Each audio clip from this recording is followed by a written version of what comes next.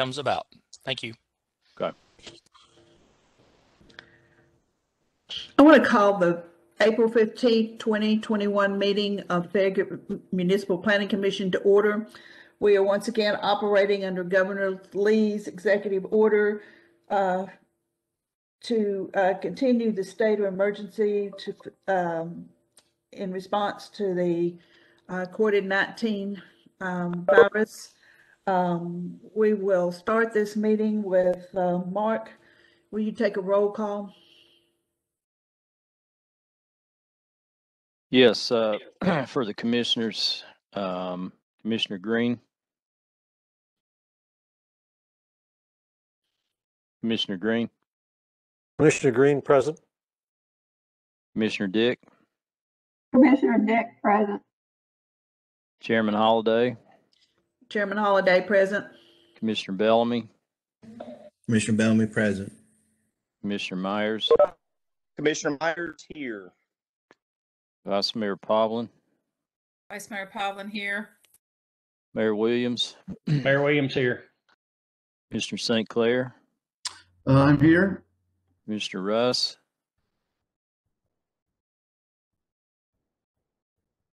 Commissioner Russ. I see him there, but he's not activated his voice yet, so I acknowledge his presence. I see him. Uh, Youth Representative Strobel.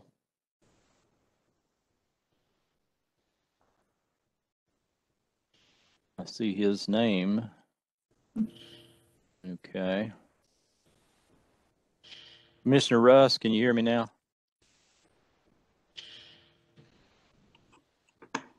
Okay, it looks like all the commissioners are present and the youth representative appears to be present. Um,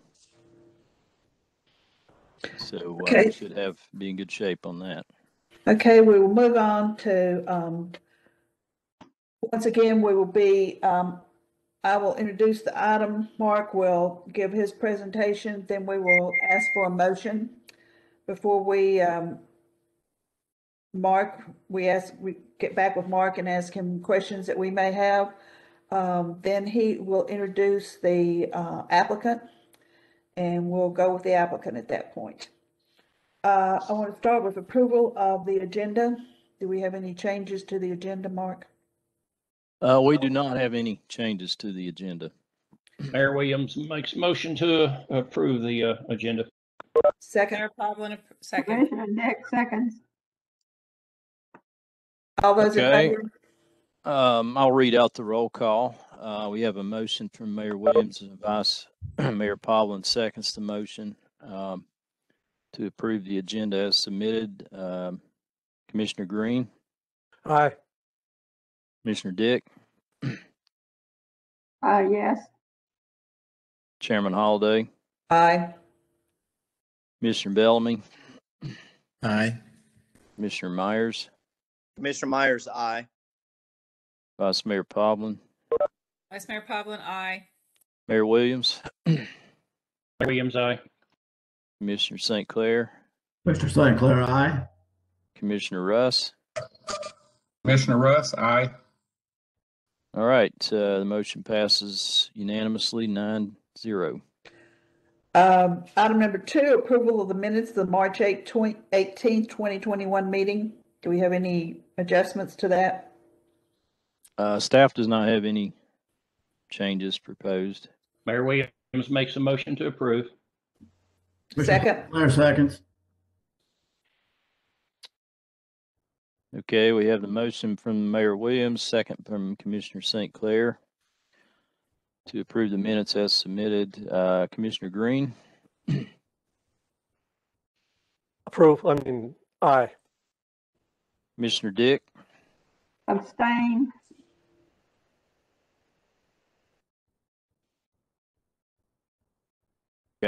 um, Chairman Holliday, Approve? Commissioner Bellamy, Commissioner Bellamy abstains. Commissioner Myers, Commissioner Myers, aye. Vice Mayor Povlin, Vice Mayor Povlin, abstain.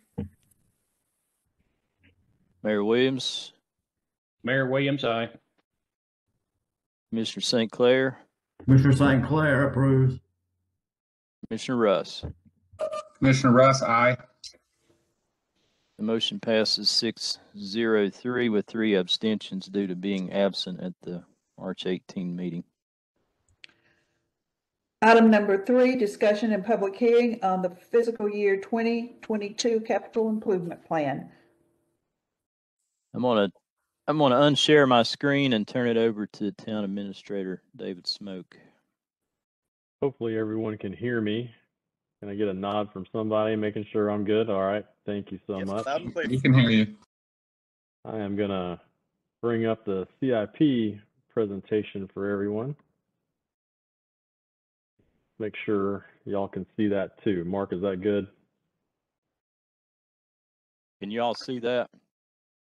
Yes. Everyone see that? Okay, good deal. Um, I, this So- is Commissioner Green. I can see that, but I'm also monitoring our, our YouTube site and it doesn't show up on there. It just shows up the last slide. okay. I'm not let sure me- how that works. Let me For your move this information, along. YouTube operates on a slight delay. Okay, that's what's going on then. Thank you. That is true. Um, It is showing up on the uh, channel, on the, on the cable. As long as you can see it, I think it will, we will have it on the channel here in just a, just a few seconds. It's, it is a little bit of a delay, but, um, so tonight, wanted to talk to you about the capital investment program. Each year, we bring the CIP before the planning commission for your review. Um, we have had, uh, already, uh, several workshops with the board of mayor and aldermen to get the draft CIP to the point that it is today. Um, now, what is the CIP? It's for any large project over $25,000, something we're going to spend a good bit of money on, and it's a one-time project or something that uh, may take us maybe a couple years even to to get uh, accomplished and get done. And we tend to uh, put these projects into different categories of parks, um, sidewalks, greenways, roads, and and land acquisition. This helps us by looking at the plan over a five-year period, six-year period. It really helps us plan for the future.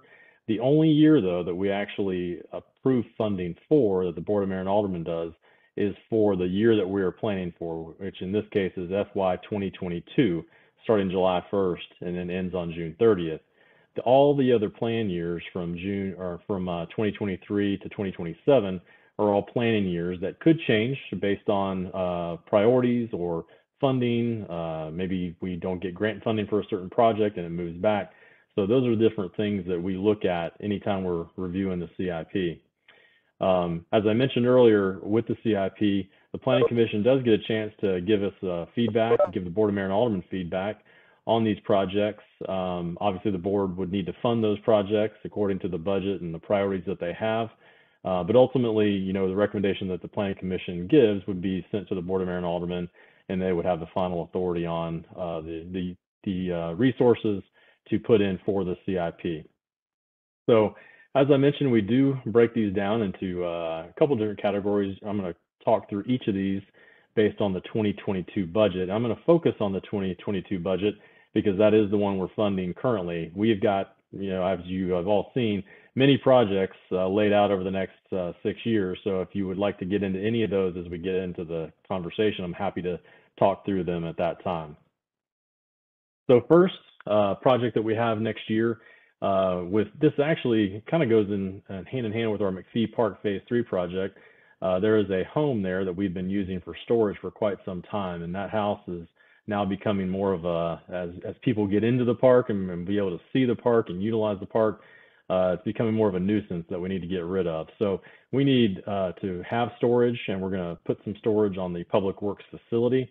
Uh, so this project would include twofold. One is building a new building, and then the other is demoing the current, uh, we call it the Demick House, there at McFee Park. And I was going to go through all these, and if, if you have a question uh, when we get to the end, then certainly we can go through those at that time. Land acquisition has been a key thing that we have had in the budget for many, many years uh, with the town. We're able to put away, uh, projecting about $300,000 next year for land acquisition. And this goes for right-of-way acquisition, could go for park acquisition, uh, property in general that we need to acquire, easements, things like that. So this is an important aspect of our town as we continue to add to our uh, to our facilities. Another project the board uh, talked about this doing starting next year is Sonia Drive sidewalk. Uh, we do have quite a bit of sidewalk on Sonia Drive, but we need to continue uh, getting it connected all the way down to Oren Road. Um, this first phase would be design and then the land and right-of-way acquisition in uh, in year one or FY 2022, and then the construction of that in the next year.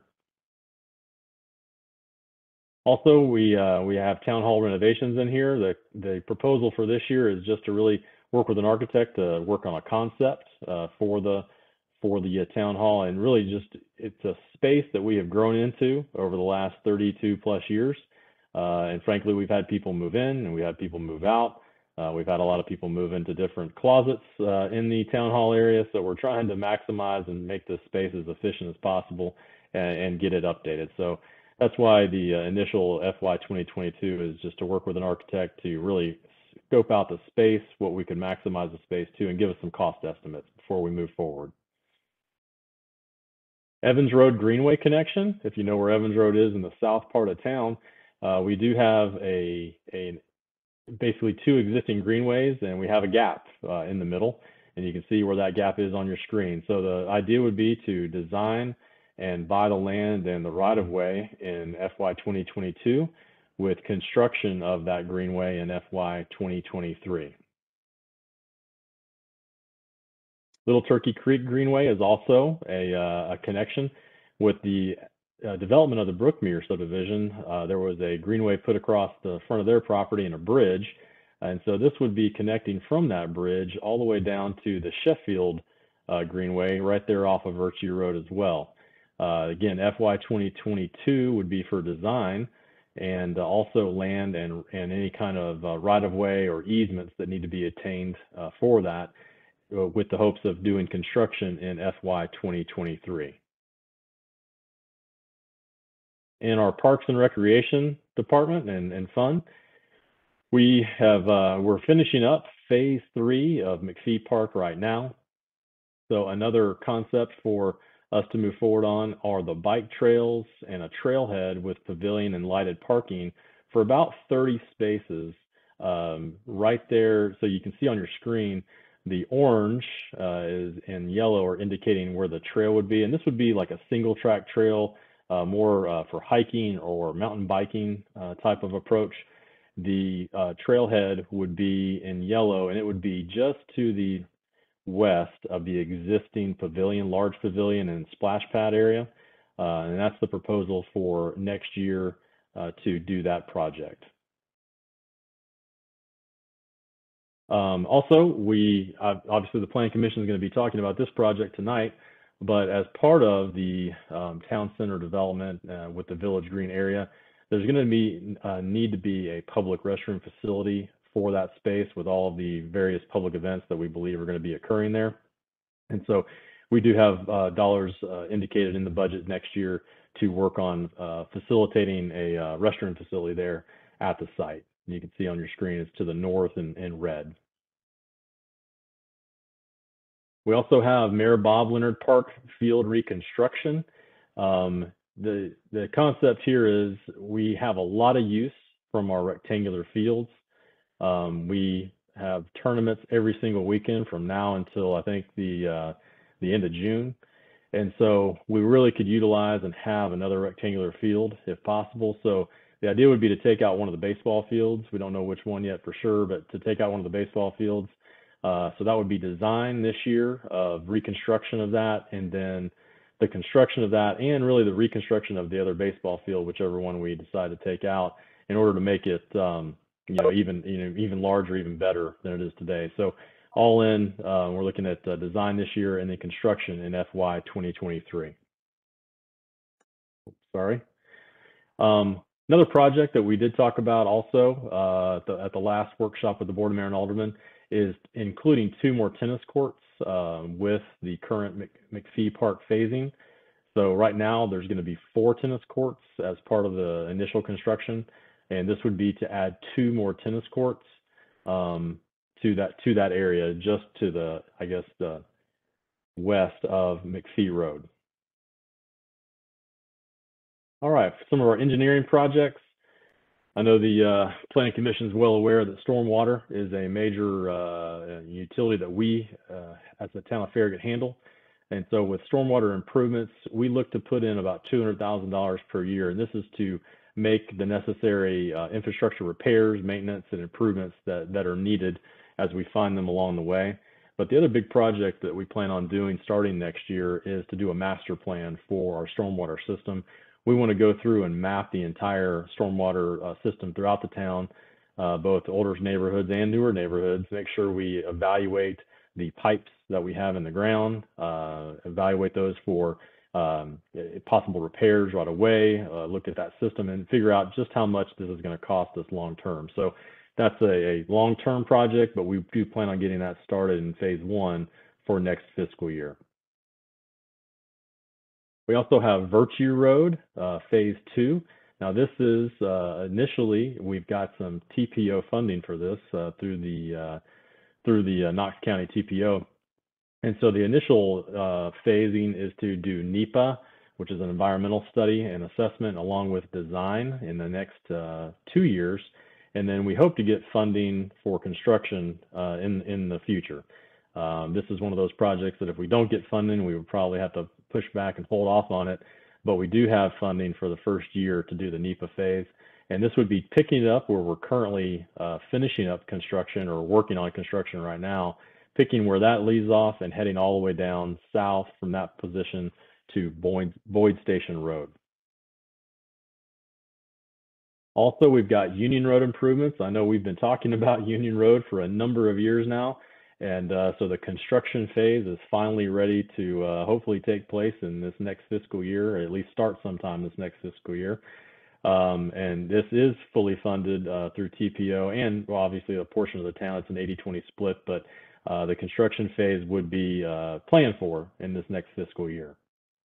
And this would connect all the way and, and improve Union Road all the way from Everett Road uh, down to the intersection with Fleener and North Hobbs, and then on down to Kingston Pike. Yeah, another big study that we're going to be doing this year is a Kingston Pike corridor study for pedestrian enhancements. Uh, we've been looking at how to really make pedestrian safety uh, more of a priority in our downtown district.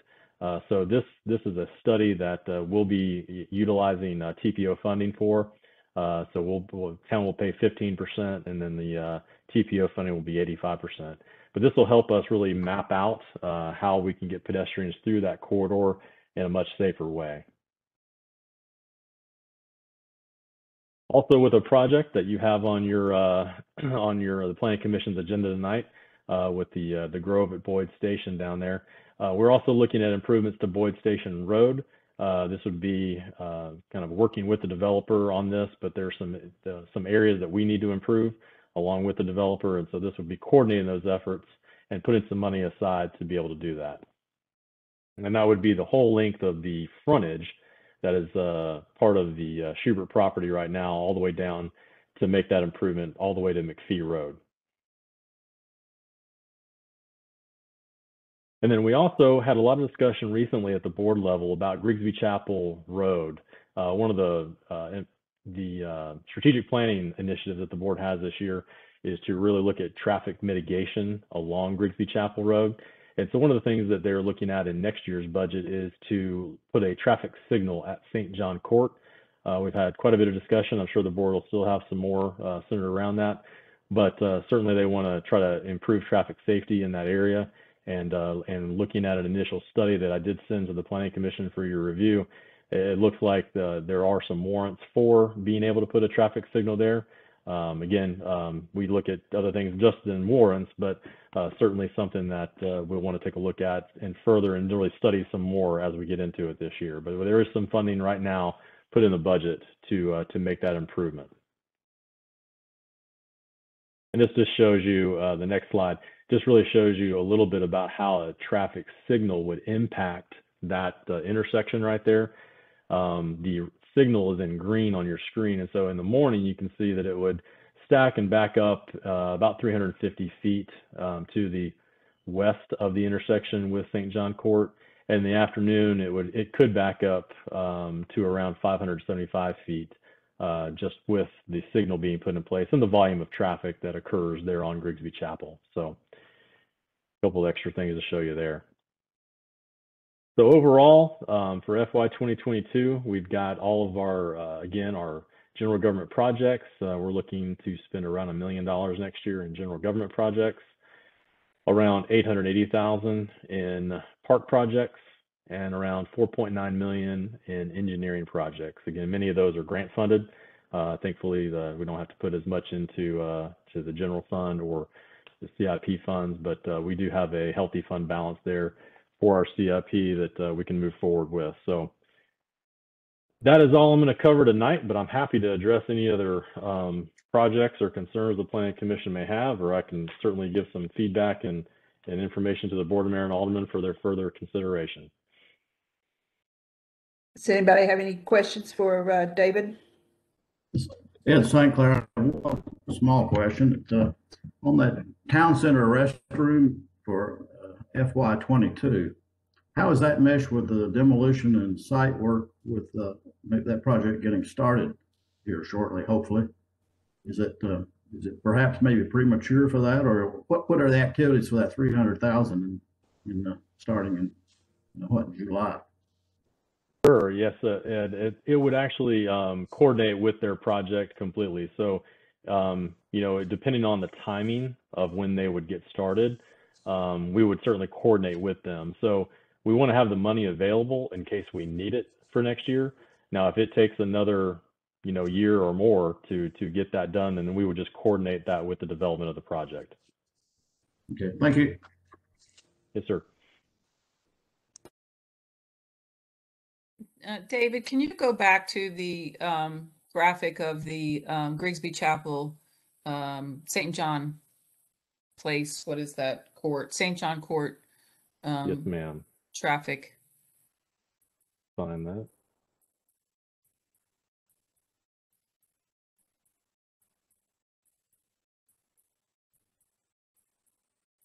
Would you like this one or the next one?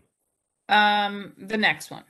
Uh, either one matters. Okay. I, n- I guess it Sure. doesn't matter. I guess what I'm um, asking all of you on the planning commission is this has been a struggle for us for some time. You all know that we've we've gone through various rezoning requests, and whenever something pops up on Grigsby Chapel, um, the citizens come in and the residents on this in this corridor are re- really struggle during peak hours to get um, in and out of their neighborhoods safely or feel safe.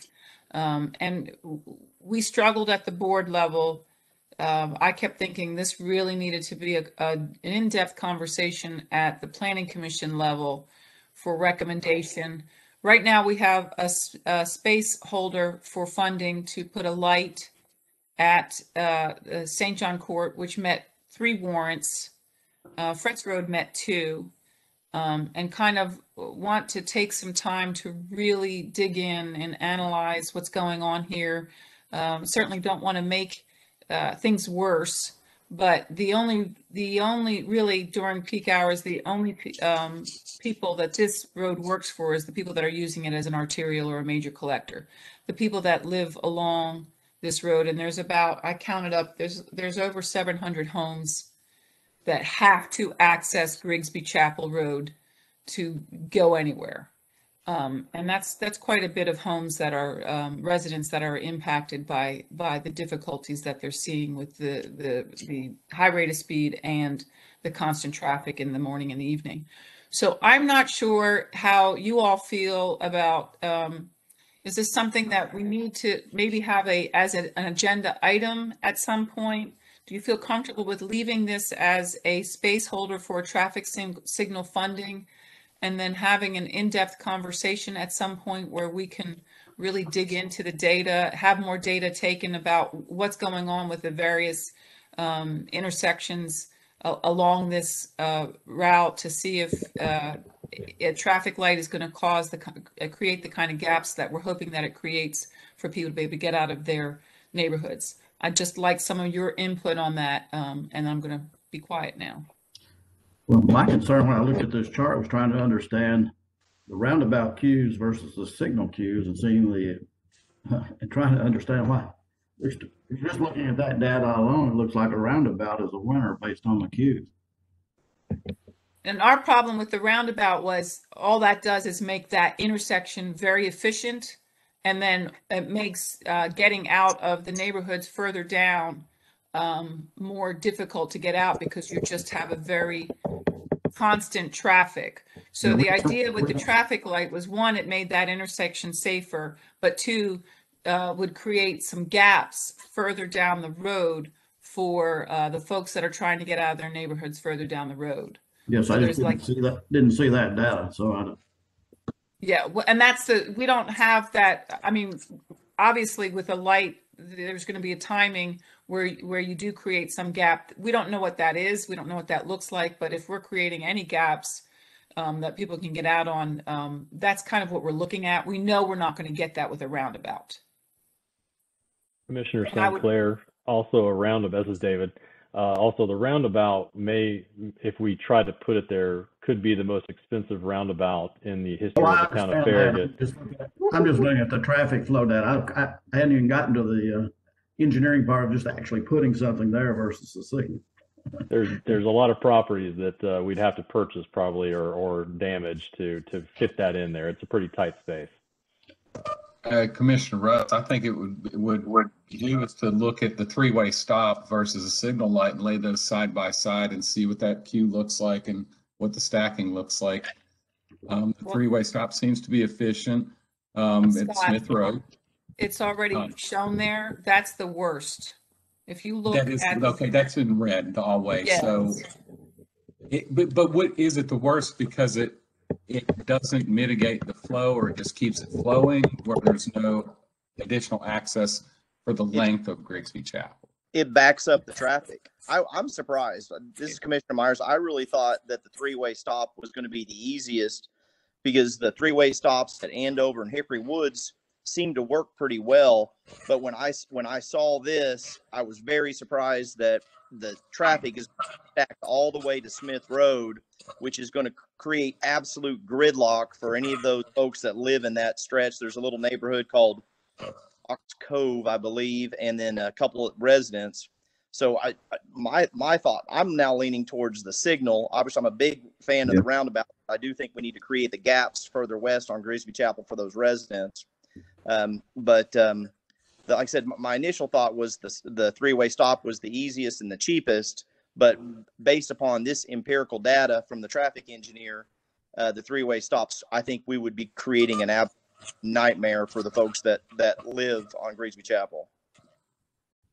This Uh, is- Mayor Commissioner- Williams, um, one of the things that we, uh, looked at as, as a board was, um, different ways to, to, uh, to work the, uh, the problem. And, and the real problem, there's a problem here with, with people in the morning that live back in these neighborhoods, getting out of, of, of the, uh, the, the one way that they can go. There's, there's just one way to get in and out.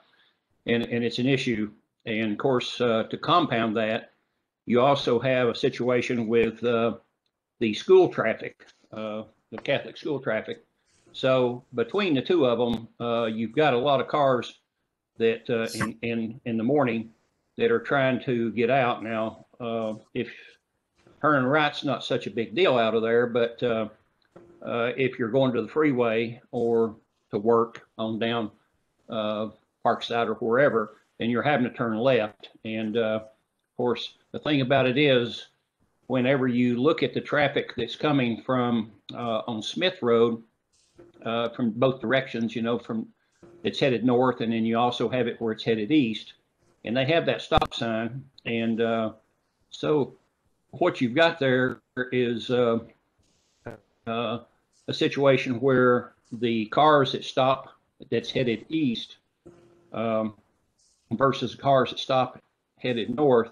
The ones that are headed north usually have about a four and a half second stop. The ones that are headed east have about a six and a, six and a half second stop. So if you if you have a light, uh, say a two minute light, then what you're going to do is you're going to uh, back traffic up uh, all the way up to the stop sign, uh, and then of course it'll turn. It would turn. Uh, uh, green, and, and that would flush the system. So you you look at it one way. Then when you go on down, and let's look at the rest of the road because uh, what Louise is talking about is uh, very important. That you have gaps on down the road so that those people can uh, get out of their neighborhood. So um, and there's quite a few down through there. So the other thing that we looked at was a light at uh, uh, at Fritz, and you know Fritz don't really have a whole lot of traffic coming out of there in the morning, but they do have traffic coming out.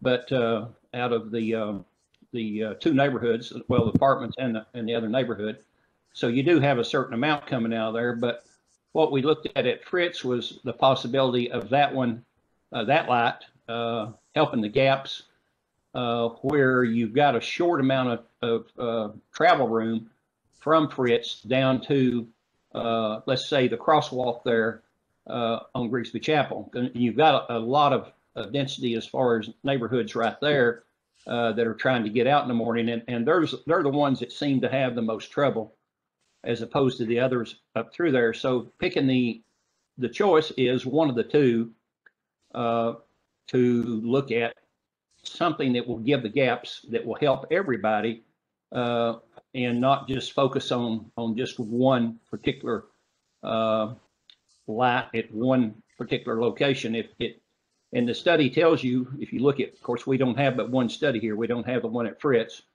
uh, in front of us, but there's two studies to look at. And Louise's idea of us looking at this uh, a lot closer on the planning commission level is a good idea because um, what we don't want to do is, is, is, you know, back uh, with a two minute light, back traffic all the way up to where you, you've got gridlock up the uh, stop sign. But yet we need to get those people out of there to go to work and the people that are taking their kids to school, we've got to get them out of there. So the, it's a tough choice. Uh, there's a lot that needs to be, a lot more to be looked at, in my opinion, because what they had before was a traffic uh, person that would, uh, you know, actually stand out there, block the cars coming in both directions and get the people out of there in the morning. And that worked fine, but they no longer have that person. So what we have to look at is, is the choices that to be made uh, along that line versus uh, the possibility of the gaps that it would uh, give us. And, you know, and that's something of, it'd be more of a whole, a whole Grigsby Chapel Road study to see what kind of gaps you have, uh, you know, and how that would work out. Because whatever we do, we need to make sure that we do this in a smart manner to where it helps people, but it does not uh, put us in a position to where we make something worse because we're trying to help something else. So uh, I think a, a, a longer term study on this, I mean, we've got time. Uh, I think we really need to look at this. I mean, and, and right now the schools there is going on. So you get the most traffic at this moment when you've got um, the school and the folks trying to get out of their neighborhood, their own or their neighborhoods that are back in there, and uh, where in the summer uh, you you'll not have the uh, Catholic school in session, so it will show the differential between the two, and and I think that will tell you how effective the crossing guard would be. Um, and uh, we found out that a crossing guard can be trained uh, to do that, and and maybe have somebody in the morning and afternoon.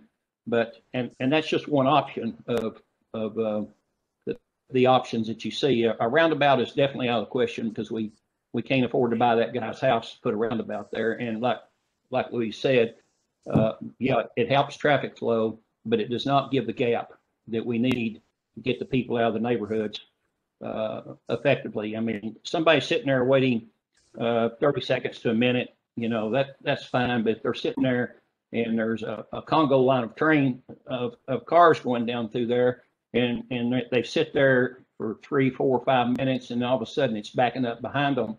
Then uh, that's that's what we've got to look at, and I think a little bit uh, longer term study would would give us uh, probably the best information to make the best choice here to where we can have the gaps, get the people out of the neighborhoods, and uh, uh, there's not a perfect.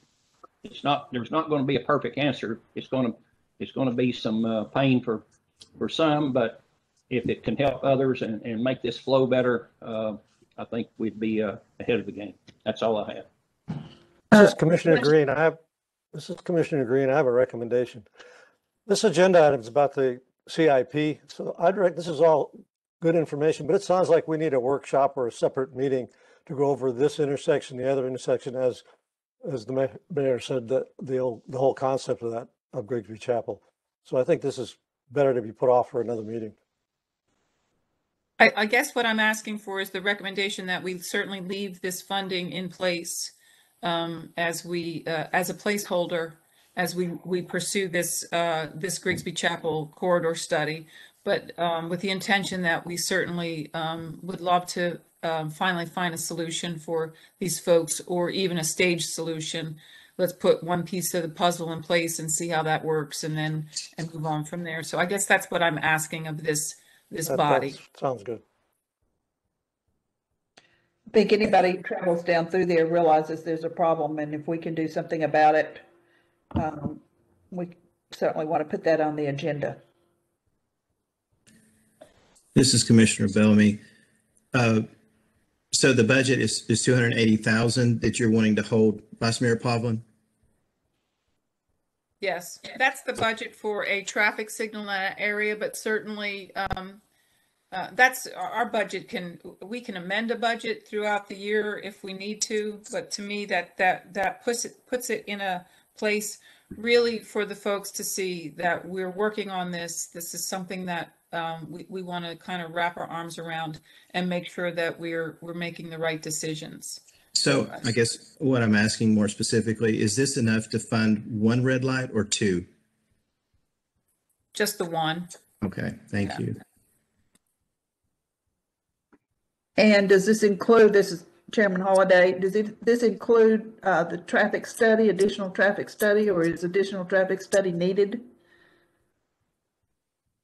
Yes, Chairman Holliday, think- this, uh, this is Okay. David. It, this does include additional study work to be done in the corridor to try to determine if we added a traffic light here, how is that going to impact other neighborhoods, uh, both east and west of the area, and see how that flow, uh, interacts with those neighborhoods too. Okay. Anybody else have any questions or comments?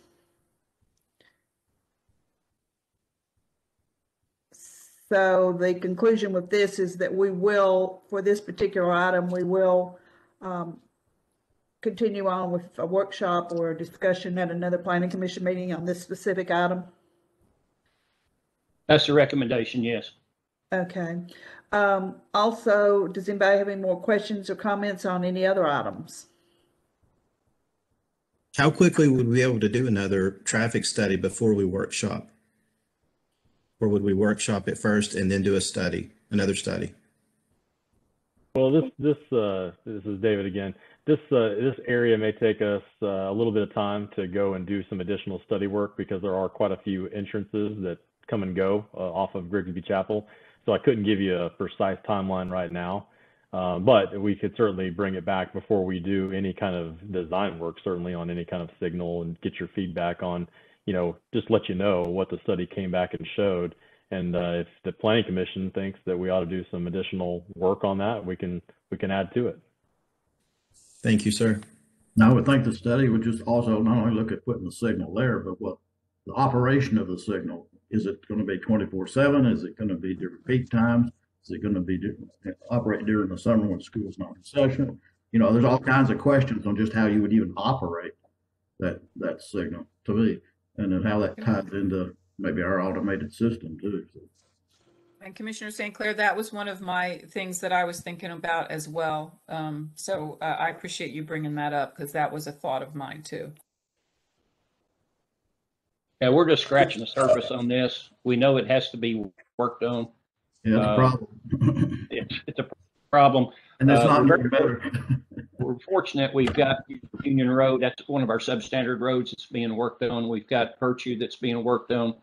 Uh, this, this one here, although it's, you know, a fine road, uh, the traffic pattern is, in my opinion, substandard. Okay, any more questions or comments for this one? So we need a motion and a second, I guess. Well, are there any other questions for, on any of the other items with the uh, improvement plan, capital improvement plan?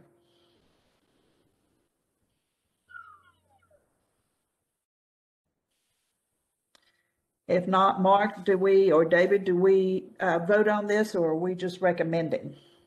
You're recommending, so if the planning commission could uh, make a motion in a second to recommend, recommend approval of the CIP to the Board of Mayor and Alderman, then, uh, then that would be the motion to put on the floor. Okay, Commissioner Yeah, I will. St. Clair, I recommend that we, uh, uh, recommend this plan to the uh, Board of Mayor and Alderman. second? Second. Myers, second. Okay, I have, uh, this is Mark. Um, Commissioner St. Clair making a motion to recommend approval of the CIP to the Board of Mayor and Alderman, seconded by Commissioner Myers. Um, we'll do a roll call on that. Um, Commissioner Green,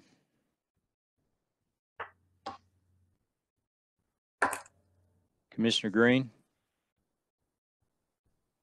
Commissioner, Commissioner Green. Oh, sorry. aye. Okay, Commissioner Dick, Aye. Chairman Holliday, Aye. Commissioner Bellamy, Commissioner Bellamy, aye.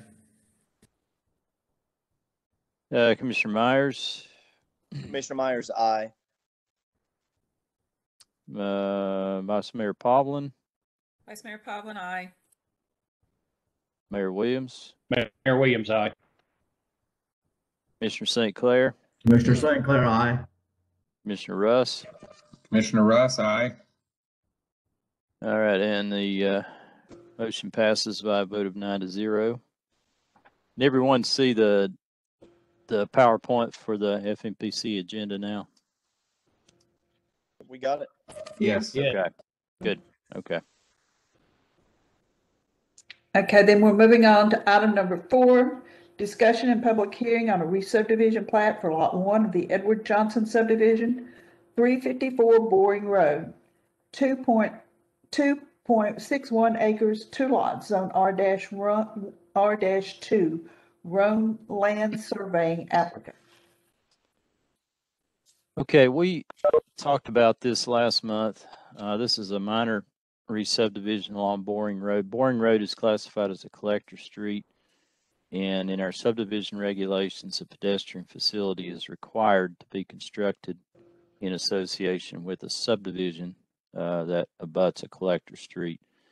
So the applicant had requested a variance uh, from that requirement. And um, we talked a little bit with the planning commission and the applicant last month. Um, and uh, the staff mentioned that this property already has a 20 foot wide water line easement, first utility district that runs across the entire frontage of the property. Um, and uh, staff was asked to uh, work with First Utility District to see if they would be uh, okay with a potential pedestrian easement uh, in that same general area. And uh, staff has uh, contacted First Utility District, um, and they are fine with pedestrian facility easement being within their entire 20 foot wide water line easement. So rather than uh, granting a variance from this requirement, uh, which could potentially, you know, set a precedent uh, that we may want to think about, the staff would recommend that this plat would just need to create a pedestrian facility easement within the existing water line easement that First Utility District has. Um, and that way there would, there wouldn't be any additional encumbrances on the property. Uh, it basically would be within the same physical space as the existing easement. And that should give, um, plenty of room to put a walking trail and a grass strip if that's what the facility is desired in the future. Uh, when that becomes uh, an appropriate time to provide that facility. So that would be our recommendation as far as this plat. Another consideration with the plat is how to address um, the future construction of a pedestrian facility along the frontage. Um, this property does not, there, there aren't any walking trails or sidewalks that stub into this property, unlike the Smith property that was re-subdivided to the east uh, a couple of months ago. So if you were to put a facility there right now, it would kind of be out in space and unconnected uh, at each end of the property. So due to the timing consideration, one thing that the staff noted that we've done in the past in some of these situations is have the town attorney work with the applicant on a, uh, a uh, pedestrian construction covenant that basically at the appropriate time, it would um, require the, whoever the property owner or owners are at that point to uh, work with the town to um, put in the pedestrian facility. Um, and, and like I said, we've used that uh, three or four different locations in the town. Um, the other option would be for, you know, when the time is right, the town would be uh, putting in the facility within the pedestrian facility easement that would be recommended with this plat. Um, just based on current cost, um, and again, this is very rough and approximate. Um, to put a facility across that entire frontage would be a, around twenty thousand dollars at this point. Uh, there may not be uh, a facility built there for many years. Who knows? Uh, again, it's kind of development driven. Uh, so, you know, it's very uncertain, obviously, as to what the cost would be at that point.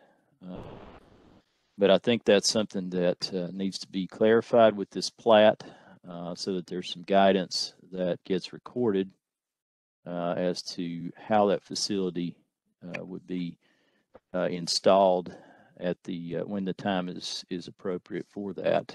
Um, so, yeah. hmm can I add uh, information uh, that would be helpful for the planning commission Sure. to understand for precedent?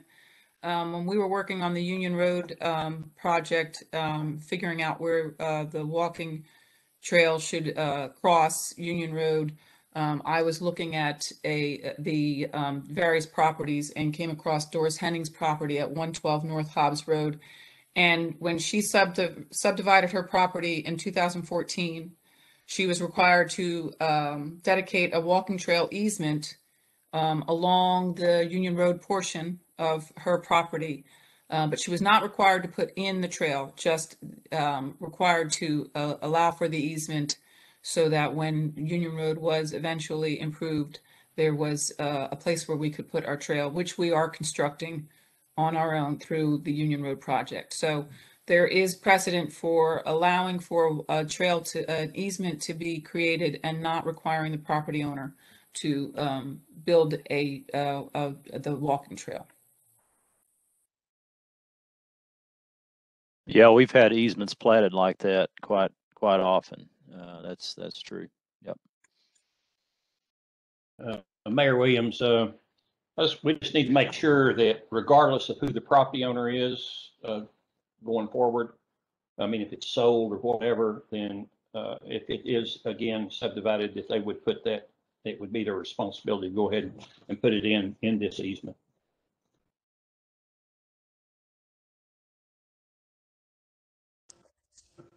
Yeah, I mean, this easement, the recommendation from the staff at, at a minimum, the easement would be platted at this time with this re-subdivision plat. And again, the, as to who puts it in in the future, I think that also needs to be reflected on this plat. Um, it could be through a plat note of the action taken by the planning commission. If there is a covenant that ends up being recommended, that would have to be addressed on the plat as well, so that so that you have a document in addition to the deed or covenant, a uh, mapped document that memorializes basically the process for how the pedestrian facility would be uh, provided at the appropriate time.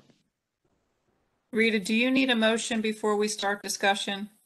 Or do we hear from the applicant first? You do need a motion and second on any item, so you Okay. need to go ahead and do that. I probably should I'm gonna go ahead and- already. I'm going to go ahead and make a motion on the variance to uh, require uh, the uh, uh, walking trail easement um, but, um, not require the, um, applicant to, um, fund a, the sidewalk that will go there. I hope that's correctly stated.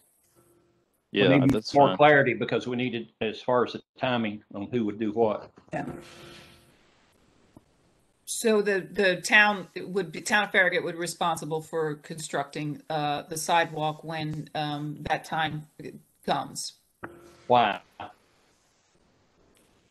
Uh, because it, we have no idea when that, that sidewalk will ever, will be built or, um, will, if there will be a connection there. Is, Is that the hardship, Louise? Norm, normally with a variance, we, we try to list um, and include the hardship in the motion. To me, that's the hardship. If, Okay. do you guys agree? Is there another hardship we Well, can you're not list? granting, you're not granting a variance. You, No. a variance would be to basically say you don't have to put it in ever. You, you're not saying that if, with this. No, we're motion. not. They're gonna, somebody's gonna have to build it. I mean, we're not varying from the requirement to build it. It's just a question of timing and how that is memorialized on this plat before you. Well, if the Then- I- I property think- owner, if the property owner, uh, sells it or subdivides it in order to, uh, do a little small subdivision or whatever, uh, if they're selling it, they're, they're selling it for profit. Uh, I don't think that we should be the one to put the sidewalk in. Uh, in, in that case, I think the property owner at the time, whoever that may be, would be the one that would, uh, would put the sidewalk in. And We have- Mark, Well, Mark, uh, we have a mo, first of all, we have a motion on the floor from, uh, Vice Mayor Povlin. Does anybody want to second the motion that she made? Well, it's Apparently incorrect. It's sucks. incorrect because she asked for a variance and we're not doing a variance here. Okay, I, I Oh, withdraw okay. my motion then. Okay. Does anybody want to make an amended motion? The applicant is here and they can, we'll have them speak to this as well if you want. Um, does anybody have an amended motion? Commissioner St. There's really kind of two parts we're dealing with. One is just to uh, say that the, we're going to use the first utility district easement for the, for the walking uh, uh, trail or the sidewalk. And then that, I guess I'm unclear on exactly what we're wording, our wording would be on what the mayor's bringing up relative to the timing. So can we put that in one motion or do we need to make a two-step process out of it? So we clearly understand what we're doing. If it's more clear for you all to address those separately, then that's, I think that's fine. Um, anything that needs to be clarified or, or addressed on this plat, we need to take action on it. That's, To that's the me- bottom line. to me, this is Commissioner Myers, I think the real crux of what we're dealing with is we've got an applicant that's, that's willing to dedicate the easement. And probably just because there's a utility easement that's there, um, doesn't necessarily mean that we have the right to use it as a walking trail. So there probably is some additional easement dedication that needs to occur. But r- really what we're dealing with, what, at least what, how I interpret it, is we're dealing with who's going to pay for the walking trail and at when will that occur? I- i- Is that, is my interpretation correct, Mark? Yeah, because if the applicant or property owner is going to pay for it, then we probably need to, because of the timing consideration, then we need to recommend a, some kind of a legal mechanism like a completion covenant that we talked about last month. And that would be, um, ultimately, the instrument number for that would be recorded and reflected on the plat of record. So, um, if, if you all want to just say, all we want is for them to plat the easement and then it's, you know, the town would be responsible for doing it, then that, you know, we wouldn't need to worry about a covenant or anything because we'll have the easement, that the physical space to do it, uh, at the appropriate time. But if we're, if we're going to bind a property owner to it, we need to make sure this plat uh, memorializes that. I- I kind of like what the mayor was saying is that if, if they sell the property at some point in the future or further subdivide the property, then that triggers the property owner at that time and they can negotiate with the new buyer or the existing um, owner to then fund the cost of the um, the cost of the walking trail. Now, if the town of Farragut, if they don't, you know, let's say they don't sell the property for 10 years and the town of Farragut determines that it's time, just like we do all over the town, to uh, install a walking trail, then the town of Farragut can include it in the CIP. But so I think that's kind of where where I'm leaning is that, um, and we've done this. That there was there's a parcel over off of Turkey Creek Road that recently, once it changed hands, they had to abandon the old driveway and do another driveway. So there's ways to put plat notes in there that triggers these sorts of things that would require if they sell the property again, then they would pay for it. And it's very well they may stay there for 10 or 20 or 30 years. And then the town of Farragut may just determine that it's time to go ahead and make the connections. Is is um is anybody else kind of on board? I think the mayor, my interpretation of what the mayor just said, he's on board with that. Is anybody else on board with that kind of philosophy?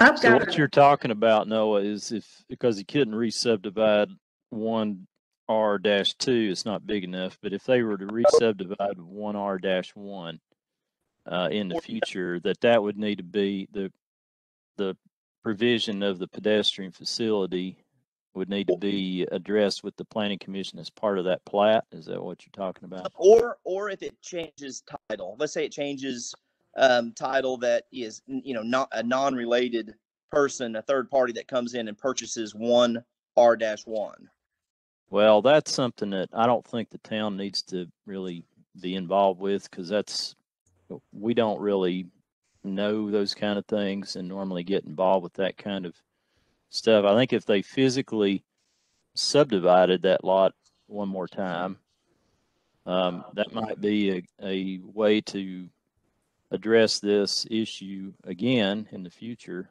with a, with the, that re-subdivision plat. Um, And may I? uh, And there is Mark, a- I'm- Can I read from that, the subdivision plat that they did for um, Ms. Henning's property? The last line, and it's clear as mud, it says, upon further subdivision or development of lot, whatever it is, a walking trail sidewalk will be constructed along Nor- North Hobbs Road and Union Road frontages. It doesn't say by whom.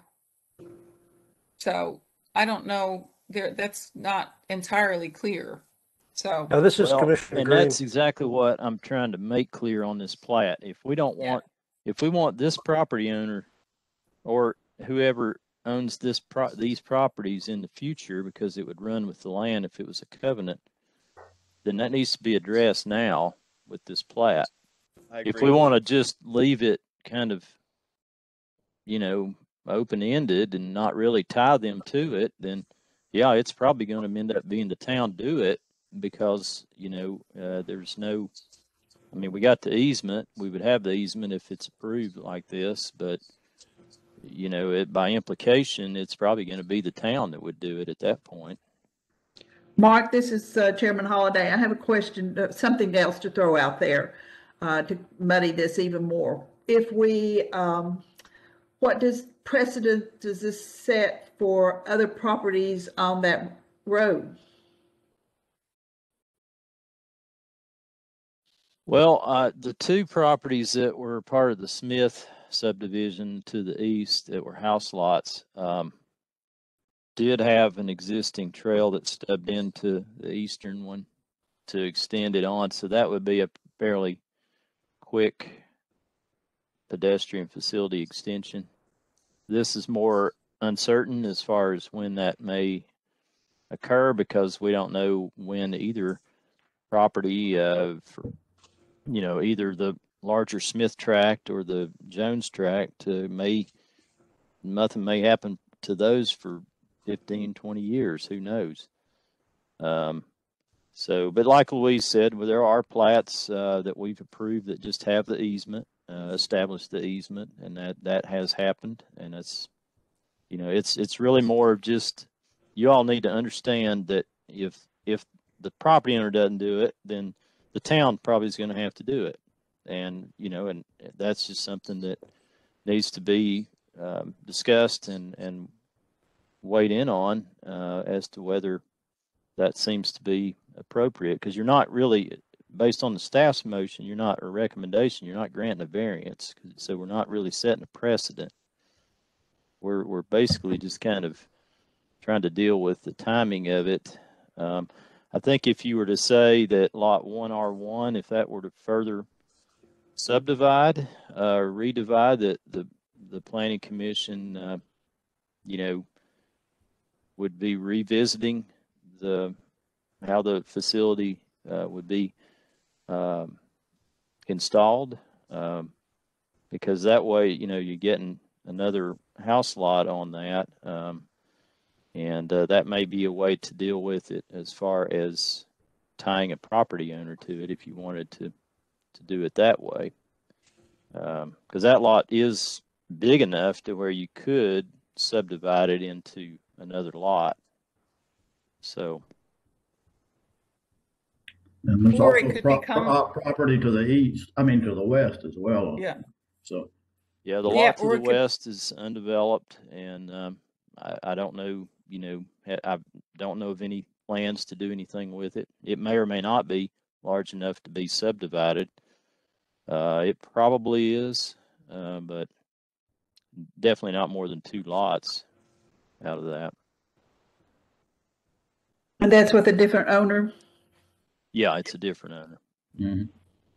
This is Commissioner Myers, I, I'm comfortable moving forward with, with removing the requirement to construct the pedestrian facility uh, contingent upon no further subdivision of lot one R one. So if one R one gets further subdivided, then there needs to be a plat note in there that at least somebody at public record will be able to look at and say, hey, well, I need to go talk to the town of Farragut because there may be a walking trail or a sidewalk required at this location. This is Commissioner Green. Isn't that built into the statute if they redivide, if they subdivide R one R? Well, it would be Well- something y'all would have to act on if they requested a variance to not put a pedestrian facility in as part of that re-subdivision Yeah. plat, just like But, you're but doing to right put, now. but to put one in would already be built into the process, right? Well, the easement, we're recommending that at a minimum, the easement easement. gets platted with this No, I, plat I think here we all today. agree on the easement. I don't think that's an issue. Everybody agrees, I think, that, that the easement is, is proper. We may have to say some words that we can u- use the existing easement for the purposes of a pedestrian walkway or uh, trail. But the actual implementation of the sidewalk, I think if we just don't address it right now, it would become automatically addressed if lot Yeah, one that's true. R becomes Yep. subdivided. Otherwise, it just becomes open-ended and that, and as, uh, Vice Mayor Povlin said, eventually, if everything else got a sidewalk and then we, the town decides that really we need a sidewalk there. Because I'm, I'm kind of against us imposing that, that an existing resident has to put a sidewalk at this point in time. Kind of a backfitting, you know, when they bought the property, there was no requirement, and now we're kind of going to backfit. And I understand that's the way the regulation reads, but I still have some problem with it. If I had a lot there and all of a sudden somebody told me I had to put a twenty thousand dollar sidewalk across there, I'd certainly have a problem with it. So again, I think if we could agree to the easement and utilize that at some point in time, if necessary, for the walk, for a walking pedestrian trail, and that no requirement for a trail at this time uh, exists. Do you want to make, does somebody want to make a motion in second on something like that? If that's how you feel? Um, Commissioner Green, was that a motion? That was a motion. I make a I'll second. motion, I make a motion that the easement, the existing eas- easement can be utilized in the future for a, wa- for pe- pedestrian trail, and that there is no immediate need for the installation of sidewalk at this time, and the installation can be determined at a later date. I second. So you'd be platting the easement as part of this plat and, um, and then Yeah, it Plat the, just, plat the easement, but not the when requirement. it gets for the built, it's just based on development in the nearby area, I guess. Okay. That sounds good. I- I'd still like to see a plat note on there referencing this, because I, I think it's wh- when these properties get sold, a lot of times folks come in and say, well, I didn't know, but if, if it's Mhm. a plat note on, on the plat of record, then nobody can say, well, I didn't know that there may be a sidewalk or walking trail required. A- Again, we pick up Meaning- on in the subdivision regulations, but I think it's, it's just better to try to be as transparent as possible and include that as a, as a plat note. He's, on- yeah, he's on- talking about if lot one R one is further sub, re-subdivided, that Yeah. it's clear that that, the requirement for that facility may occur as a result of that and need to be constructed at that time with that re-subdivision plat. I- That's what I think Commissioner Myers is saying. And that you- does you are- make sense because it's I'm- very I'm- clear. I'm hearing it differently. I think uh, Commissioner Green's point was the fact that the normal process, you came back to re-subdivide that, it's already built into the process to deal with it. Well, the, the good And if we value put of it in that there to Say if it changes hands, I'm, I'm interpreting what Noah was saying is if it just changes hands, not necessarily a re-subdivision. If it just changes hands, then it, then it would be required. Well, I look at it as an albatross on the sale of that piece of property. Ed, I'm going to back on the changing hands. So I, I'm, I'm, I'm, I'm not going to uh, pursue the changing hands triggering the sidewalk connection or the sidewalk construction. But I do think a plat note is important. The reason being is that we do have a track record. Well, I wouldn't say a track record. We do have multiple precedents in the town of Farragut when folks do what's called simple subdivision, which is basically taking one lot and creating two we have granted this variance in the past at multiple locations in the town of Farragut. So I'm not worried about the slippery slope. However, 10 years from now, when somebody brings one R dash one to us, gonna say, hey, we're only taking one lot and creating two lots. So we, uh, we, you know, you've done this before, so we don't want to have to build a sidewalk. I think a plat note memorializes that, hey, we've already granted you a kind of a one-time variance for creating the one R two. And so now this, any further subdivision is going to trigger or may trigger uh, some sort of pedestrian facility. I, I really would like to, I, I think it's in the best interest of, of everybody involved to have it in a plat note. I'm comfortable with that. You I I if think the that's, Requirement that way, but stating it there, I mean, it's, it's fine with me. It- Yeah. yeah, it does no It harm. doesn't, It it doesn't- doesn't detract from it. The pro- just- No. there's a redundancy there and that's fine.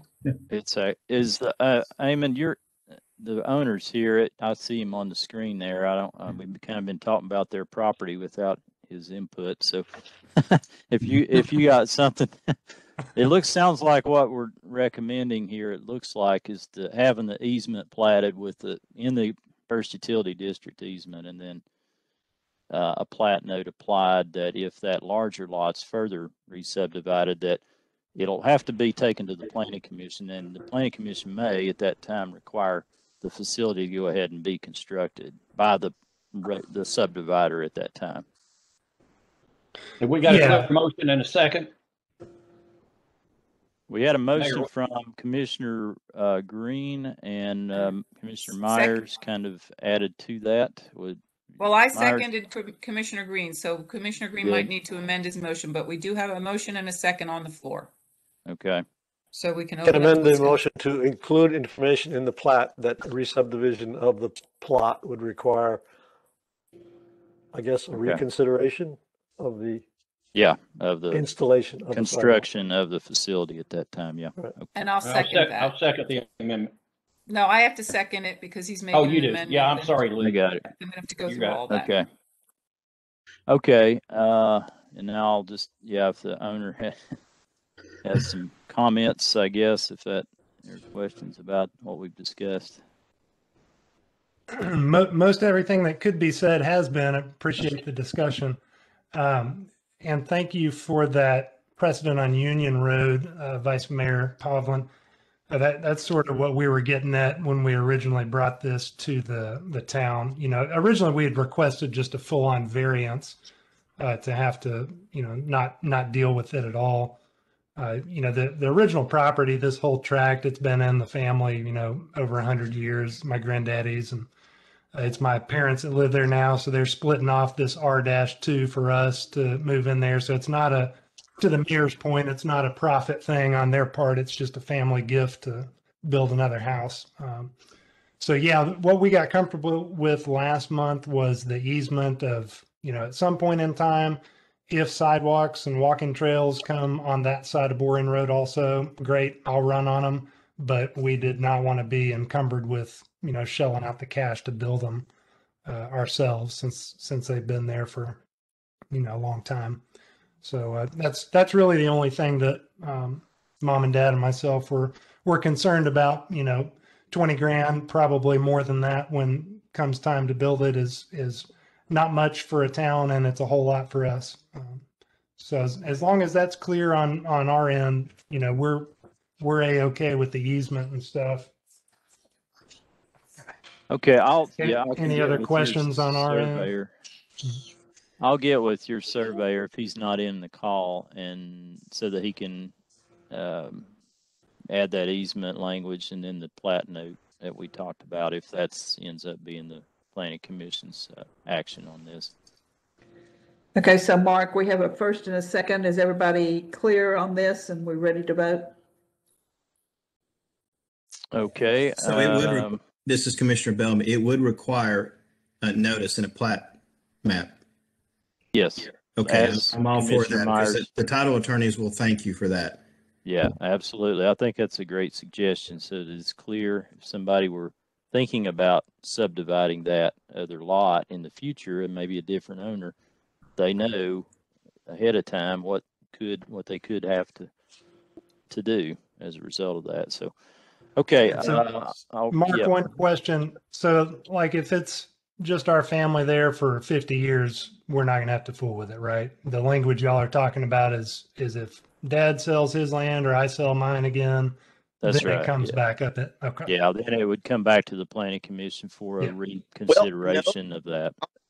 That's not necessarily, I don't think that's the motion. I think they could sell one R dash one and they could sell one R dash two. That Yeah, doesn't. yeah. tri- The That's only right. thing that triggers a relook at this is if one R dash one It's is re- yeah. Okay. That's So right. only in that circumstance of Yeah, another right. subdivision. Okay.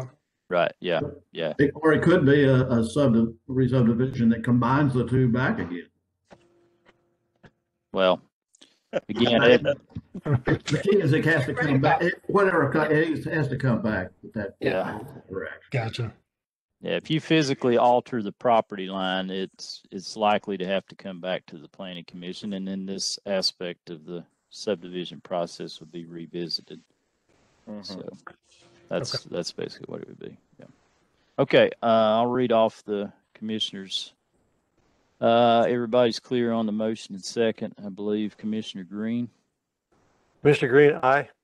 Commissioner Dick, I'll have to abstain. I missed most of that. I don't know what happened. I couldn't hear the conversations.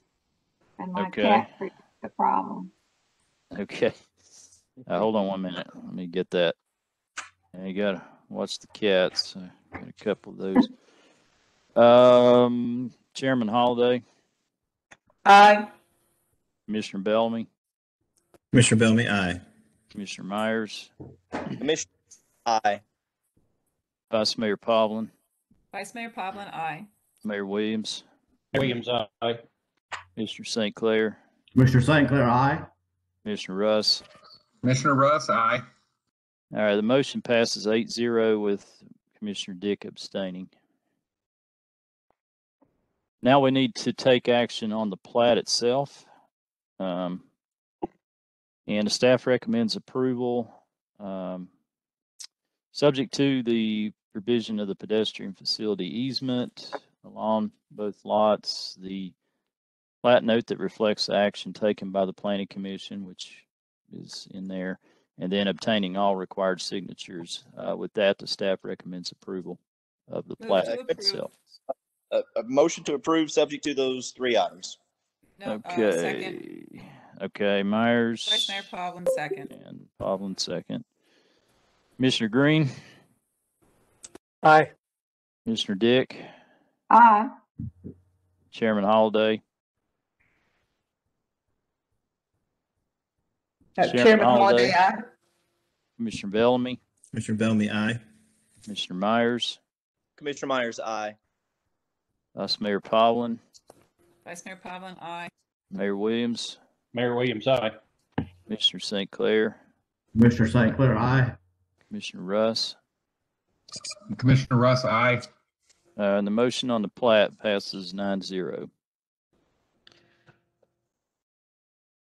Moving on to item number five, discussion and public hearing on a zoning map amendment request for the property referenced as parcel 069 tax map one forty-two, north of the old Ingles Building, twenty acres to change the zoning from R one, rural single-family residential to R two, general single-family residential to R six, multifamily residential, Horn Properties Incorporated. That's R one and R two to R six. Okay, we've uh, discussed this item last uh, for a couple of planning commission workshop sessions. Um, and the staff has brought up at as the request is presented at this time, uh, it's not consistent with the future land use map. Uh, the property is the area in the in the rectangles, the area that's requested for the rezoning. It's shown as medium density residential, which caps the density at eight units per acre, and the request for the zoning district is 12 units per acre. So um, it's inconsistent with the future land use map as presented. Of course, the applicant could always request an amendment to the map um, or amend the zoning map um, request, and that could be certainly revisited. But as it's presented now, the staff uh, does not support resolution PC 21-04 uh, because uh, the request is inconsistent with the future land use map uh, in the comprehensive land use plan. And the rezoning request is uh, is incomplete as well. There, these rezonings that increase the density on properties, you know, we require, we changed our driveways and other access ways ordinance a few years ago to require a traffic impact study to be based on the hypothetical development of a property so that before the planning commission makes a recommendation to the board of mayor and aldermen on a rezoning request that they have as much information as as they can get to make an informed recommendation. The traffic impact study is critical to that and we don't have that at this point. So for that reason as well uh, the staff again cannot support uh, resolution PC-21-04, which recommends approval of the rezoning through ordinance 21-06. And I do have some citizen comments after you all make a motion and second on this. Chairman um, Holladay, I'd like to make a motion um, to deny the zoning map amendment request based on the failure to submit a traffic impact study as is required in section twenty-two one forty-seven A one of the driveways and other access ways ordinance as found in chapter twenty-two, article five of the Farragut Municipal Code. Do I have a second? Commissioner Dick seconds.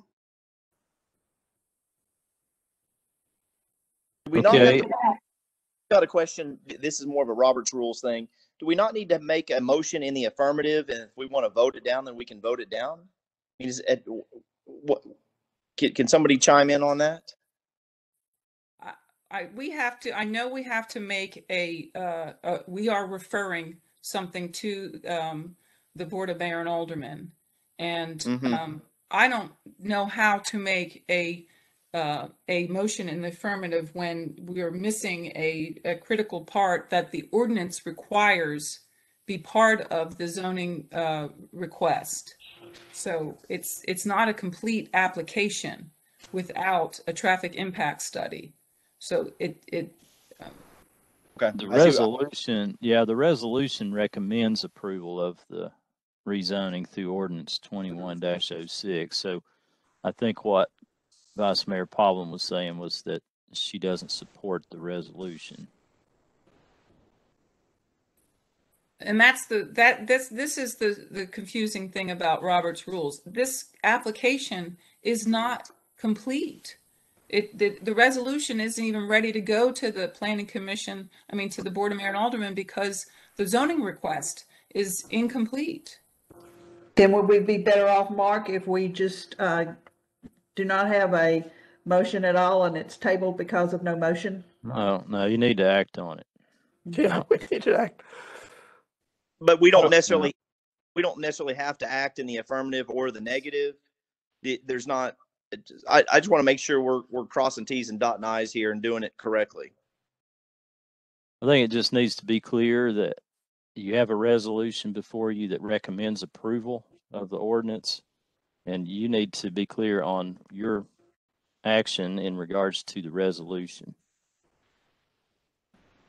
This is David Smoak. I just, I would concur with what Mark just said.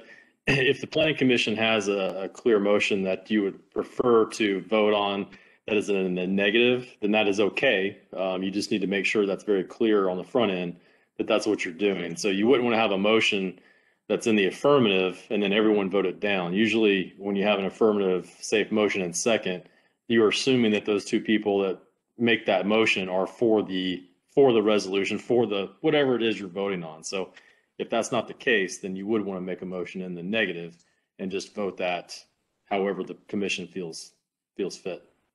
This is Commissioner Green. Uh, Vice Mayor Povlin, did you include that the request is not in compliance with the future land use map? Was that in there? No. Shouldn't we include that as well? No. No? It's not, a rezoning request is not complete because he's not, they've Well, that's- not filed a traffic impact study. But we Well, that's shouldn't have- true, we- but isn't, it- but uh, that's we true, but shouldn't aren't we be- also, No, we shouldn't be discussing any of the other merits because we have an incomplete application before us. So none of the, to me, you don't uh, have any kind of judgment on any of the other merits until you have a complete application.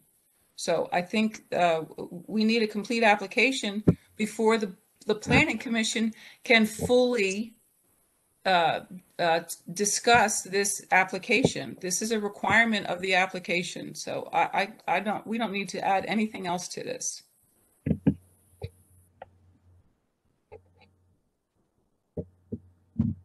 Well, that's a motion on the floor and there was a second, Commissioner Um, Dick. And, Repeat the motion. my I'm sorry. motion is move to deny the zoning map amendment request based on the failure to submit a traffic impact study as is required in section twenty-two one forty-seven A one of the driveways and other accessways ordinance as fou- as found in chapter twenty-two, article five of the Farragut Municipal Code. Um, if we, uh, if we start debating and move up to the planning, to the Board of Mayor and Aldermen, an incomplete, um, uh, um, application or, or zoning request, we are setting a very dangerous precedent that anyone can come in and they don't have to file a traffic impact study. They get a hearing on their, their, um, um, their, their, uh, request and it moves up to the Board of Mayor and Aldermen without having to do, traffic impact studies can be expensive. But they are a necessary part of what the board, the planning commission needs to make a recommendation. And that could go for any element that's a requirement for an application. That's true. That's very That's true. correct. Okay, well, that's the motion and I think Commissioner Dick seconded that. Um, I so I, I have a couple of letters to read uh, regarding this agenda Hey, item hey, from Mark, citizens. uh, Hey, Mark, let Uh-huh. us speak, uh, let us speak the applicant. Uh, we, Louise Paulman, I know she wants multi-million dollar developments to come to Farragut. but We've got this senior, uh, project tied in with the, the villages and also, uh, widening Boring Road, paying for it. But we will agree to do the traffic study. We said that we could make this subject to the traffic study. We've already done one traffic study on this property and it passed without access to Board Road. Of course, now we're saying we'll have access to Board Road. But we'll, we'll defer to what, uh, Vice Mayor Louise Paulman said. I know she wants big developments to come to Farragut, multi-million dollar deals, and that's what we're proposing. So we'll, we'll take it off the agenda and do the traffic study. We've already done one, it passed, uh, a couple of years ago, but we'll update the traffic study, do what Louise Paulman said. So just take it off the agenda and we'll put it back on the agenda when we get to traffic study. So that'll alleviate having to go through all the, uh, multiple minutes of discussion at this time. So do we need another motion to table this item? I mean, my recommendation is that you take action on it as it's submitted. And yeah, but that's just, that's my recommendation. We've talked about it at two workshop sessions. And we've discussed the traffic impact study. Um, and, um, yeah, but you all can do what, you know, the planning commission can, if you want to do that, that's up to you all. Well, We have a Actually, motion Mar- on the floor. We have a motion you- on the floor and a Mhm. second. You have to vote on it. I think what Rita's saying is we got a motion and a second. We're, we're already required to vote on it. I do have a couple of letters if you want me to read those into the record on this item.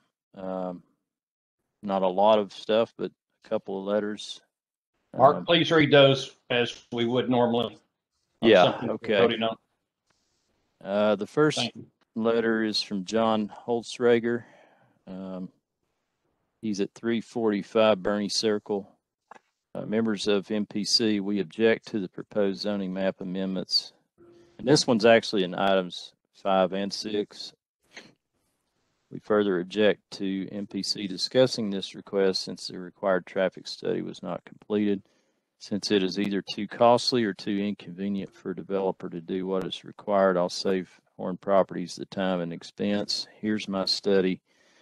Twice in the last two weeks, it's taken more than 10 minutes to drive the distance from Costco to Campbell Station on Kingston Pike.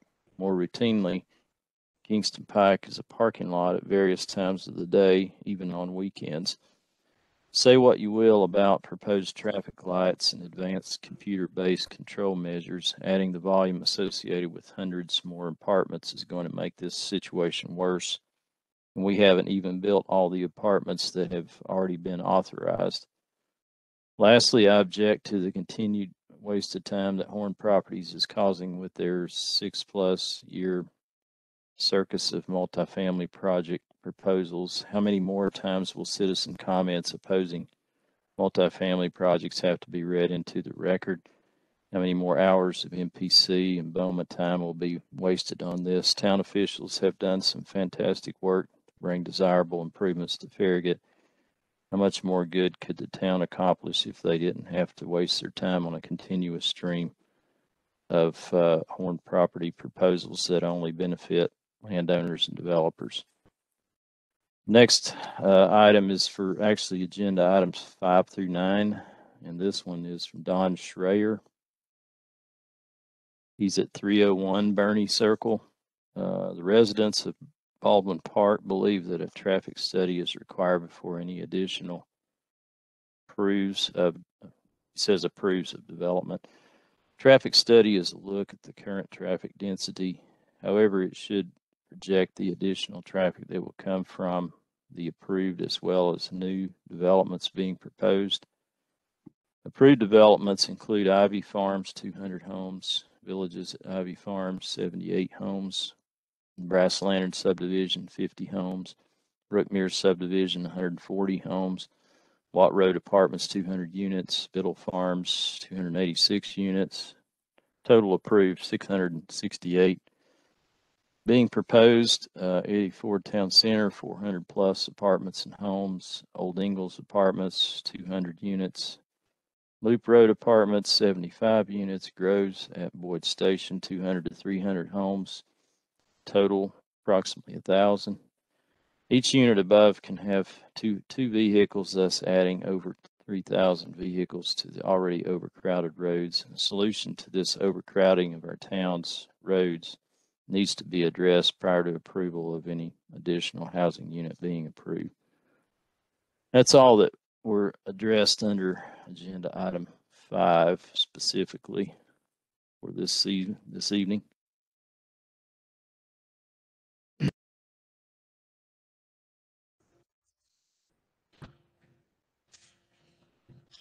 Okay, are we ready to move on to item number six now? Now we need a We vote. haven't taken action on, voted? on the motion. Okay, so we, we have, um, a I motion mean, the the floor. motion on the floor from Vice Mayor Povlin was to not support resolution PC twenty-one 4 due to the failure of the requirement to submit a traffic impact study as is required in the section that she referenced from the municipal code. And the second was from Commissioner Dick. So I will, uh, read off the planning commissioner, so in terms of that, unless someone wants to So are amend the you, motion. so read the motion again. Cause it's kind of confusing if it's, It's your not supporting resolution PC twenty-one 4 which So you recommends vote in the approval. affirmative. Yeah, you're, you're voting to not Voting support, to approve. Okay. um, due to the lack of a traffic impact study and an incomplete, thus an incomplete application. That's the motion and second on the floor. Is that, I guess you all have any further discussion on that before I start reading the commissioner's actions on this? Okay, Commissioner Green, Aye. Commissioner Dick, Uh, Chairman Holladay, Aye. Commissioner Bellamy, Commissioner Bellamy, aye. Commissioner Myers, Aye. Vice Mayor Povlin, Aye. Mayor Williams, Mayor Williams, aye. Commissioner St. Clair, Commissioner St. Clair, aye. Commissioner Russ, Commissioner Russ, aye. and the motion passes by a vote of nine zero.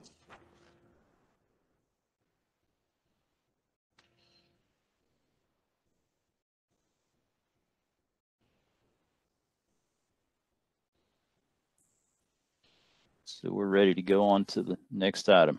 Item number six, discussion and public hearing on a zoning map amendment request for the property referenced at eleven five hundred Kingston Pike, west of the Farragut Town Hall, parcel one forty-eight, tax map one forty-two, sixty-eight point three one acres to rezone the area currently zoned O one office to C one general commercial, to rezone portions of the to rezone portions of the area currently zone B one buffer, R one rural single-family residential, and R two general single-family residential to R four attached single-family residential, and R six OSMR open space multiple-family residential to rezone a portion of the properly, property currently zoned R two to B one buffer. Horn, Horn Properties Incorporated applicant.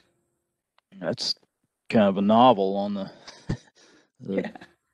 I get all the parts in there? caption there on that one. Well, this, this one we've talked about a couple of times as well. Um, and the staff's noted that the request at this time reflected, uh, in ordinance twenty-one 7 is not consistent with the, the, uh, objectives and policies, uh, of the comprehensive land use plan.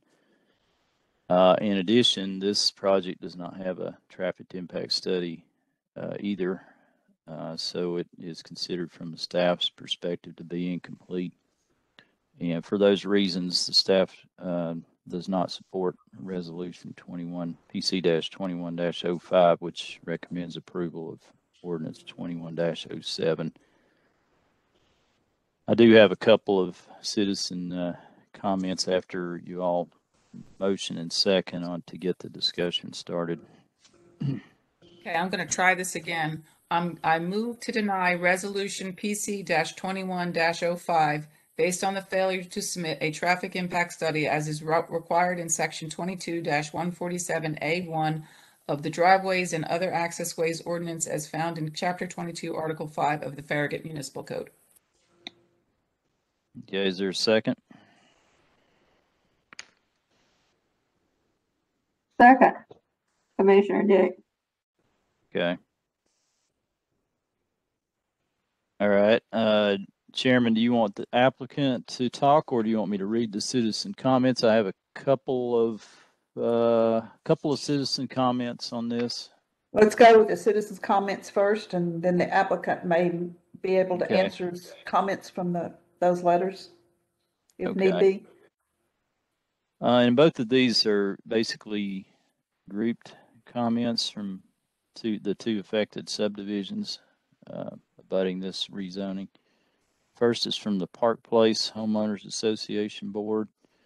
Uh, we, the Park Place Homeowners Association Board, are submitting comments representing the 40 homeowners of Park Place to the revised proposal submitted by Horn Properties, Inc., seeking to rezone the adjacent Eddie Ford property that is currently on the April 15, 2021 Farragut Municipal Planning Commission agenda, which was discussed at the March 18, 2021 Farragut Municipal Planning Commission meeting that we also submitted comment in opposition. We remained opposed to the revised proposal to the same degree as the original proposal discussed at the January 28, 2021 Farragut Municipal Planning Commission meeting. The meeting which generated 184 comments, all opposed. It is understood that the Ford property is part of the CLUP vision as a mixed-use town center property that is currently zoned appropriately for that. At some point in time, the property will be developed, just not with this revised proposal with its requested zoning changes. To change the current zoning uh, will undermine the premise of what the CLUP seeks to achieve, that of being a visionary document serving as the foundational backstop to guide and protect Farragut's decisions to ensure development proposals contribute, enhance the appearance of Farragut. Embedded within that is the requirement to harmonize and transition new development to and with surrounding neighborhoods, which is not what either of the Horn Properties Inc. proposals are about. The revised proposal discussed March 18, 2021 is about eliminating the O1 transition from C1 and putting a ring of R4 around R6, which is not about a harmonious transition with Park Place or Glen Abbey. There is much at stake here, specifically whether the CLUP can remain as the premise guiding the decisions on how the future growth of Farragut will evolve. Acquiesce here and risk setting the precedent that opens the door wide uh, open for challenges that will render the CLUP as a meaningless document. Farragut should not want to make that sacrifice. Sincerely, the Park Place Homeowners Association Board, Robert Crossley, President, 503 Colonial Ridge Lane, Christy Fondren, Vice President, 515 Colonial Ridge Lane, Mickey Jacobs, Secretary, 511 Colonial Ridge Lane, Tony Neely, Treasurer, Treasurer, 300 Park Place Boulevard, and Noel Poindexter, uh, Neighborhood Liaison, uh, 406 Park Place Boulevard. And then the other letter is on behalf of the Glen Abbey Homeowners Association submitted by Don Mann, 518 MacArthur Lane. Dear Commissioners, I am respectfully submitting this letter on behalf of the Glen Abbey Homeowners Association Board of Directors and the 141 households of the Glen Abbey subdivision. We have followed this particular agenda item for a number of months now and submitted letters in the past expressing our concerns over this rezoning request, particularly as it relates to rezoning any portion of the Ford property to R6. Before I summarize our homeowners' concerns, I'm curious to know if Horn Properties has conducted a traffic impact study. My understanding is that there is an ordinance that requires a traffic impact study to be included with the application for rezoning. I don't recall hearing about the details of that study. Be that as it may, here is a summary of our homeowners' concerns. First, it was quite clear from listening to the nearly 200 public comments that were read during the January and March FMPC meetings that there were overwhelmingly object, objections to rezoning any portion of the Ford property to R6. Second, the consensus of all commissioners who spoke at both meetings was against the rezoning to R6 and specifically against any development of apartments on such a narrow strip of land. Now, the latest Horn Properties plan is to shoehorn in R4 attached single family residential around the perimeter of the proposed R6 multifamily residential. Third, it was noted by many commissioners that apartments have never been part of the vision for development of this specific property. Fourth, representatives from Horn Properties downplayed during the March meeting the number of homes that would be affected by their proposal for the entire property. They stated that only the properties that but up to the Ford property would be affected. However, the truth of the matter is the lack of proper buffer zones, the lack of gradual transitions, the construction of office suites, retail stores and restaurants, the development of multi-story apartments surrounded by single-story condos plus parking lot lighting would all, just about all of the Glen Abbey would affect just about all of the Glen Abbey and Park Place homeowners. Fifth, it is clear that the guidelines from CLUP are not being followed, which states to protect existing neighborhoods from incompatible new development, to encourage gradual transitions even within new development. Following guidelines should be applied if a density different from the adjacent property is proposed. The transition should occur within the proposed development, gradually increase or decrease away from the common boundary. Furthermore, on page 12 of the CLUP, it reads gradual density increases are encouraged near mixed use office and commercial developments as long as they maintain quality standards to ensure compatibility with adjacent development. On the north end, we don't believe a 35 foot buffer plus the width of Jamestown Boulevard extension maintains the quality standards to ensure compatibility with the Glen Abbey subdivision. Sixth, uh, zone R6 has no language within it to address transition from existing neighborhoods. R6 has a much higher density than the existing adjoining neighborhoods. On the south end, transitioning from Glen Abbey with only a 25 foot buffer and then R4 attached single family residential plus the width of Jamestown Boulevard extension and adding in a visible roundabout resulting with R6 multifamily residential apartments is not what we view as gradual or compatible.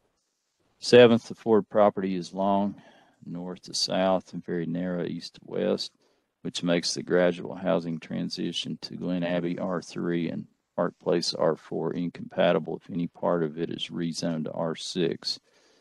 Finally, in our opinion, the town of Farragut has ample apartments within its borders, either existing or proposed. We believe that apartments have a detrimental effect on a community if locations are not wisely considered. The results can be reduction, property values and quality of life for existing neighborhoods, plus increased traffic and lighting pollution. These points should be considered. Thank you for your consideration Uh, of and the potential effect on the two established neighborhoods that border the Ford property, Don Mann, Glen Abbey Homeowner Association. And that's the only citizen comments submitted on this agenda item.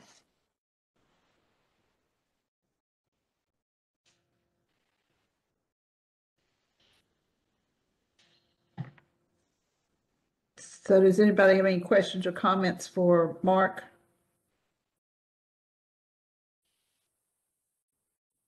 Think the applicant is, is here to comment if they have any comments. Now that we've read the citizen comments. Uh, yes, Mark, are, are you saying then you're voting on Louise's proposal to deny the proposal already? Yeah, that's the motion. Yes, sir. Well, I'm, I'm kind of shocked and bewildered about the tactic that planning commission's using and Ms. Palm and, and Betty Dick too, because we didn't even have a chance to discuss the merits of the senior facility uh, and widening Boring Road and us paying for it. I, I would have thought the town of Farragut would want to hear that. And on uh, Eddie Ford's property, you know, we, we, we put high-end condominium lots all around the multifamily uh, proposal. And we have the medical office retail in the front. We have uh, R four uh, units in the back. Uh, I'm I'm kind of surprised uh, the way that we were treated on both these proposals. So I guess that's The, the reason these, the reason we are in this discussion is the fact that you have not submitted all the information that's required and the information we need to make our decisions. And Yeah, yeah, but, but Ms. Vice Chair, uh, or Chairman, yeah, we should have been, you should have said we have to submit the traffic study. We had told Mark Shipley earlier we, if you would vote on this up or down, subject to the traffic study. We've already done one traffic study on Bory Road. What I think you should have said was you guys got to present a traffic study and before we will vote. But it, but you decided otherwise to vote before we even had a chance to submit the traffic study that you're demanding. I, I think, I think the town is, uh, shockingly, uh, adverse to multi-million dollar projects that you should want in the town. So, uh, you can see, you're asking to vote. I would, Mr. Horn, on the, this is Ed, this is Ed St. Clair. I think you're being disingenuous there. What, what we're doing is not what we would treat any applicant if they submitted an incomplete submittal. You, you requested it to be on the agenda for a vote. I mean, it, could- but the key is have a complete submittal and then we will entertain on the merits of the, uh, uh, of the application based on the- the zoning changes that you're requesting, period. Yeah, we, we talked about the traffic impact study last time, and it was in the staff's report that was sent out to everyone, including the applicant, uh, that we had to have a traffic impact study for the planning commission to have the information they need to make an informed Well, fine. we- uh, we can do- recommendation. We can do a traffic study, but you should not turn the proposal down on both of these before we do the traffic study. We have to do a traffic. We should, we, Mr. Horn, we should not be considering an incomplete application, period. We, if, that sets a bad precedent. What else are we not going, are we going to put a subject to? Subject twos are usually something that's not on the checklist relative to what we need to have and make a complete application. Okay, well, let That's me. total let me mis- ask That's a another- total misuse of subject twos. Let me ask you another question. If we resubmit these proposals, can we resubmit them immediately? Or do we have to wait a number of months before we can resubmit? You can re, you can resubmit when you have your traffic study completed. Okay, so we do the traffic It's a study. part of your application. If we do the traffic study, then we can resubmit immediately. Is that what you're saying? That's, that's good. That's what we'll do. We'll just do a traffic study on the projects and resubmit. Yeah, I'll probably, this is Mark, I'll have to probably talk with, uh, uh, town counsel a little bit, or the town attorney a little bit about procedurally on that, so, um, because we are voting on the resolution, we voted on the previous one as presented, um, and that's what I think the motion and second is at this time. Uh, in terms of readdressing that, I'll, I need to be clear on that, and I'll have to have a conversation with the town attorney on that. Please get back with us on that because we will just do the study and resubmit. Otherwise, you know, like I said, I'm shocked, bewildered by the town's, uh, treatment of us on these two proposals. this is Commissioner Myers. I'd like to make sure that, that we're treating Mr. Horn and his applications consistently and fairly the same way that we treat, we, we treated, uh, Bud Cullum's application on the Biddle Farm regarding the traffic study. So make sure we're, we're following the same, uh, rules and guidelines that we have in the past. Yeah, we are. In fact, uh, the, they provided the traffic impact study and we had a third party evaluate it. So, I mean, we went even a step beyond that. So it, it, we're definitely, and that's very important to me, to be in the town, to be consistent, and that's what we're trying to be. And he provided that in association with the rezoning request. So we're, we're just trying to be consistent here. Uh, we've talked about this traffic impact study for months, really, um, on both these projects. So it's, we need the information, the planning commission does to, to have all, you know, the guidance that they need to make an informed recommendation to, to the Board of Mayor and Alderman. I, Mark, I wholeheartedly agree with you. We need the traffic study. I just want to make sure we've treated previous applicants um, in the exact same chronological order as we're treating this applicant. Yeah, they were, they provided that prior to taking action on the, or the planning commission taking action on the rezoning recommendation, yes. Thank you, sir. Hey, Mark, what, what, and the commission, what you guys should have said, in my opinion, is do the traffic study. Our guy in here, John Wright, uh, our staff guy, thought that we had to do it prior to the Board of Mayor and Alderman vote. We may have misunderstood that, but what you should have said is you guys do the traffic study, then we'll consider the proposal, rather than summarily dismiss it as if you don't even want to consider the multi-million dollars of projects we're trying to bring to Farragut. That's why I say we're shocked and bewildered. I don't know of any town in America that would act that way. So anyway, if you check with your town counsel, uh, we'll check with ours and we'll just do the study and resubmit. But we don't want to wait a year or six months. That's not fair. If you want to treat us like a, a regular citizen of the town. Yeah, I mean, I'll definitely look into it as soon as, as soon as I can, for sure. No question about it. Thank Yep. Mm. There is a motion and second on the floor with, uh, Vice Mayor Povlin recommending to not support resolution PC twenty-one 5 due to the application being incomplete. And a second was from Commissioner Dick. And I, unless anybody has any further comments, I'll read the roll call on that. Commissioner Green, Aye. Commissioner Dick, Aye. Chairman Holladay, Aye. Commissioner Bellamy, Mr. Bellamy, aye. Mr. Myers, Mr. Myers, aye. Uh, Vice Mayor Povlin, Vice Mayor Povlin, aye. Mayor Williams, Mayor Williams, aye. Commissioner St. Clair, Commissioner St. Clair, aye. Commissioner Russ. Commissioner Russ, aye. Motion passes, uh, nine zero.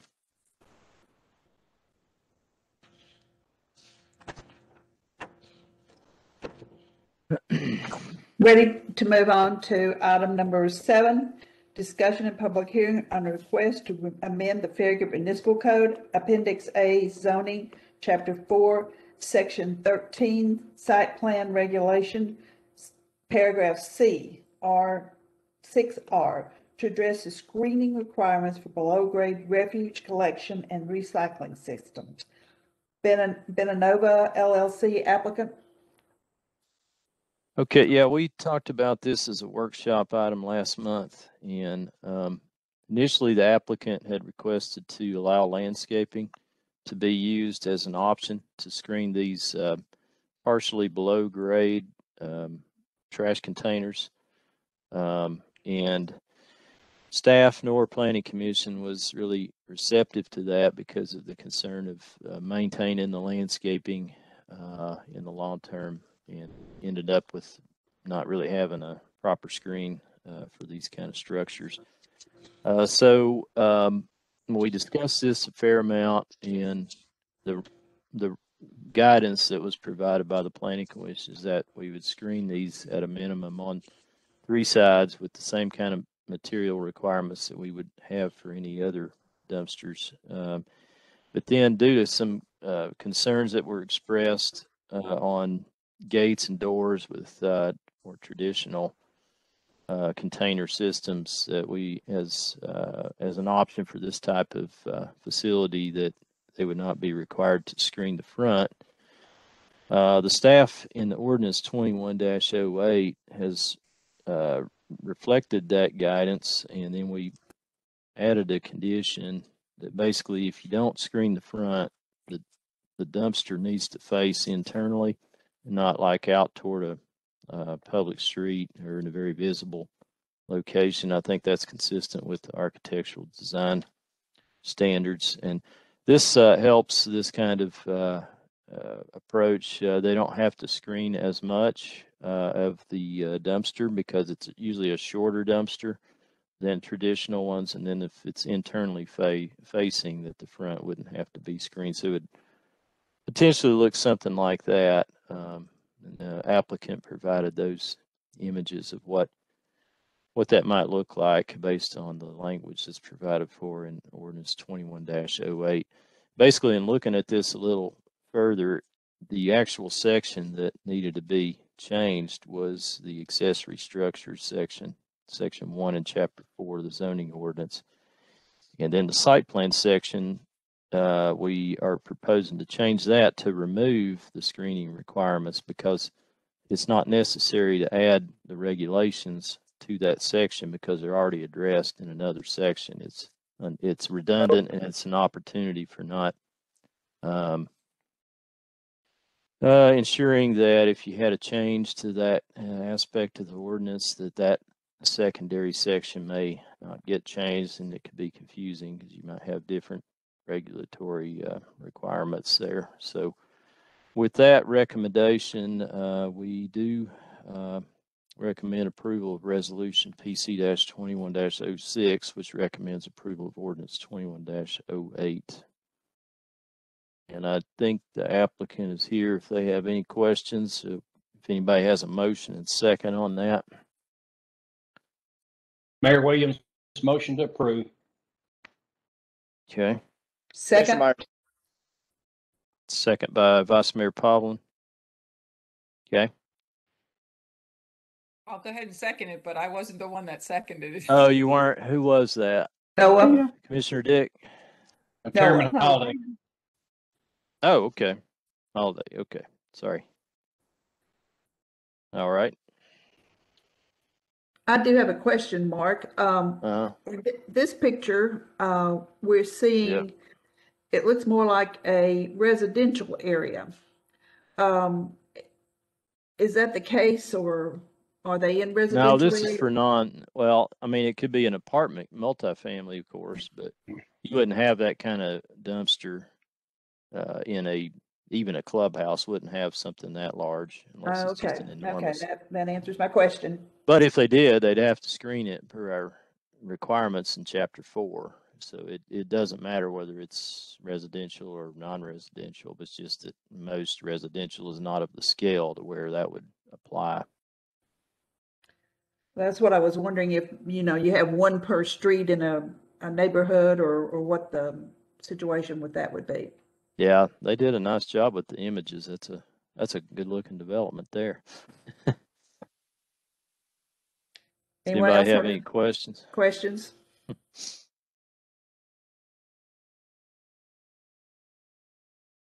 That case, let's, the the applicant, does he have any questions or comments? Uh, no, I don't. I appreciate everyone giving it uh, due consideration. Thank you. Are we ready for a vote? I guess so. Um, let's see here. Yep. All right, uh, Commissioner Green, Commissioner Green, aye. Commissioner Dick, Aye. Commissioner, Ho- uh, Chairman Holladay, Chairman Holladay, aye. Commissioner Bellamy, Commissioner Bellamy, aye. Commissioner Myers, Commissioner Myers, aye. Vice Mayor Povlin, Vice Mayor Povlin, aye. Mayor Williams, Mayor Williams, aye. Commissioner St. Clair, Commissioner St. Clair, aye. Commissioner Russ, Commissioner Russ, aye. And the motion passes by a vote of nine to zero. Thank you for being with us tonight. Moving on to item number eight, discussion and public hearing on a concept plan for the Grove at Boyd Station subdivision, parcel 50, 50.01, 9.01, and 54.01, tax map 162, 112, 611 Boyd Station Road, 132 acres, 285 lots, zone R-1, OSMR Rackley Engineering applicant. Okay, we've, we've looked at this property and, uh, really kind of the, generally the same concept plan that was presented when the property was recently rezoned, uh, from R2 to OSMR. Um, the, uh, applicant provided a concept plan, even though it's not currently required to try to, um, allay some of the concerns that planning commissioners and board of mayor and alderman members had about the distribution of attached versus detached in the development. Uh, there's, uh, ninety attached units in this concept plan and out of two hundred and eighty-five lots, the rezoning condition allowed up to hundred attached units. Um, this property has uh, 46.9 acres of open space, which includes three stormwater detention basins along Boyd Station Road. It has about 3,000 feet of frontage on Boyd Station Road, and um, town administrator mentioned that that's a the uh, the developer and the town are working together on improvements to that to that section of Boyd Station Road. This is kind of the western portion of the project. You can see the stormwater basins. There is an access proposed to uh, the roundabout at McFee and then down at Boyd Station Road. And um, let's look here. There's a walking trail connection that goes out to Virtue Road, uh, which the property does access, but it's not a good location for a vehicular access there. Um, the property does currently, the concept plan shows a walking trail that stubs out to the north to the cottages at Price Farms and to McFee Road and ties into a 10 foot wide trail that would be constructed along parallel with Boyd Station Road. Um, the uh, staff's comments that were emailed out earlier today. Um, this is a big piece of property and a complex development, really. Uh, a lot of stuff going on. Uh, so we just want to be clear that, um, you know, obviously this is a concept plan with conceptual level of uh, information at this point. So the staff really in our comments are really focusing on the macro uh, considerations that a concept plan is intended to address so that the applicant knows, you know, if they're generally on the right track before they start doing the more detailed preliminary plat work, which they'll probably do that in phases because they can't disturb more than 50 acres at a time um, through TDOT, TDEC regulations. So the comments that we had, there were 13 remaining comments, and then there's gonna there's some discussion items that we thought needed to be brought up with the planning commission, and y'all may have other comments, and I do have one citizen comment on this project.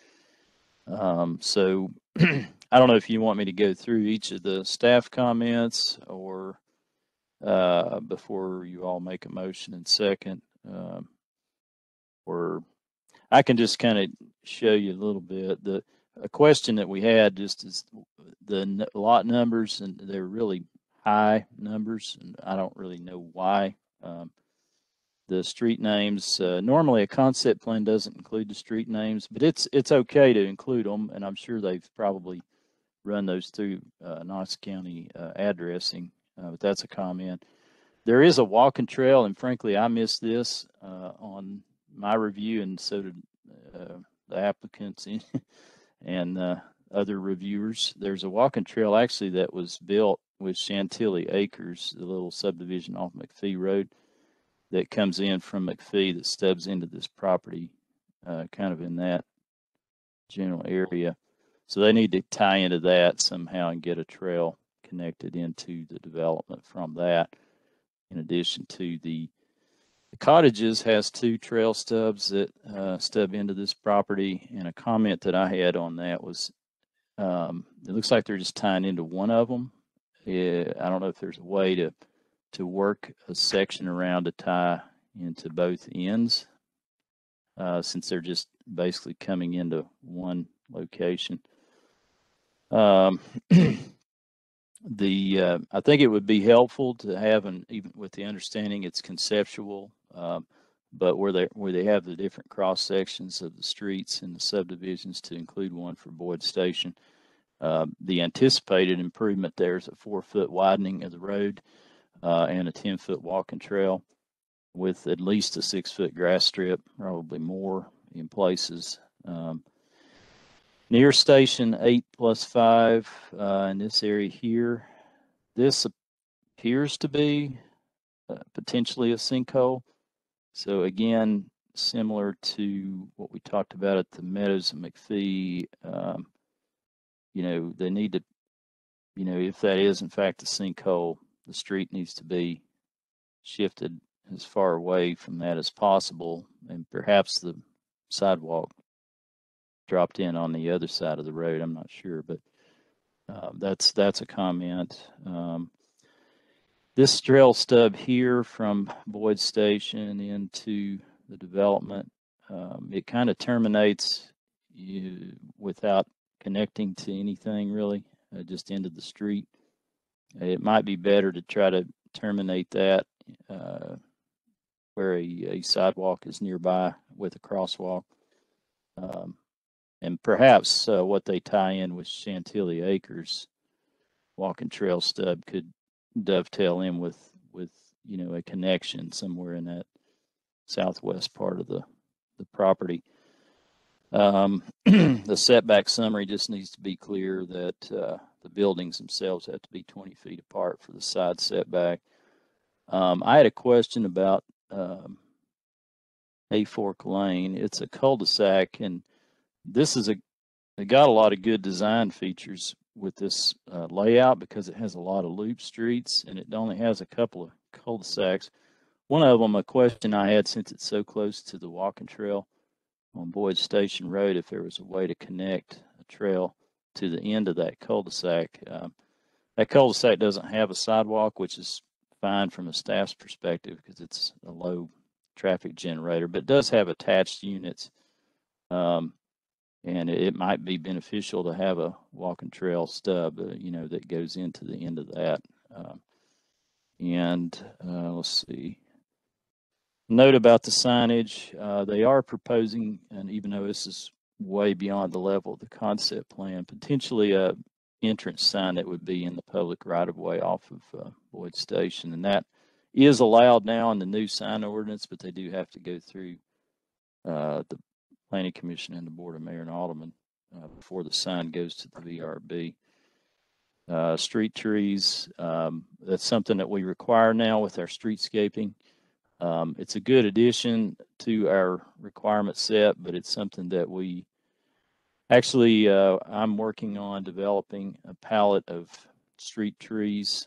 Uh, most of them are going to be cultivars of um, native trees uh, that are not as wide um, so that you know public works or whoever ends up maintaining these trees um, doesn't have to come in and you know cut one side of them back because they're overhanging into the street so some things like that just coordinating that with the staff and then finally um, there's a some det- some depressions down here in the southwest part of the property Again, I'm not sure if those are sinkholes or not, but they are showing a potential detention basin down there. Um, and we just want to be real careful with that because we don't want, you know, a fallout to occur uh, on Boyd Station Road or something, you know, that relates to water, more water draining into a karst system that could cause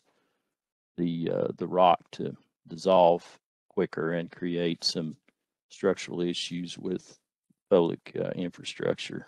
So that's uh, the staff's comments on this, and, and we can talk through the discussion items. I guess if you, Chairman, do you want me to go ahead and bring out the discussion items or just wait on those or?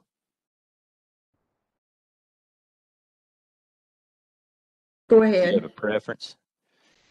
Uh, go ahead. Um, okay, yeah, from, and the, the letter citizen comment relates to a couple of these, but, um, to, from a staff's perspective, there's a couple of things that just, again, these are just discussion items. This, this road here, uh, which is Iron Plow Drive, is really long, which is not a problem.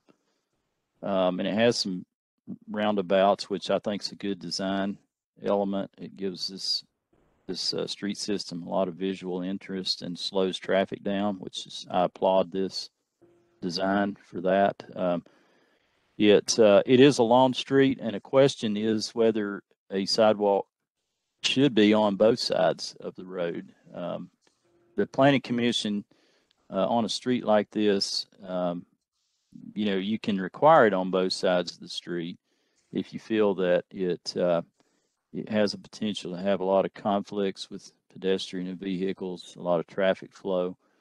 Um, but you know, you also have to consider that that's additional public infrastructure that the town ultimately is going to have to maintain if you're requiring something that uh, is above and beyond. But we thought it was a was a at least a discussion item.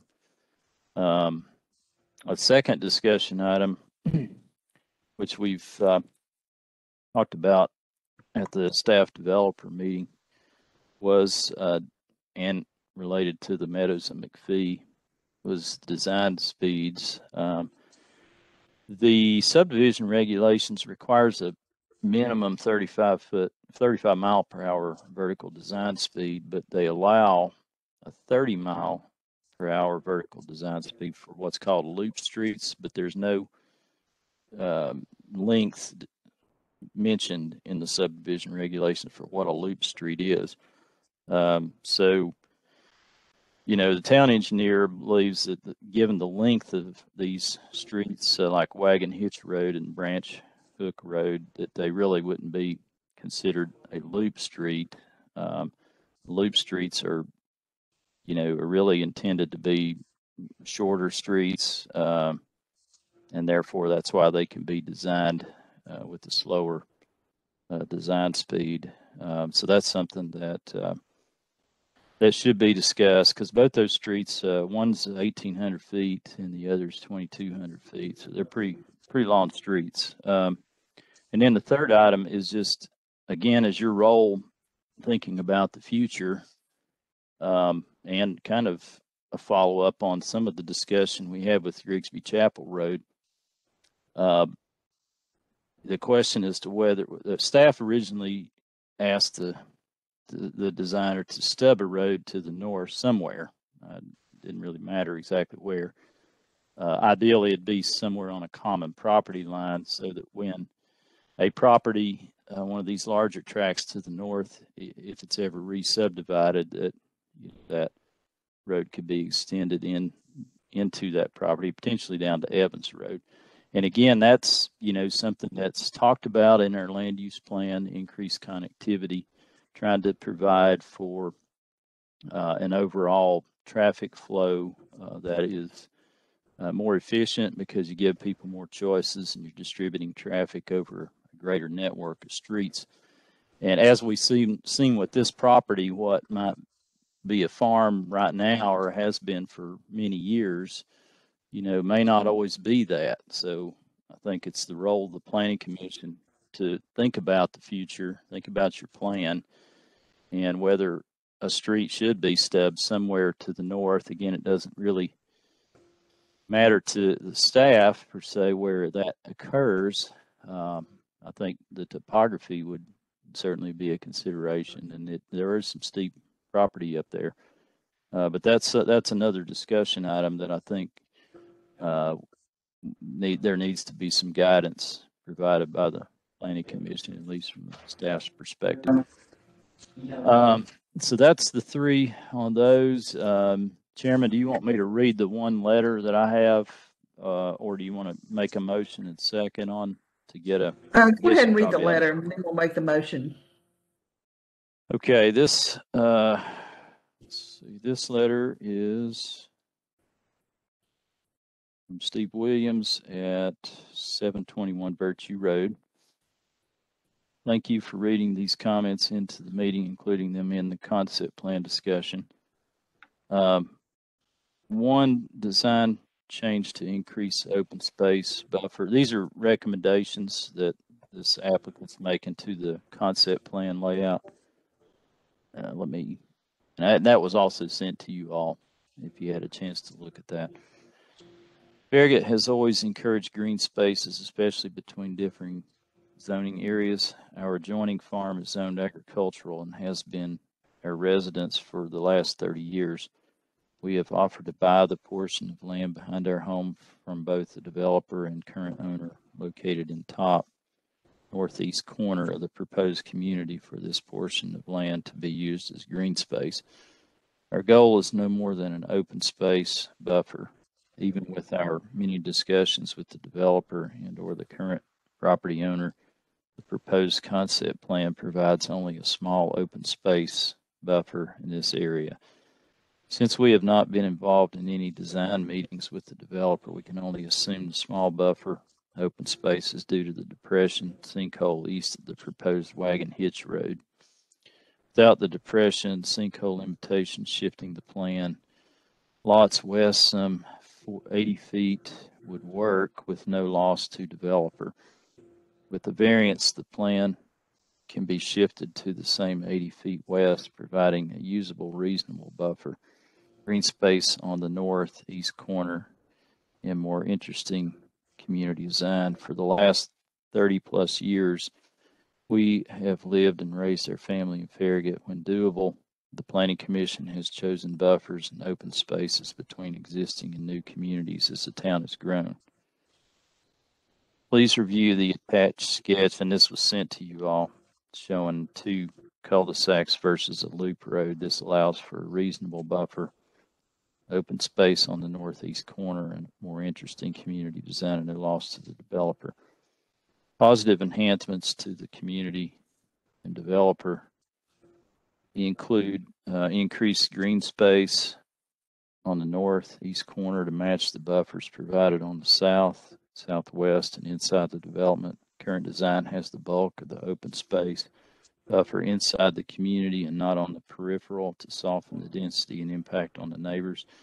Increased design of variance in the geometry of the community. This revision breaks up the cookie cutter lot design. Long straight streets. Farragut has grown in an interesting design with varied communities with curved winding streets. Lot count for this area, Wagon which Wagon Hitch Road is the same at 46 plus or minus 75 wide lots, 75 foot wide lots on two cul-de-sacs. Same as with one long street. Walking trail would be moved to the clubhouse amenity side of Iron Plow Drive, providing better contact for residents to amenities without crossing the main street. Developer has the same number of lots and pays for less paving, and then the town saves on future street maintenance. Based on any measurement, the length of roadway to pave, ladder, maintain, and later maintained by the town decreases from twenty-two forty-two to two thousand. A savings of two hundred and forty-two linear feet times twenty-six foot wide uh, of road paving. Not only is this green, it reduces the cost for the developer and the town later. Shorter road meets the 500 foot cul-de-sac requirement and a FPC variance can be granted to allow for the longer street caused by a geological depression sinkhole shown on the northeast section that blocks lots to the west without this variance. We request this design change to increase the open space buffer in the northeast corner with a P, FPC variance for the road changes as shown on the attached PDF. Please note approximate measurements of the proposed open space buffer in the northeast corner. Second comment was to remove the sidewalk and road stub to our property. We request the sidewalk shown running to our farm shown on the plan be removed and the staff recommendation of a road stub to our property be voted down. Our property is a farm, undeveloped and not suitable for a through road or walking trail for these reasons. Slopes in this area on our side are sixteen percent in the first 100, 200 feet, too steep for roads or walking trails. The road or walking trail would cross a wet weather conveyance going toward Evans Road, not environmentally friendly.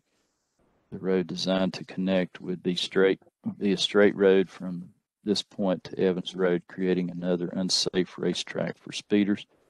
This would split our farm into halves, dividing our farm of 30 years. There are already walking trails on Evans and a connection to Virtue drawn into this concept plan, taking residents to the same final location, Turkey Creek and Virtue at the lake. With the current proposed walking trail to Virtue already included in this concept plan, the connection to Turkey Creek Road, Concord, and Kingston Pike at Sugarwood is accomplished when Virtue Road is completed. There is no need, need to cut through our farm to accomplish the same goal. We request removal of sidewalk, walking trail to our property and any removal of any design or requirement for a future road stub to our property. And then third and final, traffic speeding on Virtue, speeding and traffic has increased drastically on Virtue. Sometimes we wait for three to five minutes to pull out of our driveway onto Virtue. Speeding is ongoing every day. Please submit the following questions and recommendations. What is the increased traffic count going to, toward Virtue Turkey Creek roads? What is the plan to encourage exits on Boyd Station to use the improved McFee?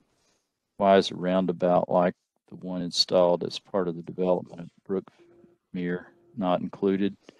This is a great traffic calming device and increases the safety for all.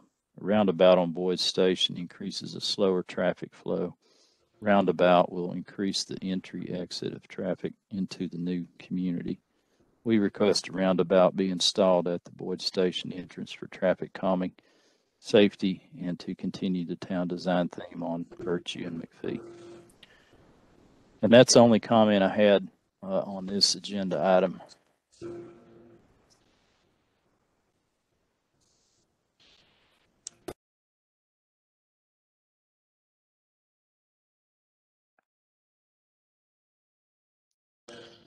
Are we ready to make a motion? Yeah, I think so.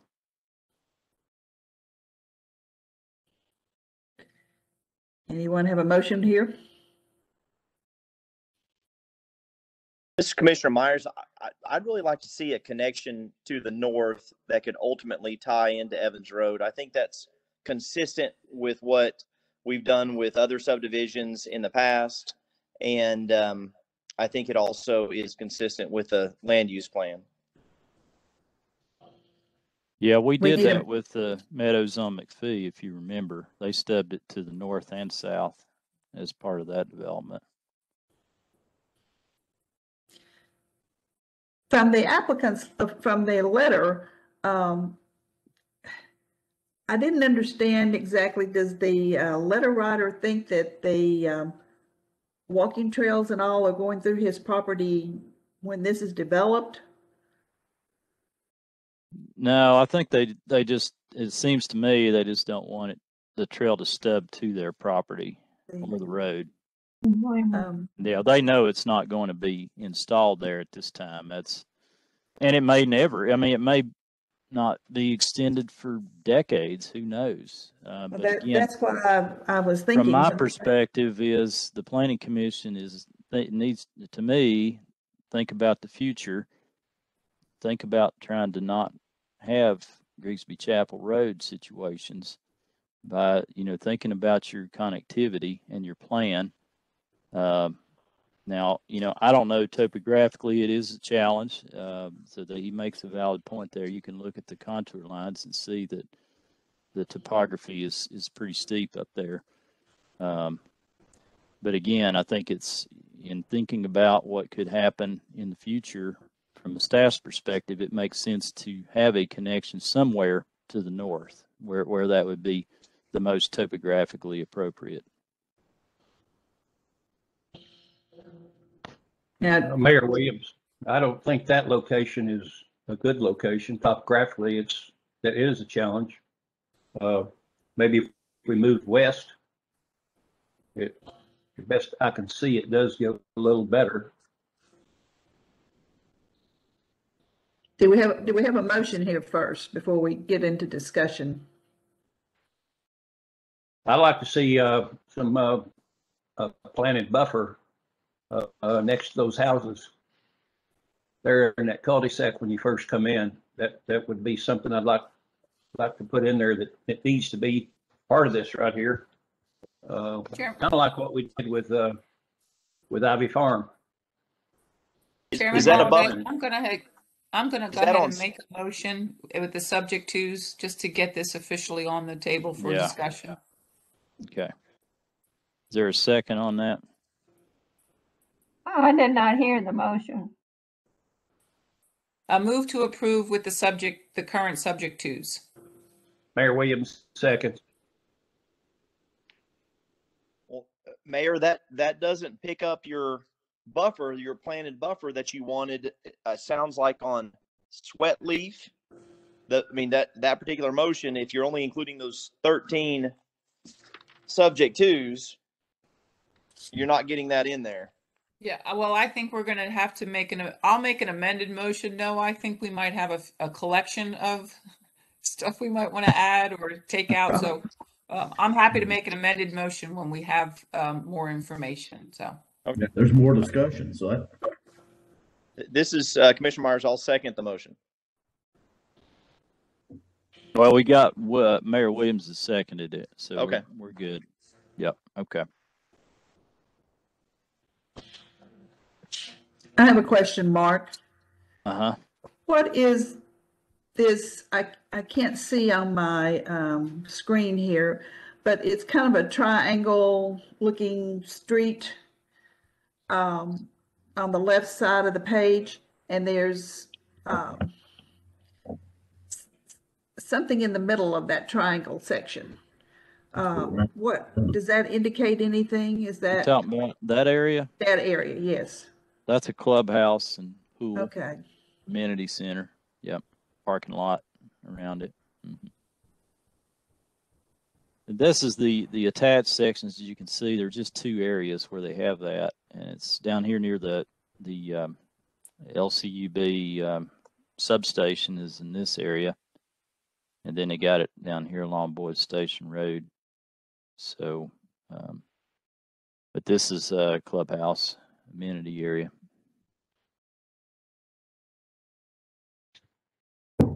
Anybody else have any questions or comments? Mayor Williams, again, it has to do with the, the buffer. I, I, I feel that they'll probably put a planted buffer Yeah, right in here. Yeah. Well, what we did with um, the Ivy Farms um, was, unless you had, uh, if you had house lots, abutting house lots that the planning commission required a planted buffer in those areas. Um, if you had a lot of physical space or an existing uh, fence row, which a lot of this property has, um, then uh, you wouldn't have to add additional plant material. So you, they may want to add plant material, especially down, and I think they show it um, down here near the substation uh, and other areas. But um, as Yeah, far that's as what I was talking about, Yeah. They'll probably want to plant that for their own residents, Yeah, but yeah. you go up to where that cul-de-sac is. yeah, right, there, in here where That that's row narrowed. right there of houses. Um, Yep. I remember that being some of the best blackberry bushes in town uh, at one time right through there. But uh, Yeah. anyway, you're you're you do have residents against residents there, and I do think that needs to be a planted buffer. Yeah, I think the landscape plan needs to segment out the areas where um, there would be a required buffer. Because obviously down in this area, uh, there'll be landscaping around the detention basins uh, or up in here, you know, just because of the physical space between, um, you know, proposed lots and other, you know, house lots that are far away. It may not make sense to require a buffer, but that's up to you all. The OSMR allows the planning commission basically to require or not require a buffer or apply it as they see fit based on the uh, proposed development and its context. So, you know, I think all these areas, at least from my recommendation, would be if, you know, in these 25 foot sections or where there's existing abutting uh, residential structures that they would need to plant a, a buffer like through this section or up here on this section where it's narrow, um, you know, and that may be a benefit for the residents in this development actually, because these larger tracks, um, you know, something could happen in there that, that, um, this developer may want to have that screening in place just to uh, help, you know, their residents rather than screening um, to, to help an adjacent property at this time. point of discussion, we're only gonna deal with the motion having to do with the thirteen subject twos, correct? Yeah, we could, you'd have to make an amended motion, uh, but, um, as Vice Mayor Povlin said, there might be other things that, so we can Understand. kind of make a Just wanna note of make that sure we're buffer. Yeah. Want to make sure we're clear. This is Commissioner Green. I mean, this is the, we're voting on a concept plan here, right? And we're really, Yeah, we, we understand that there are um, details that need to be filled in as this progresses. So I, I kind of assume that we're, that we're kind of agreeing on the, what, the general layout, the lot distribution, the distribution of the structures. I think we've got some, um, some of the structures shown there. So I think we all, under- at least I understand that there may be more details to be worked out before we ever get a final, final approval. Is that right? Yeah, I think it's useful to have uh, a general idea of where you all would like to see the buffer on the concept because that that helps with the preparation of uh, the more detailed preliminary plat, um, which will be done, of course, in phases, um, so that they'll have guidance to know that they'll be looking at certain areas where they're going to have to uh, address that with the landscape plan. I think we need to address the vehicular connections at this Yeah. point. I don't want yeah, to I, I the- agree. I don't want to mislead the applicant based upon a concept plan and try to deal with Yep. it at the preliminary plat. I think we need to deal with it tonight. Agree. Can, can I, s- can I speak to that?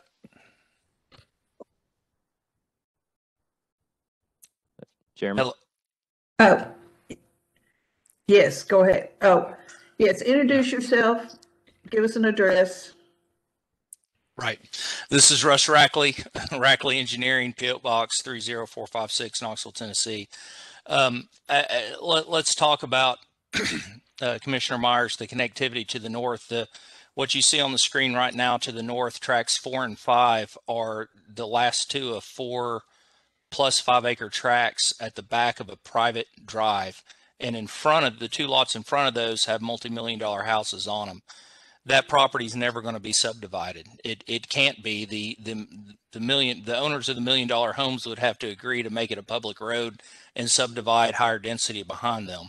The only other choice uh, would be to stub out into Mr. Williams' property, which you've already heard his letter. He he he doesn't want any of this, and he he doesn't even want a greenway trail stubbed out, much less a road. So uh, as you know from our our prior projects we we stub roads out where we think there's an opportunity to develop in the future because we would like to be the ones developing it. But in this particular situation, um, th- there's the the properties surrounding this um, don't really don't don't have very high probability at all of of development, even in in two decades or three decades. So.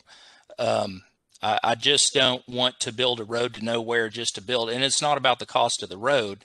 It's it's the grading, it's the stormwater, and what do you do with the stormwater? And it's the cutting the trees to to put it in uh, through the buffer, which the the north boundary line is is is will be remained. It's it's it's predominantly the only specimen trees on the whole property is along that that north boundary line. It's the oldest fence line that that uh, has been allowed to grow up over the last uh, 70 or 80 years. Um, so I, I, I'm I'm not opposed to stubbing roads out, but but I I just don't see the value in stubbing roads out where they're unlikely, um, highly unlikely ever to be used. The the Williams property has frontage, lots of frontage on Evans and uh, on Virtue.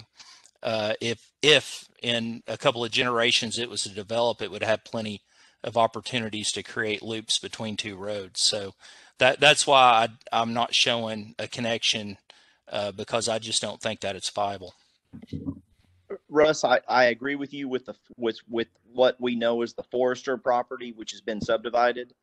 I think the Williams property and the size of it, it's naive of us to think that that's not going to be developed someday, and it may be, you know, ten or twenty or thirty or forty years whenever the Williams decide to that it's appropriate to do that or pass it on to further generations. But I think with the size of that farm, I think it is consistent with what we've required in the past. Yes, there are some tight contours there, but there are there's some tight contours on your uh, on your concept plan that are about the same as as uh, is what would be required at some point in the future with the Williams farm. So I, I really do think a a connection sim- in a location that is probably pretty close to where the walking trail is proposed to the Williams farm, a vehicular connection should be there to be able to ultimately tie into that neighborhood that is developed and um, and be able to connect to Evans and Virtue Road.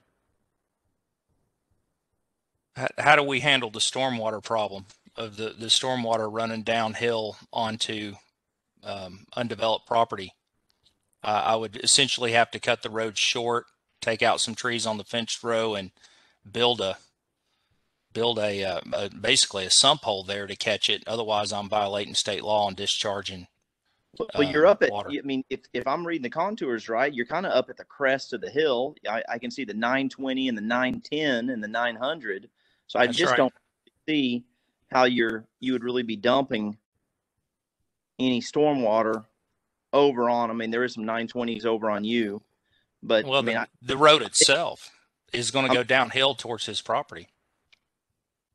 Well, I mean, at a very minimum, maybe dedicating some right of way and stopping at the crest of the hill. Obviously, you don't want to take your water and dump over on it, but quite frankly, your pre-development discharge is going that direction. I mean, from the crest of the hill, from the 920 down. I mean, your your pre-development water today that that lands on that that farm is actually going on the Williams property right now. Right, right. Yeah, no, you're right. There's a portion of it that is, and I have to balance that with what uh, my is to not increase discharge on him. So, if if if y'all want us to, I mean, it, it'll it'll cost a lot, uh, a, a literal uh, house lot, to put a road in through there that uh, may will most likely never be used in uh, any our or our children's lifetimes. But if if that's what the planning commission desires, then then I guess that's what we'll do. I mean, I just think it's naive to think that a, a 50 acre farm is not going to get uh, redeveloped at some point.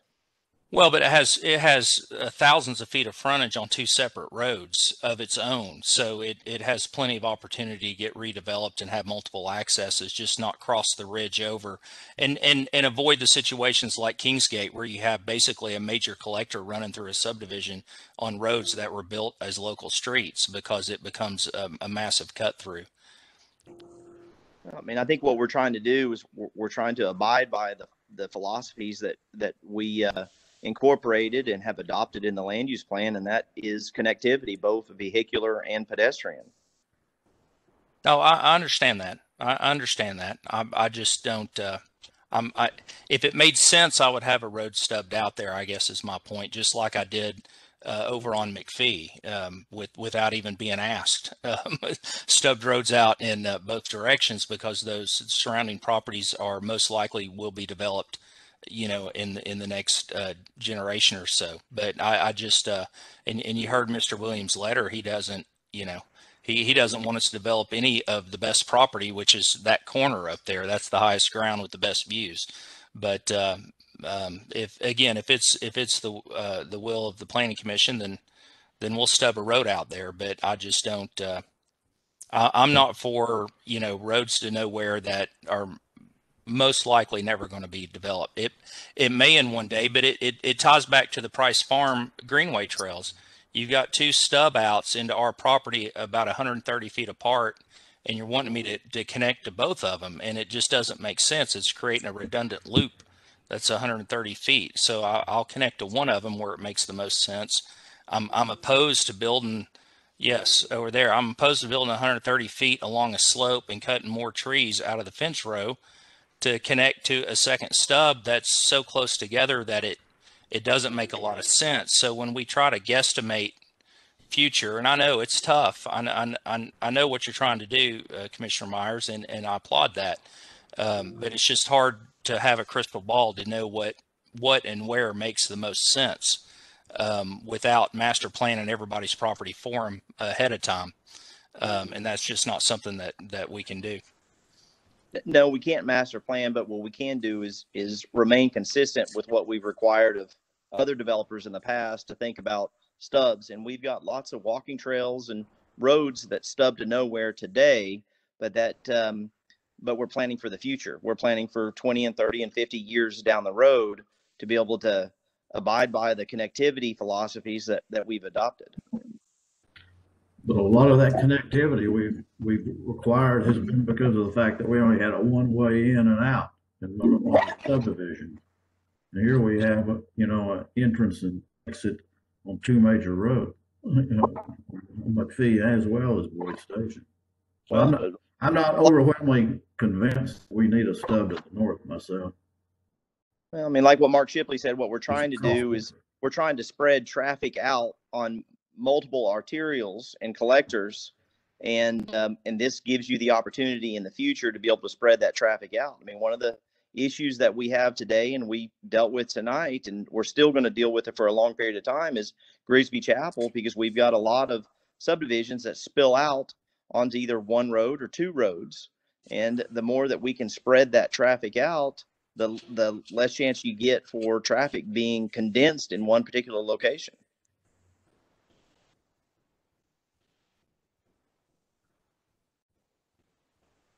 Does anybody, any uh, commissioners have any questions or comments about the staff's non-discussion related comments?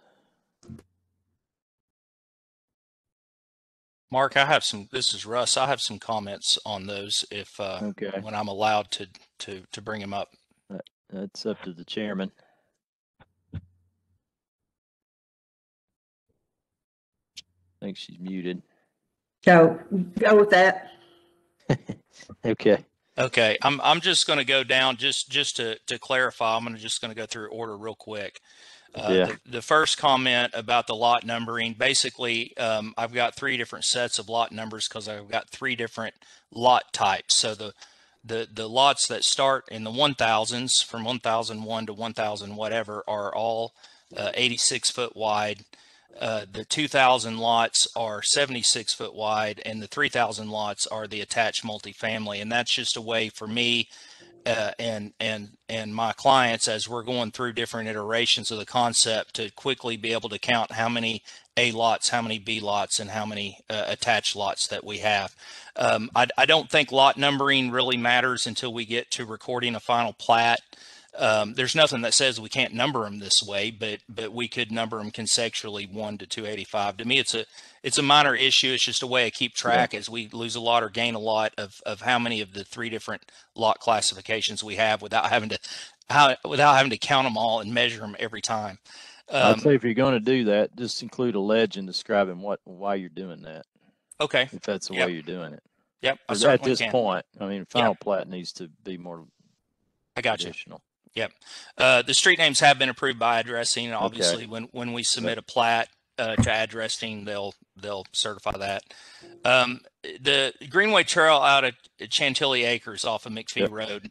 Uh, I'm with you. I thought that was a maintenance road to get to the detention pond. No, it's a Um, greenway. It, it stops right at the, it stops at grade at, below the riprap of the outfall pipe of that pond which across onto our property under the power line easement is, you can see from the topos, a natural swell that carries quite a bit of water down uh, that boundary. So to extend or connect to that trail will require multiple culverts, which even though it's a greenway trail in Farragut, they're required to be concrete culverts.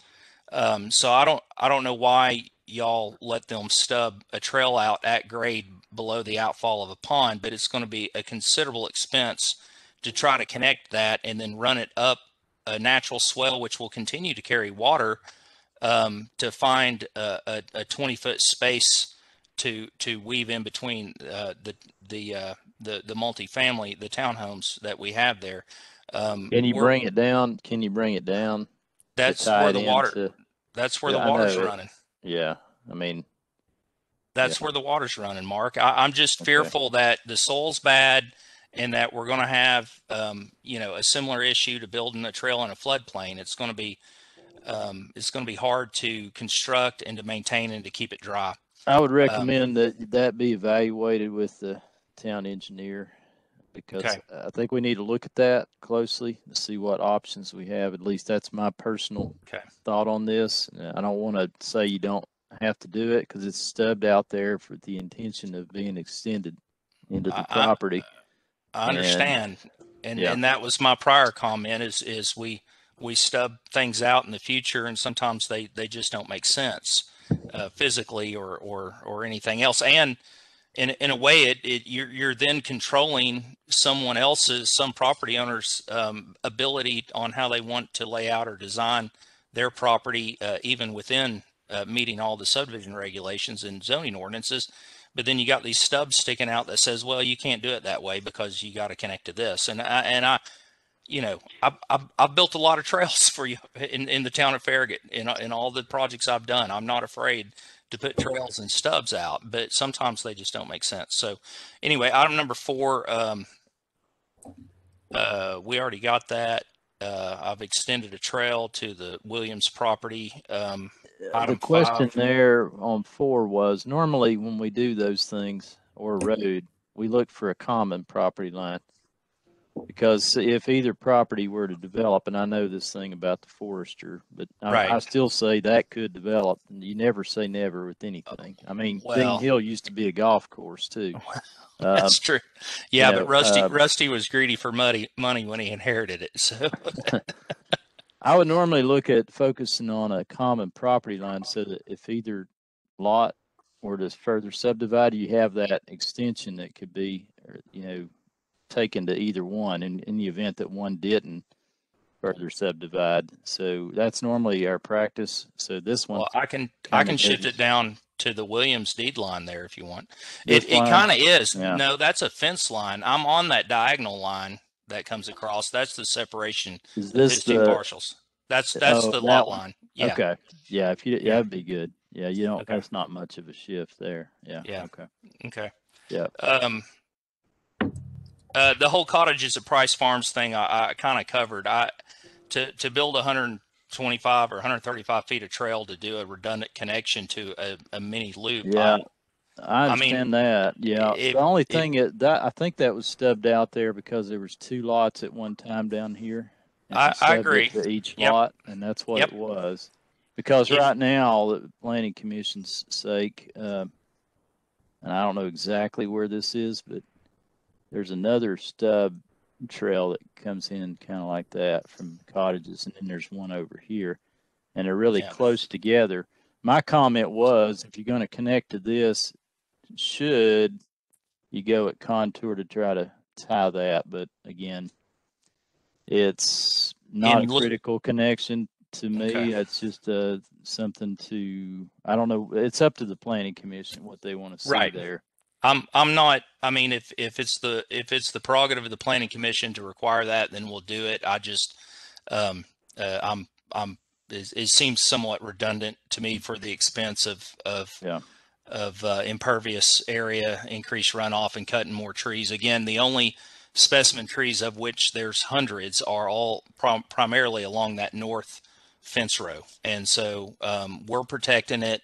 None of my uh, proposed layout or grading impacts those trees, and uh, so we really don't want to um, unnecessarily cut through that. But if it's the prerogative of the planning commission, then we'll do so. Um, the uh, Uh. Russ, Yes. um, if you, if you, you look at those two connections, um, and you look at the trees, are you better to go east and connect with that one or, or just to connect up like what the green line shows? I'll, I'll have to consult the uh, the tree survey, Mayor Williams. I don't have it open in front of me, um, and I just got the survey data uh, about uh, three days ago.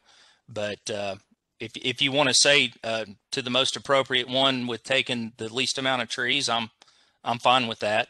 Um, and we we can definitely bend it around. It would make it flatter to uh, to to work across to that further one.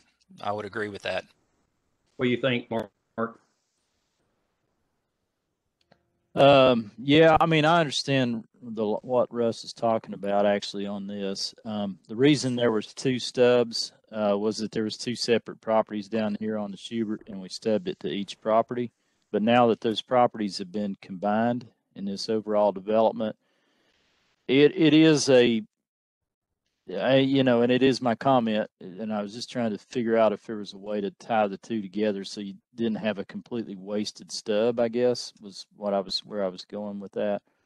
But it's it's not a critical connection to me personally. Um, I- I'd be fine with stubbing with connecting to the one that's the least impact to the tree cover and the most topographically appropriate. Uh, if that's, if the planning commission is okay with that on comment five. Okay, so I'm St. gonna, Clair, when I I make, certainly agree with that. When I make my amended motion, uh, number five will be amended to include that, the language you just stated, um, Mark. Okay, Um, remove the least yeah. trees and topographically appropriate, most of top- topographically appropriate. okay, Okay. all right. Uh, number And six. Yeah, number six, um, I, I provided a note stating the minimums, the town, uh, for their Boyd Station road improvements, uh, the four foot of asphalt and then six foot grass strip and, and the 10 foot lane. I've had several and, and the town uh, engineer actually provided me with a detail that included curb and gutter on our side, but not on the opposite side. And I've had several conversations with him about uh, not putting curb and gutter on one side of the street since the town doesn't plan on doing it on the railroad side of the street. Uh, and because the road is so flat through there that by the time you start running pipes at minimum slopes, you're going to be way deep and it's going to be in rock and you're going to have a hard time daylighting and all that. So I'm working through those with him um, or will be during the design stages. Um, I'll be happy to um, you know, if if if it's a condition of approval, um, we can definitely attach a detail um, to the approval package, revising a whole uh, plan set to add one uh, detail at concept. I'm I'm not um, sure is is necessary uh, uh, necessarily appropriate. The bottom line is is that if you choose to approve the plan, it includes um, widening uh, and improving Boyd Station Road on our side along our frontage to what the town requires uh, for um, uh, their bike and pedestrian plan. Um, again, I don't I don't see that as a big deal. I can I can draw a detail and send it to you now if if that's what needs to happen. The trail location, well, the trail location from Boyd Station to Branch Hook Road is there better location? Um, not necessarily between the two ponds and with the grades, um, but once we get into detailed design, I'll I'll know better if there's a better location for that trail. But I think conceptually on approval uh, or what you're voting on is that we will connect in generally somewhere in there we will connect uh, branch hook down to the the uh, the walkway on Boyd Station. Um, it, it may wiggle, it may waggle, it may move just wherever it's most appropriate. I think conceptually, uh, it just makes the point of that internal connection. Um, uh, Hay Fork Lane uh, doesn't have a sidewalk, not required to on dead ends. You're wanting a connection off the end. Unfortunately, that is about where the pump station is going to go. We we are building a sewer pump station, uh, not only to serve this community but also to improve um, FUD's. Um, um, well, they don't have any issues now, but they're projecting some limitations on some of the the collection system over there. So uh, we're building a pump station, um, and uh, that's the area. Actually, while you're going through your first items, and I was uh, looking at some profiles and stuff, that's pretty much the area where it's going to have to go to meet their requirements because FUD won't allow us to put gravity in over 10 feet deep. So um, I can't get it onto the other corner like I originally wanted to onto the onto the east corner. So it's going to have to live in that area and gives us plenty um, about 700 feet separation between intersections uh, for their their driveway access and all that. So um, we can look at some sort of uh, you know connectivity with with Hay Hayfork, but um, connecting down through there, we might still be able to, but um, you know if that's if that's another connection, it's a pretty short connection, so I'm not going to get hung up on that. If if the town wants it there, we'll we'll figure out a way to make it happen. Um, that's uh, I think that's it. Other than item 13, um, all down all along Boyd Station Road, that has to do with the apparent sinkholes along Boyd Station Road. There are um, so far we've identified and surveyed five culverts. I'm still trying to bush hog um, thorn thicket to find the rest of them because I know there's more um, culverts down there. Um, so the um, those what's what's showing up as closed contours are man-made from the road. There are pipes under the road. Um, additionally, there's another small low spot right there to the left of the nomenclature that says Pond One, And, uh, but I do believe that that's just uh, nature of a flat area. Um, it is higher than the area to your, to the right and to the left of it. So that I believe is just an anomaly from, um, you know, how, how high was the hayfield when they flew it and, and what did they pick up or not? Um, we, we are going to bore the site, um, for, uh, geotech investigation. So, uh, obviously we'll, we're, we're sensitive to, you know, we, we probably don't want any problems more than the town does. Um, so, um, we're, we're not going to do anything, um, do anything out of the question. And I, I think that was it on, on the, uh, on the comments as it tied to the, uh, the actual concept plan. On the three discussion items, I have some opinions on those as well, but I will save and wait and see if the commission wants to talk about them.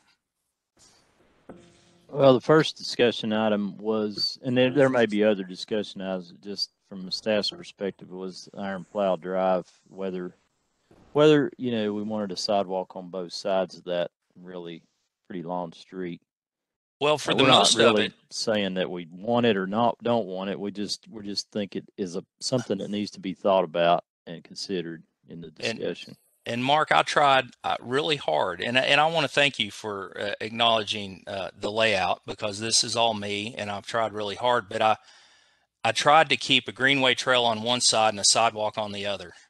Um, there is one section I do not have that um, right right there through the middle, but um, I, I don't know that sidewalks on both sides is necessary. But I would say that it's it's kind of either one or the other. Um, again, I'm not a fan of the Department of Redundancy Department. If if we've got sidewalks on both sides, I don't know why you would have a greenway trail uh, some distance behind it. Um, it just seems like you know it just redundant. So um, and it's Yeah. a lot more it's a lot more impervious area uh, aside from town maintenance cost. It's it's just more runoff, stormwater runoff, and more grading and more everything. So um, Yeah, we're not sold on it at the staff level. It's just something we thought it might ought to be pointed out. There is some sections where obviously the sidewalk wouldn't make sense at all, like where the, like you said, where the walking trail. It would make no sense to have a sidewalk here because you got a walking trail twenty feet away that runs parallel with it. Um, I think we were, you know, there might be some sections where you don't have a trail on the other side, then that's kind of what we were thinking.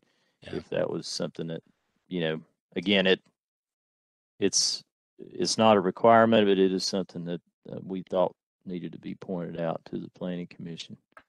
Mark, I'll just put my two cents in. I'm not, I, I don't think, uh, we need, the one section where it can get a little confusing, you have a sidewalk on one side and a greenway trail on the other.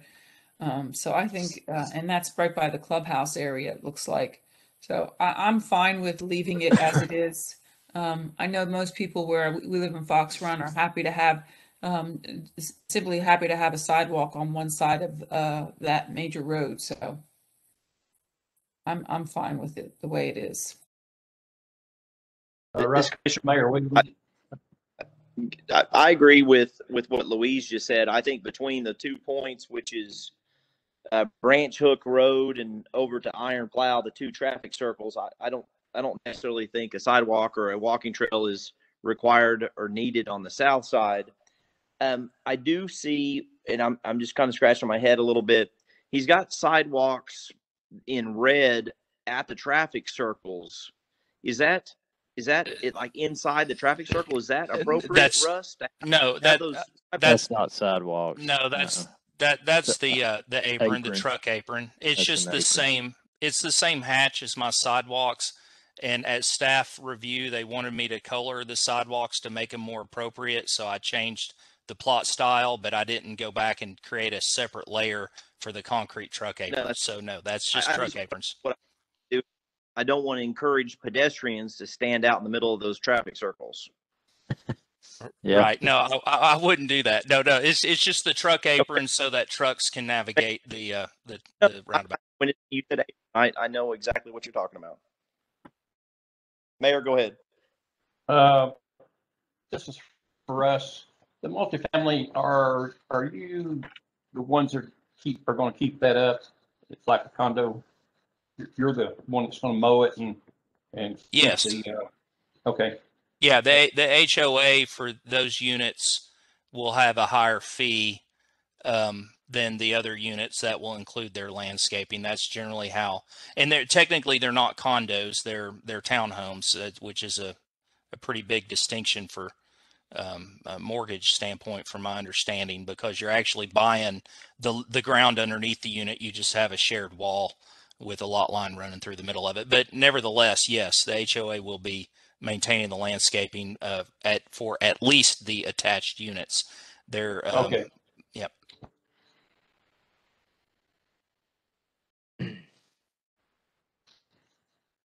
That's all I have. Anyone else have any more questions? The other discussion item was dealing with the vertical curves and design speeds, and we talked about that before last month with the Meadows on McFee, and then the, and then we've talked a little bit about the third discussion item, which was a vehicular connection to the north. Yeah, on on the vert on the vertical curve design, um, the two internal loops, the one around the uh, the branch hook lane and then wagon hitch, are designed for 30. The larger loop, um, field roller, which is on the east side of the property with the two interconnecting roads, I designed that one for 35 because it was a large road with multiple intersections. Um, and I talked with Daryl at the staff meeting. If if if I mean the, the the regulations say a loop road, and if those other two roads aren't loop roads, I don't know what is. And if if um, you know, it, it doesn't seem like a big deal, but the K values, um, the the rate of of change of a vertical curve get significantly larger, and it it it not only increases the cut, it more dramatically increases the fill where you're coming downhill and trying to plane out to a flatter level for a roundabout or an intersection. Um, so I, you know, again, it it it would uh, uh, it it it is a bigger deal than just changing a number uh, as it relates to the physicality of construction. The current regulations have no definition of a loop road other than that it's a loop road. And uh, again, I, I see field roller with has a lot more lots on it, so I designed that one at a higher design speed, which would allow for greater sight distance. But the the other two loop roads in the middle of the property, um, I'm I'm gonna I'm gonna I want to leave those at, at 30 miles an hour, um, just because that's that's where it works out. And in fact, some of the curves um, exceed 35 miles an hour on those roads, but as a minimum um, on the vertical curves, uh, I've got them at 30 miles an hour.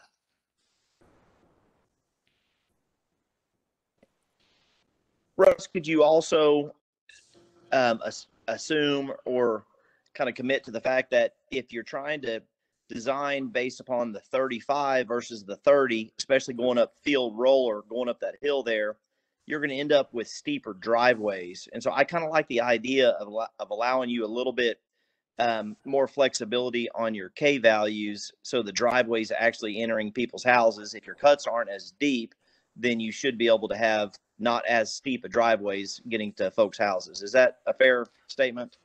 Yeah, uh, that I, I could go along with that. Um, although we do it, it in in in our world today, it it affects your daylight point at the back of the lot because everybody's wanting slabs. So um, we're having to stair step the lots up the hill uh, to try to minimize. So Nobody wants a steep driveway. Um, but it, it's just the overall effect of everything, and and it's the same same discussion we had on the meadows on McFee. Is is you you know and and if if I'm more than a thousand feet in a straight line, I got to put in traffic calming. But then you want me to design it for a higher design speed, so it's just kind of a a conflict. But in this case, I, I don't think I'm I'm adamant that I don't need a variance to design two loop streets to 30 because the regulations say loop streets are required to be designed at 30. There's no definition on a maximum number of units or on a maximum length of a loop street. And and again, I recognized on field roller with two crossing roads and and significantly more lots that I did design that to 35 because there is going to be more traffic over there. But I think that the the townhomes and the large 86 foot lots right in the middle of the property will have a lot more um, a lot better feel uh, vertically uh, using the the 30 mile an hour design speed. And then you know the other part of that is that the horizontal curve requirements aren't aren't, to, to 35 mile an hour by the subregs anyway. So it's kind of, you know, it, it's, it's, that's, that's the discussion y'all had about trying to get things, um, kind of get things in line. I think the Direction. clearly we need to define what a loop street is and assign a distance or a average daily trip uh, formula to it uh, in the future. That's something that that certainly we need to look at. Um, I do, like I said earlier in the discussion, I do commend most of this design because it has a lot of loop streets and it doesn't have a lot of cul-de-sacs on a huge piece of property. And I think that's a really um, to me, a really good design that um, is what we're trying to encourage in our subdivision regulations, and that in really rezoning it to this district, I think help allow for that really, because we only have two cul-de-sacs in a in a 130 acre tract. That's pretty pretty uncommon, frankly. Mark, do you, at this juncture with that, I mean, I, I'm supporting a 30 mile an hour design speed. Do you think that requires a variance tonight? Um, not tonight. I frankly, I think these variances on technical things like that are better handled with the preliminary plat Okay. because you have more um, detailed engineering at that point. The value of addressing it at the concept level, though, is to give the designer some feeling as to how the planning commission is going to react to the more detailed preliminary plat. So uh, if you all seem to be open to, given the fact that we don't have a length defined in our current subdivision regulations for what is a loop street, uh, that you're comfortable with kind of what he's done here, then I, I think that's to me the key thing that, you know, you've given some input to the designer on, on that aspect of the subdivision regulations, if that's the way you feel. Um, but you know, as far as taking an action on a variance, I probably would really think that would be better at the preliminary plat level. If, if it's even required. I mean, these are loop streets. Yeah. So- Again, that's something that may, may go away with a more clear language in the subdivision regulations. Yeah. I, think his uh, intention is for the 30 mile an hour and the reasoning is sound. Uh, uh, you know, I, I don't see a reason to, to make that any different than the way he's got it designed personally.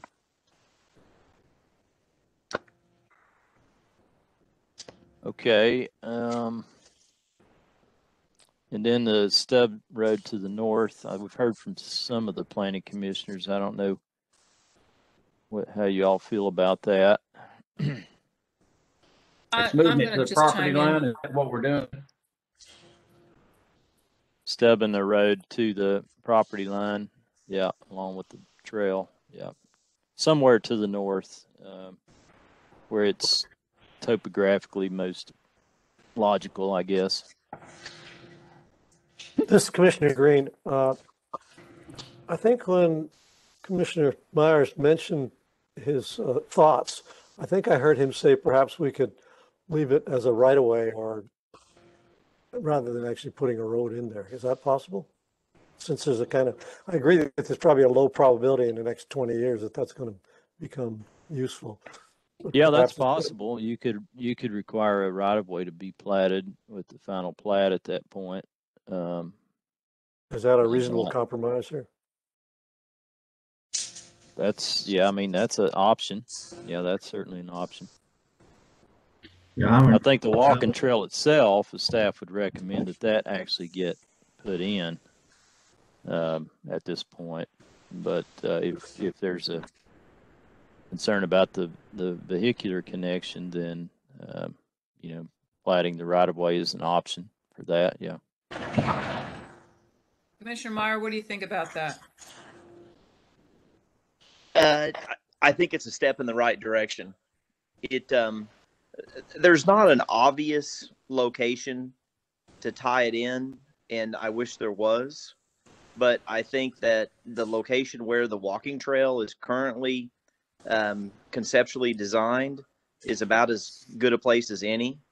Um, I don't think moving it to the west over to the Forester property makes sense due to the fact that I, I doubt that the Forester property will be re-subdivided the way that that particular farm is developing currently and the way those houses are being built on larger lots. But I do think that that the Williams property, um, as much to their dismay, probably will someday be subdivided and, and developed. So I do think that ha- having the ability, at, at least so the town, if the town felt it was appropriate at that time, which, you know, who knows, maybe we're all dead and gone by then, but at least the town could go in and, and connect to a point because there's already a platted right of way. I would be fine with that.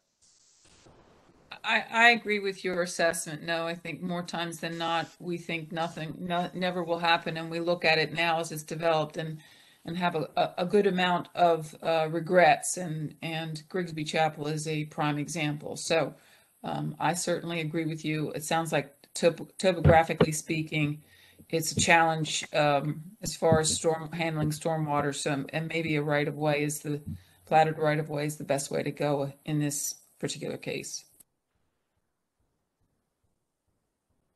Mayor Williams, I agree.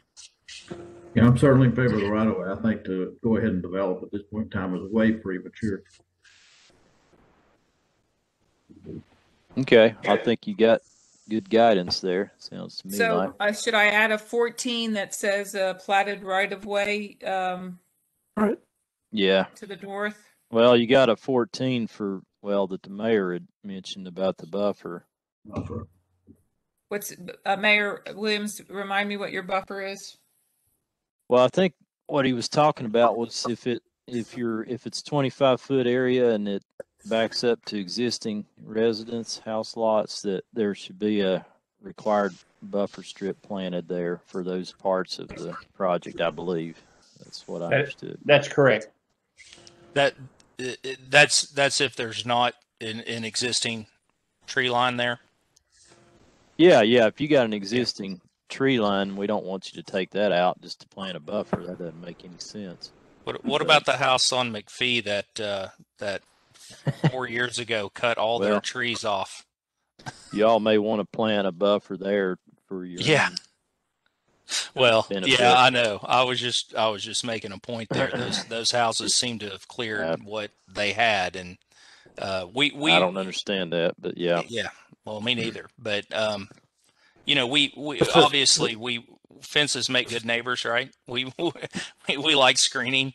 Uh, so if you want to require one along the areas that there's that there's not, it it don't- really only affects um, uh, the Plato's and that one house, and then the uh, uh, alderman. Uh, um, oh, my my his name escapes me, but the alderman that lives there. Burnette. Burnette, Alderman yeah. Burnette. Yeah, those are the only three that that don't have any any screening at this point. All right. That's 14. So those. Louise, you'll be number 15.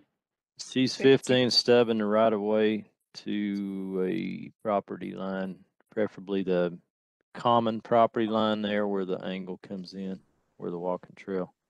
Stubbing that, that general area. Gotcha. Um, and we got direction on the sidewalk. Uh, let's see. I think that was, it sounds like general direction on the vertical design speed. Really, we need to, we really need to deal with that in the subdivision regulations. Because Daryl makes a good point. Those are really long streets and wouldn't traditionally be considered a loop street. But it's Russ makes a good point too that they really are a loop street. Um, so it's it's something that just needs to be more clear in our regulations, really. Mark, if we've if we've got ambiguity in our definitions, then let's put it on kind of the work plan Yeah. to get it corrected. Yep.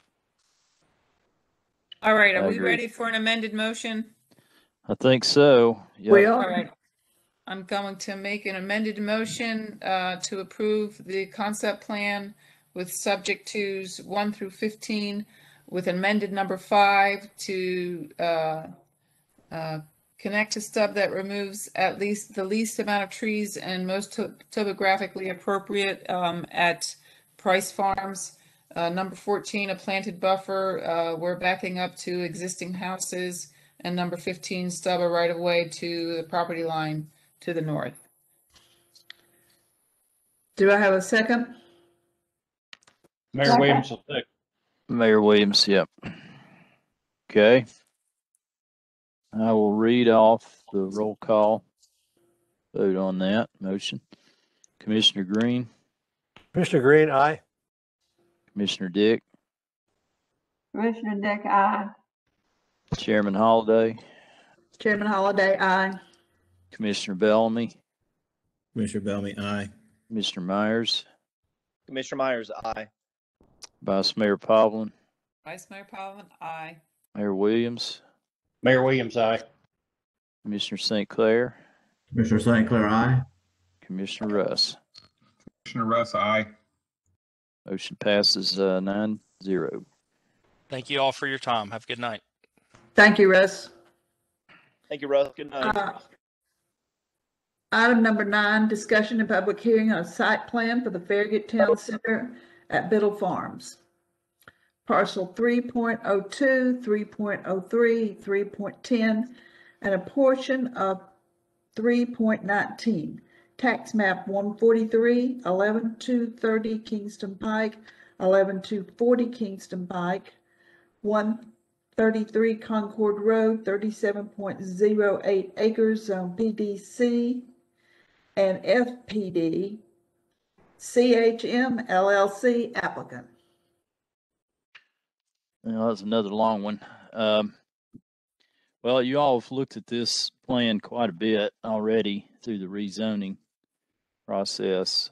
And, uh, you know, we, uh, the project is again, a little short overview. It has a, town center portion on the north end off of Kingston Pike, um, with a, uh, Aldi, uh, grocery store in this general location, about 20,000 square feet.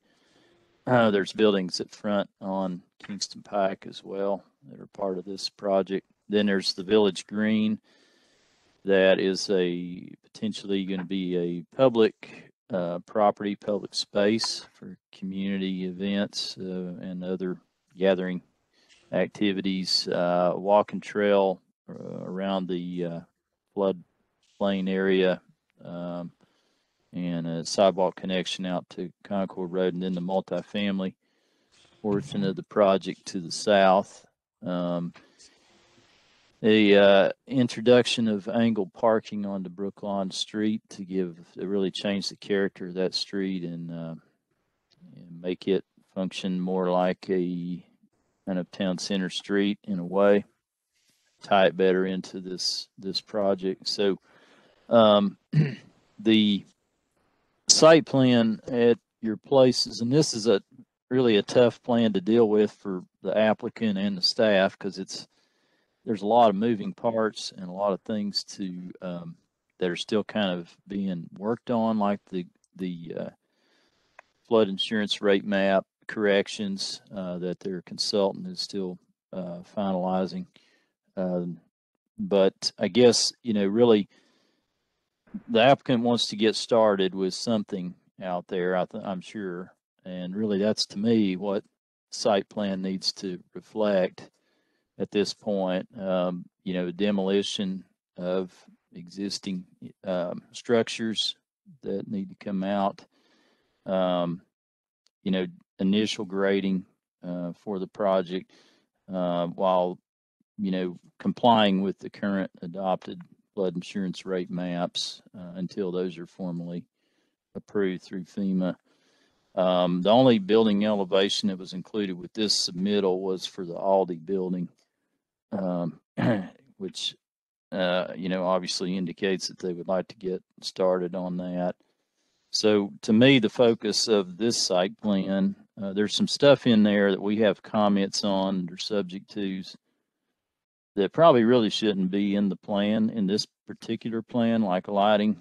Um, you know, uh, honestly, the exterior lighting is something that we can deal with later. uh, in staff's opinion, and it doesn't comply with what's shown here now. This is, it's going to be really important to get the, all the external lighting right for this entire project. It's going to be different than your traditional parking lot lighting and street lighting. Street lighting that can accommodate small cell support structures as part of our aesthetic plan that we've recently adopted is going to be important. So we really need to think that component of this project through very, very closely. Uh, but the general basic demolition, initial grading, I think are the key, the key components, at least from, from a staff's perspective. And then to get some feedback from the planning commission. You all have seen kind of different versions of this, but this is the different building elevations of the, the Aldi building. Um, and so some of the comments that we sent out to you earlier today uh, are regarding items that probably should just be removed from this phase one site plan because that's really what it is. Uh, while that they're while they're working on the more detailed work on other things, the flood maps, the yeah, the other building elevations. We don't have any other building elevations yet either. Yeah. mhm. I apologize. Point of order. Just, um, do you have an, an, in mind which particular item numbers we can remove from consideration before I make a motion? Or are we going to go through them and remove them and have another amended motion?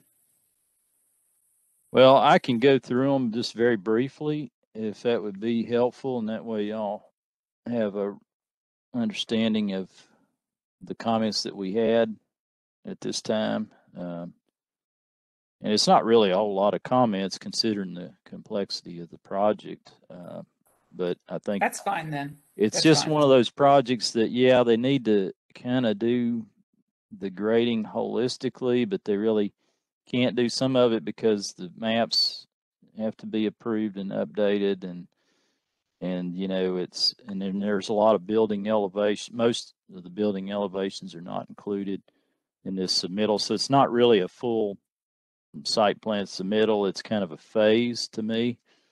Um, and that's okay it really probably needs to be phased like this. Um, but uh, the first comment was dealing with the exterior lighting um, which as I mentioned earlier, probably just shouldn't be part of the resubmittal for this phase.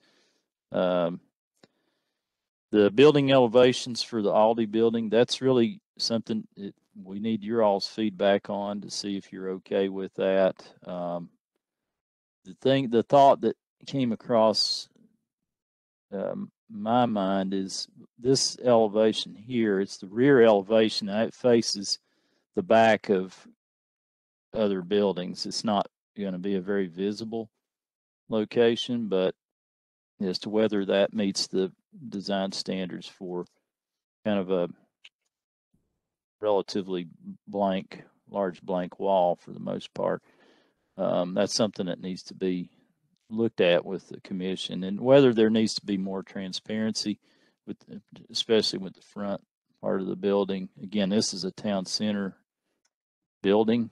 Uh, it's in the town center, so whether it needs to have a little bit more transparency than a traditional Aldi would have is something that, you know, I would be remiss if I didn't bring that up uh, as a planner, uh, given the context where this building is.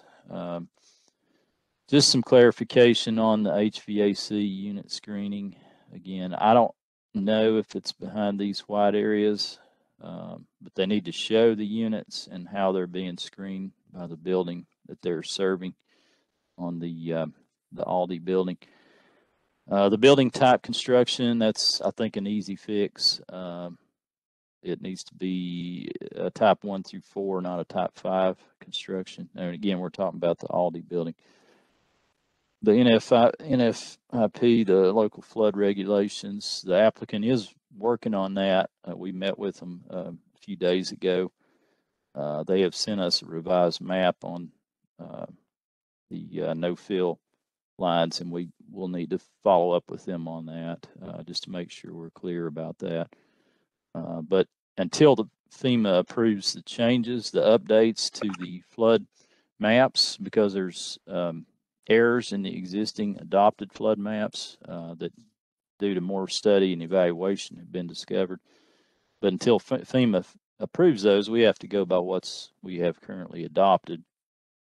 Uh, so that's a comment. Um, I just had a question on the dumpsters to make sure that we've got enough dumpsters uh, for the overall development. And I'll go back to the larger project. I mean, there's quite a few dumpsters in here. Uh, again, it's just kind of a, it may be fine. Uh, the parking analysis, um, on its own, the apartments don't have enough parking. So, uh, but the PCD actually really requires shared parking. Uh, so the concern from the staff's perspective with that comment is, will people that live uh, in the multifamily portion of the development end up parking on what probably would be better served as public parking for, you know, events or the commercial portion of the, the project, uh, since there's a little bit of a shortage in the parking spaces that would be solely devoted to the multifamily. Um, that, that's a, a comment. Um, Is that a comment that we need to ta- discuss tonight, Mark? Um, yeah, I mean, it's something y'all need to be aware of. Um, I'm never a big fan of too much parking, as you all know. Um, Who am I? So. yeah, I I'm- not necessarily have a problem with it. I'm just saying that it could be an issue uh, because it, it's a little bit underparked, which again, normally I don't really have a problem at all with that. Um, but again, We- it's it's something that we need to point out um, as as we're looking at this this site plan. I think. We could always have them park over at the J.C. Penney parking lot if we need. to. so. yeah. Well, yeah, it's uh, that's true. Yeah, and it to me, it's a PCD development, so really the whole thing is really designed to be shared uh, parking. But also Yeah. have parking garages. Could they have parking garages? Uh, isn't that part of it? Don't it have s- parking garages on that one building? No, there's no parking garages in this in this development now. No. Now there's some garages with the multifamily that are uh, at grade level, if that's what you're talking about. Yeah, it was. That's what I was I talking think about. there's, yeah, I think there are some of those. Yeah, I don't, I don't, the applicant can probably speak to how many of those there are. Um, the, some of the comments relate eleven through sixteen were fire code related. And so that really the applicant probably needs to get with the fire marshal and potentially myself and the town engineer to talk through some of those, um, those comments, uh, to make sure that uh, we're all on the same page with options that they can consider with that regard. Um, the uh, landscaping area between the building and the parking lots. Um, that's something that we, myself and Bart Hose could meet with the landscape designer on and try to figure out options for that. Um, obviously, it's a very different kind of development in the town center area, and we don't want there to be landscaping in front of the shops because that's where your your furnishing zone is, uh, your your large sidewalk, uh, the things that make it a town center. Uh, you do have street trees out here in the angled parking to give it landscape and landscaped element, but all this other area is designed to be gathering spaces. Um, so that's something we need to talk through. Um, I think with the, and that's another aspect of this particular site plan that probably is a little more at a more detailed level than it, it probably needed to be uh, at this, at this phase one initial grading demolition plan. Uh, so we could, I mean, I'd be fine taking all that out of the resubmittal and looking at that in more detail, you know, as far as options, uh, and then landscaping around the Aldi building. That that is something that appears to be inadequate, um, and that will need to be addressed. And so we'll have to work with them on on how best to do that. They could utilize planters, kind of like Kroger does, or like the Food City will be doing at the PCD development on Watt Road as an option. Uh, but uh, you know that that's that was an area that I think we need to look at a little bit. Um, and I think uh, all the other stuff comments were just the, your normal reminders, or just things to be aware of, like street tree species. Um, as I mentioned earlier with one of the other comments, we're uh, I'm going to be developing a draft street tree list uh, that will be really appropriate for a street tree only application um, and uh, with different options that one may consider, but it, it'll be trees that won't branch out as far into the roadway and create potentially uh, issues where they have to be cut back and then they don't really they kind of look at asymmetrical and don't really achieve their original objective. Um, so yeah that's kind of an overview of uh, the staff's comments um, on this particular plan at this point i don't know if you all have any any questions or thoughts on that um, it does appear they are reworking demoing the sidewalk along Kingston Pike and providing a wide, much wider grass strip.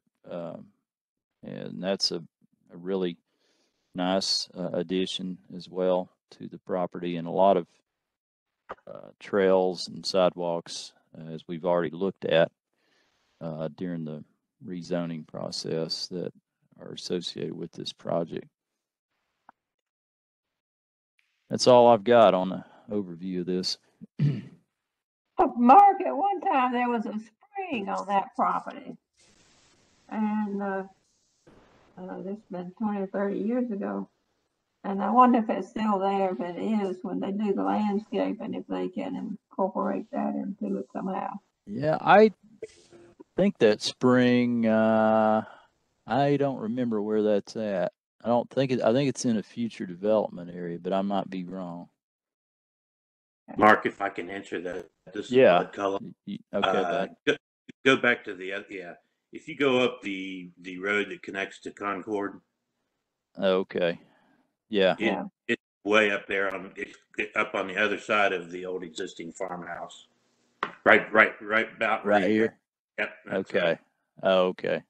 It may actually be further than that, because that's the bridge right there. It may, yeah, I think it's further up. toward Concord. Oh, okay. Up toward Concord. Yeah. Yeah, that's right. I've seen that off the road. Yeah. Yeah, I, I didn't mean to interrupt, but I was thinking of a wetland. That's what that other one was over on the future development. Yeah. Okay, Mark, I'm, I'm Mhm. getting ready to make a motion and I've kind of looked through the comments that you made. Um, Okay. I took, I took out, I'm gonna take out one. If you guys are Okay. okay with this, so that we're not talking about all of this tonight, because some of it's gonna, we're not, not gonna have answers tonight for them, because we're dealing with just Yeah. Aldi right now. So I was gonna Okay. take out one, six, seven, eight, Hold on. One, six, seven, eight. Okay. and eighteen. 18.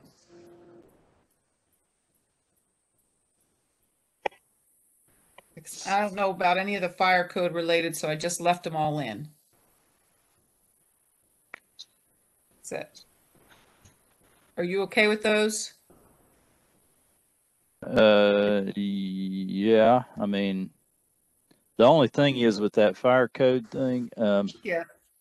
that really is, those are comments that really probably ought to be taken out too, because they need to be addressed on a next phase site plan, because some of those are, we really need a one-on-one discussion with them about options that they can consider to, to meet that requirement without compromising, you know, what we've talked about with the village green and the town center street and all that. So, Okay. All right, then this is, so I'm gonna go the other way. I'm gonna say, these are the comments we are taught, we, these are the, I'm gonna move for approval, subject to comments two through five, nine, okay. Two through five, nine, ten, seventeen, and nineteen through twenty-four. Nine, ten. Seventeen. So do you want to do 17 as the later one too? Because the landscaping is one that I think really needs to be, we need the time to get with them Okay. on that. And take that one out and do nineteen through twenty-four. 19 through 24. Because I think really what normally we would do with something like this is similar to what we did with Topgolf and what they have right now. They got a limited grading permit. They don't have a full site plan set, finished or stamped and approved. They've got the limited Yeah. grading permit Yeah. to be working, and they got a lot of work to do uh, out there.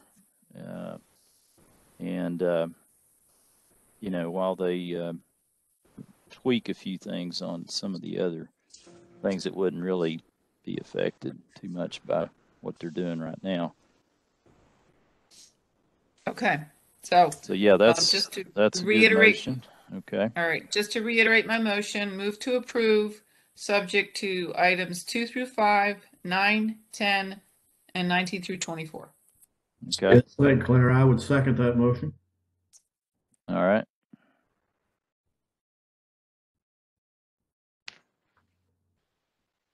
Okay. I got it. Okay, we're ready for a vote? Wow. Don't we need to have some discussion Oh, first? I'm sorry, yeah, no. Uh, this is Commissioner Myers, and I- applaud the developer for the complexity of this site and, and all the details they put into it. I do have some concerns that with the approval tonight, i- is it not possible that we get a one-story Aldi and nothing else with this approval? Well, I mean, you have a concept plan that is part of the rezoning. It, uh, I, you know, I think they've got probably a fair amount of demolition work to do. Um, and uh, I guess that's a question for the applicant: is what exactly do they want from you all this evening? That's and that's a question they'll need to answer. 'Cause I don't, I don't know the answer to that. I could Bud, take a Bud, step. we're gonna, we're gonna put you on the spot right here, but Yeah, no, no, I think. and I, under- a, a complicated, large development like this needs to be phased. I completely understand and empathize with that, but I do get concerned that we're approving a site plan for an Aldi, um, and it's it's possible that you could build the Aldi and and walk away from this project. And I, I'm not sure that's necessarily the intent of the of the MUTCD. No, I, I think that's an excellent question. Uh, Let's get, will you please, Yeah, will you yeah. please give us your name and business address before you start? I'm sorry, it's uh, Bud Cullum with CHM Development, 6312 Kingston Pike, Knoxville, Tennessee. Thank you. You're welcome. And no, that's an excellent question. And, and let me just say, we actually thought that in this submittal, what we were asking for was the was site plan approval for all of the civil package. And, and when I say all the civil package, I mean the entire uh, commercial part, town center part, and uh, multifamily part. Uh, and then the only thing from an elevation standpoint that we had ready ready to submit was the Aldi. Now, from a construction phasing, yes, we would be planning to do start on the demolition and getting the Aldi pad ready first. But per our lease agreement with Aldi, we have to have all of the infrastructure in for the entire commercial part. That, that's a that's a requirement uh, in our lease with Aldi. Our, our our intent we're flexible because we know we're going to be coming back for other site plan approvals. We fully expect, in fact, I think we submitted today for the elevations and the site plan approval for all of the multifamily to be heard hopefully at next month's uh, commission meeting. So, you know, to, to answer the question, our, our goal was to, to have complete site plan approval and the Aldi elevation come in next month with the multifamily elevations. And the only reason then we would be coming in, say, the next month after that, uh, with the shops elevation is because we have specific tenants we're, we're dealing with who are requesting certain, you know, each, each restaurant, uh, special, so than just a retail tenant. They want to comply with the overall look, but they always want to try to add their own little special thing to it. So we feel like since we have four or five different ones that we're working with that will require a little bit more detailed architecture, that that would be the final submittal. But our our goal was to was to get through planning commission uh, if possible with the entire civil uh, and and we know as i said that with the aldi alone we're required to to do all of the infrastructure for the, for the commercial part i don't know did, did that answer your question at all Well, it helps. The, the problem is what is required in your lease agreement is not pertinent to what the planning commission can uh, approve and ultimately uh, decide when your certificate of occupancy on the Aldi is determined. So what, what my thought is I would be comfortable with if what you're trying to do tonight, it in your words, is a civil package.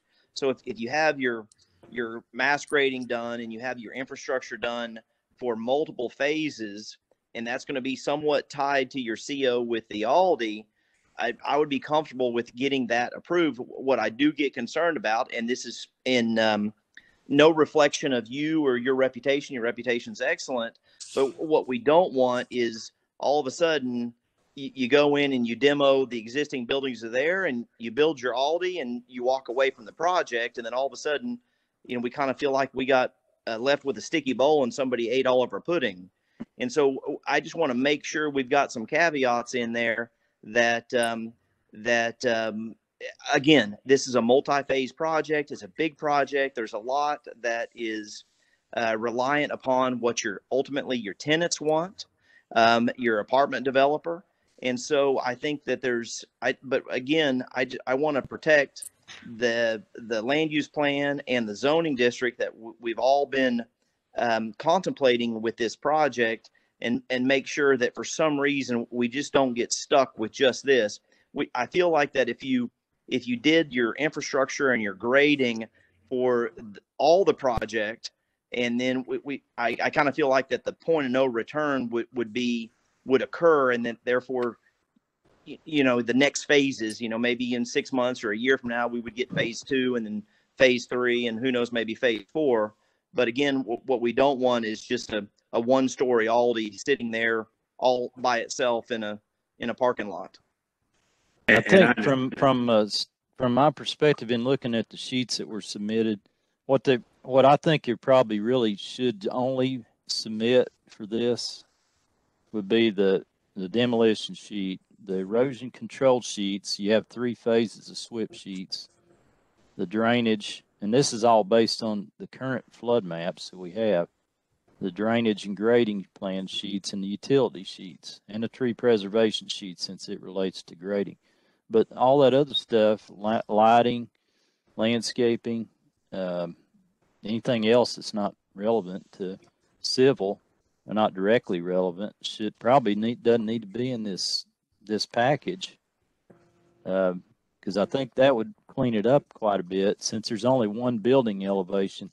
I think, you know, from my perspective, the applicant needs your guidance on the Aldi building for sure.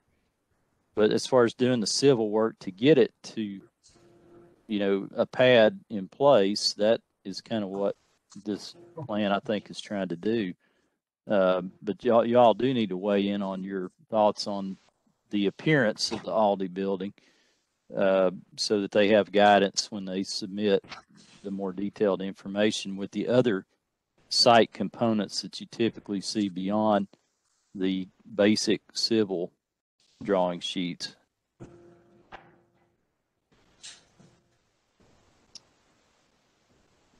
That's just my perspective on it, because I think that that would allow them to get started, you know, with a grading permit, uh, and then the more detailed stuff and all the the the other site components that are you know going to take a little bit of coordination, more coordination with us and FEMA and things like that um, could be addressed, you know, with subsequent site plans that would be brought to you all. This is Commissioner Green. The agenda item says a public hearing on a site plan for the Farragut Town Center. Sounds Yep. like we should reword that a little bit to say a hearing on the demolition and initial grading plan for the Farragut Town Center to Biddle property. Does- Would that work for us and, and then But put he's, in? but the- he's constructing the Aldis. He's getting ready to construct the Aldis. And But that's not part of what- this. But that's not what we're approving at this, this, from what I, conversation that I've heard, that's really not what we want to approve at this point.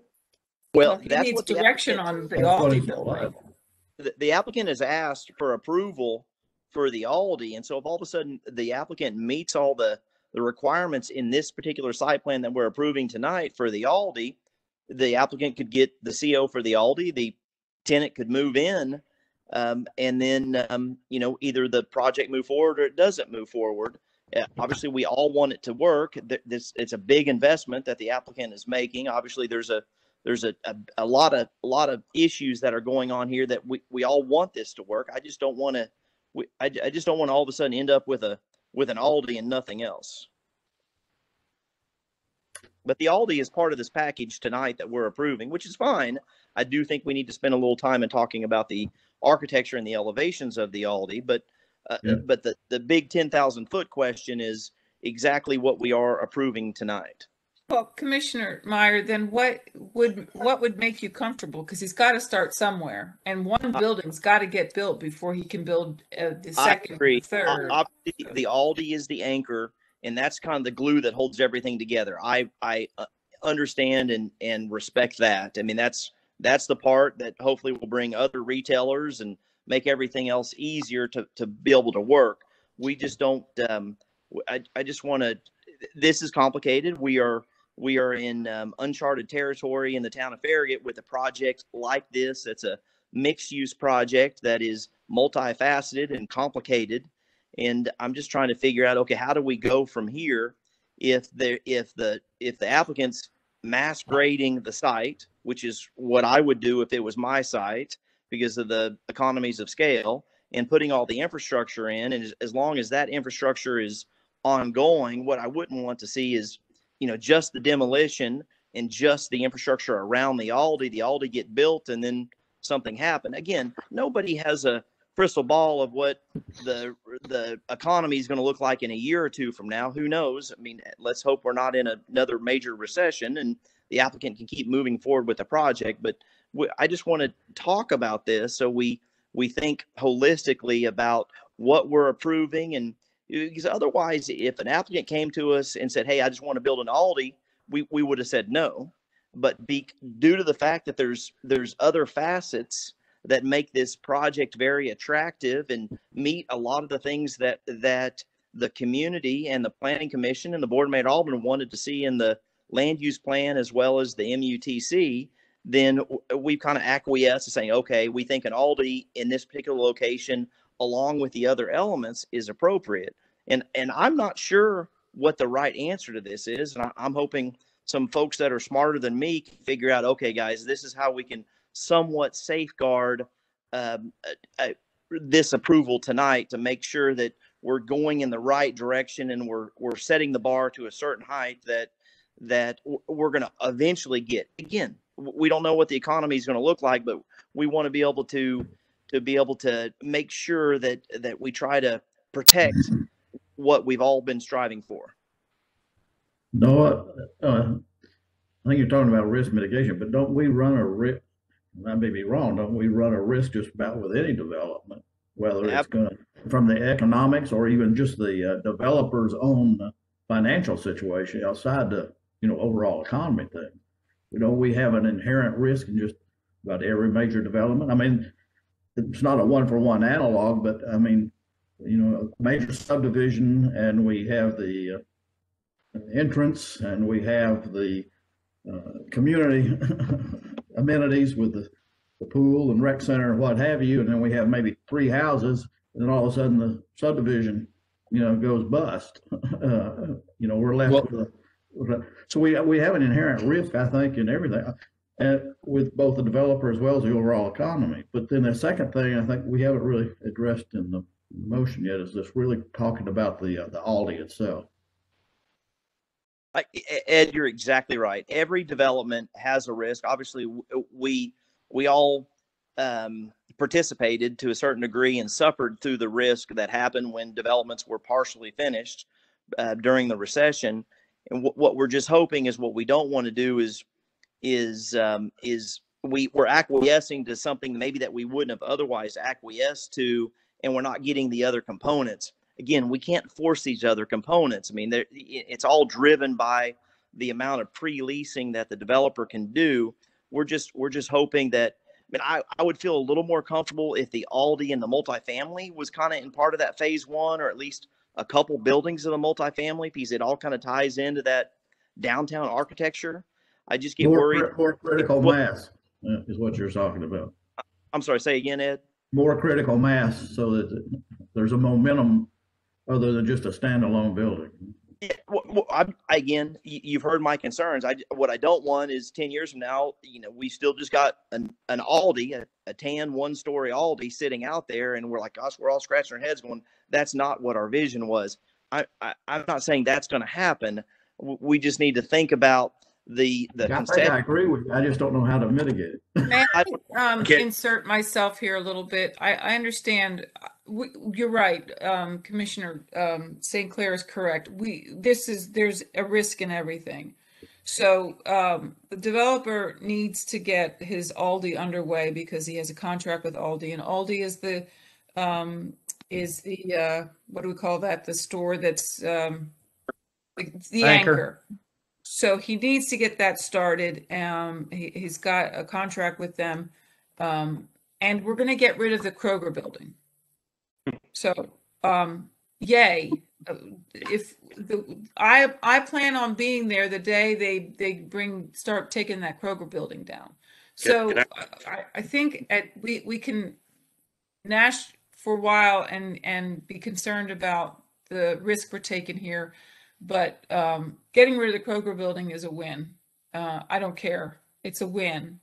So, and, and he needs to get started on the Aldis so that he can continue to um, move with this. Uh, uh, Can I raise no, yeah, there's no solution. Uh, no, no, I don't think Bud, there's a solution. You have you have an idea that maybe you could share with us? Well, I, I- I said this earlier, but I, it, we actually thought we were submitting for approval for the entire plan. And when I say civil, maybe I used the wrong term. We thought we were submitting for approval for everything except the multifamily elevation and the shops elevation. And the multifamily elevations were, were submitted today for approval at next month's meeting. So I guess in my thinking is if, if there was any intent or hope or, or possibility that I was going to do nothing with, but the Aldi, then my, my intent would have been more along the lines of what Mark was suggesting is let's pull all this stuff out and only, and only, per- only in this meeting, uh, approve the Aldi and the demolition right around it. When I said the civil for the Aldi per my lease, I didn't just mean the grading. I meant every parking space, every road, every tree, every grass and everything on that entire commercial part, other than each building itself. But everything else, the street lighting and everything has to be there I, per my lease agreement with Aldi. So for me to do all of that and then be bringing the multifamily in elevations for approval next month, again, my, my goal, when we, for instance, when you look at the difference between what we can do per the town's regulations on grading for the overall site versus what we will need the FEMA revision for, we can do probably 95%, maybe higher. There's a tiny little area out by the entrance uh, off of Kingston Pike Uh, if you look at that one little building right there, go up a little bit, Mark, right there, that little building, we would have to wait until we got the, the, back from the FEMA. And then there's uh, another little area on the next sheet over, when you go back further into the multifamily sheet. Uh, But, and then there's even an area per the hydrology studies off of our property uh, behind the new Kroger that the, the old, the Blanchard and Calhoun, I still refer to them, people own, and we've already worked out an agreement where we will fill part of that. And so that, that was all in this submittal. I'm not trying to be argumentative with staff. We are flexible because we know we're coming back. You know, I don't have to have all of that approved uh, because I can't go out and literally start every bit of that next month. But I guess what I'm trying to say is we're we're sticking it all out there, and we were asking for for approval for everything. We certainly, if there was if there was any idea that we would end up doing nothing but the Aldi, we certainly wouldn't have done it. And, and tried to get the approval for the whole thing. There's, I mean, you know, again, I, I don't want to be argumentative, but there's four or five of these things on the on the list of 24 or, or whatever that or 23.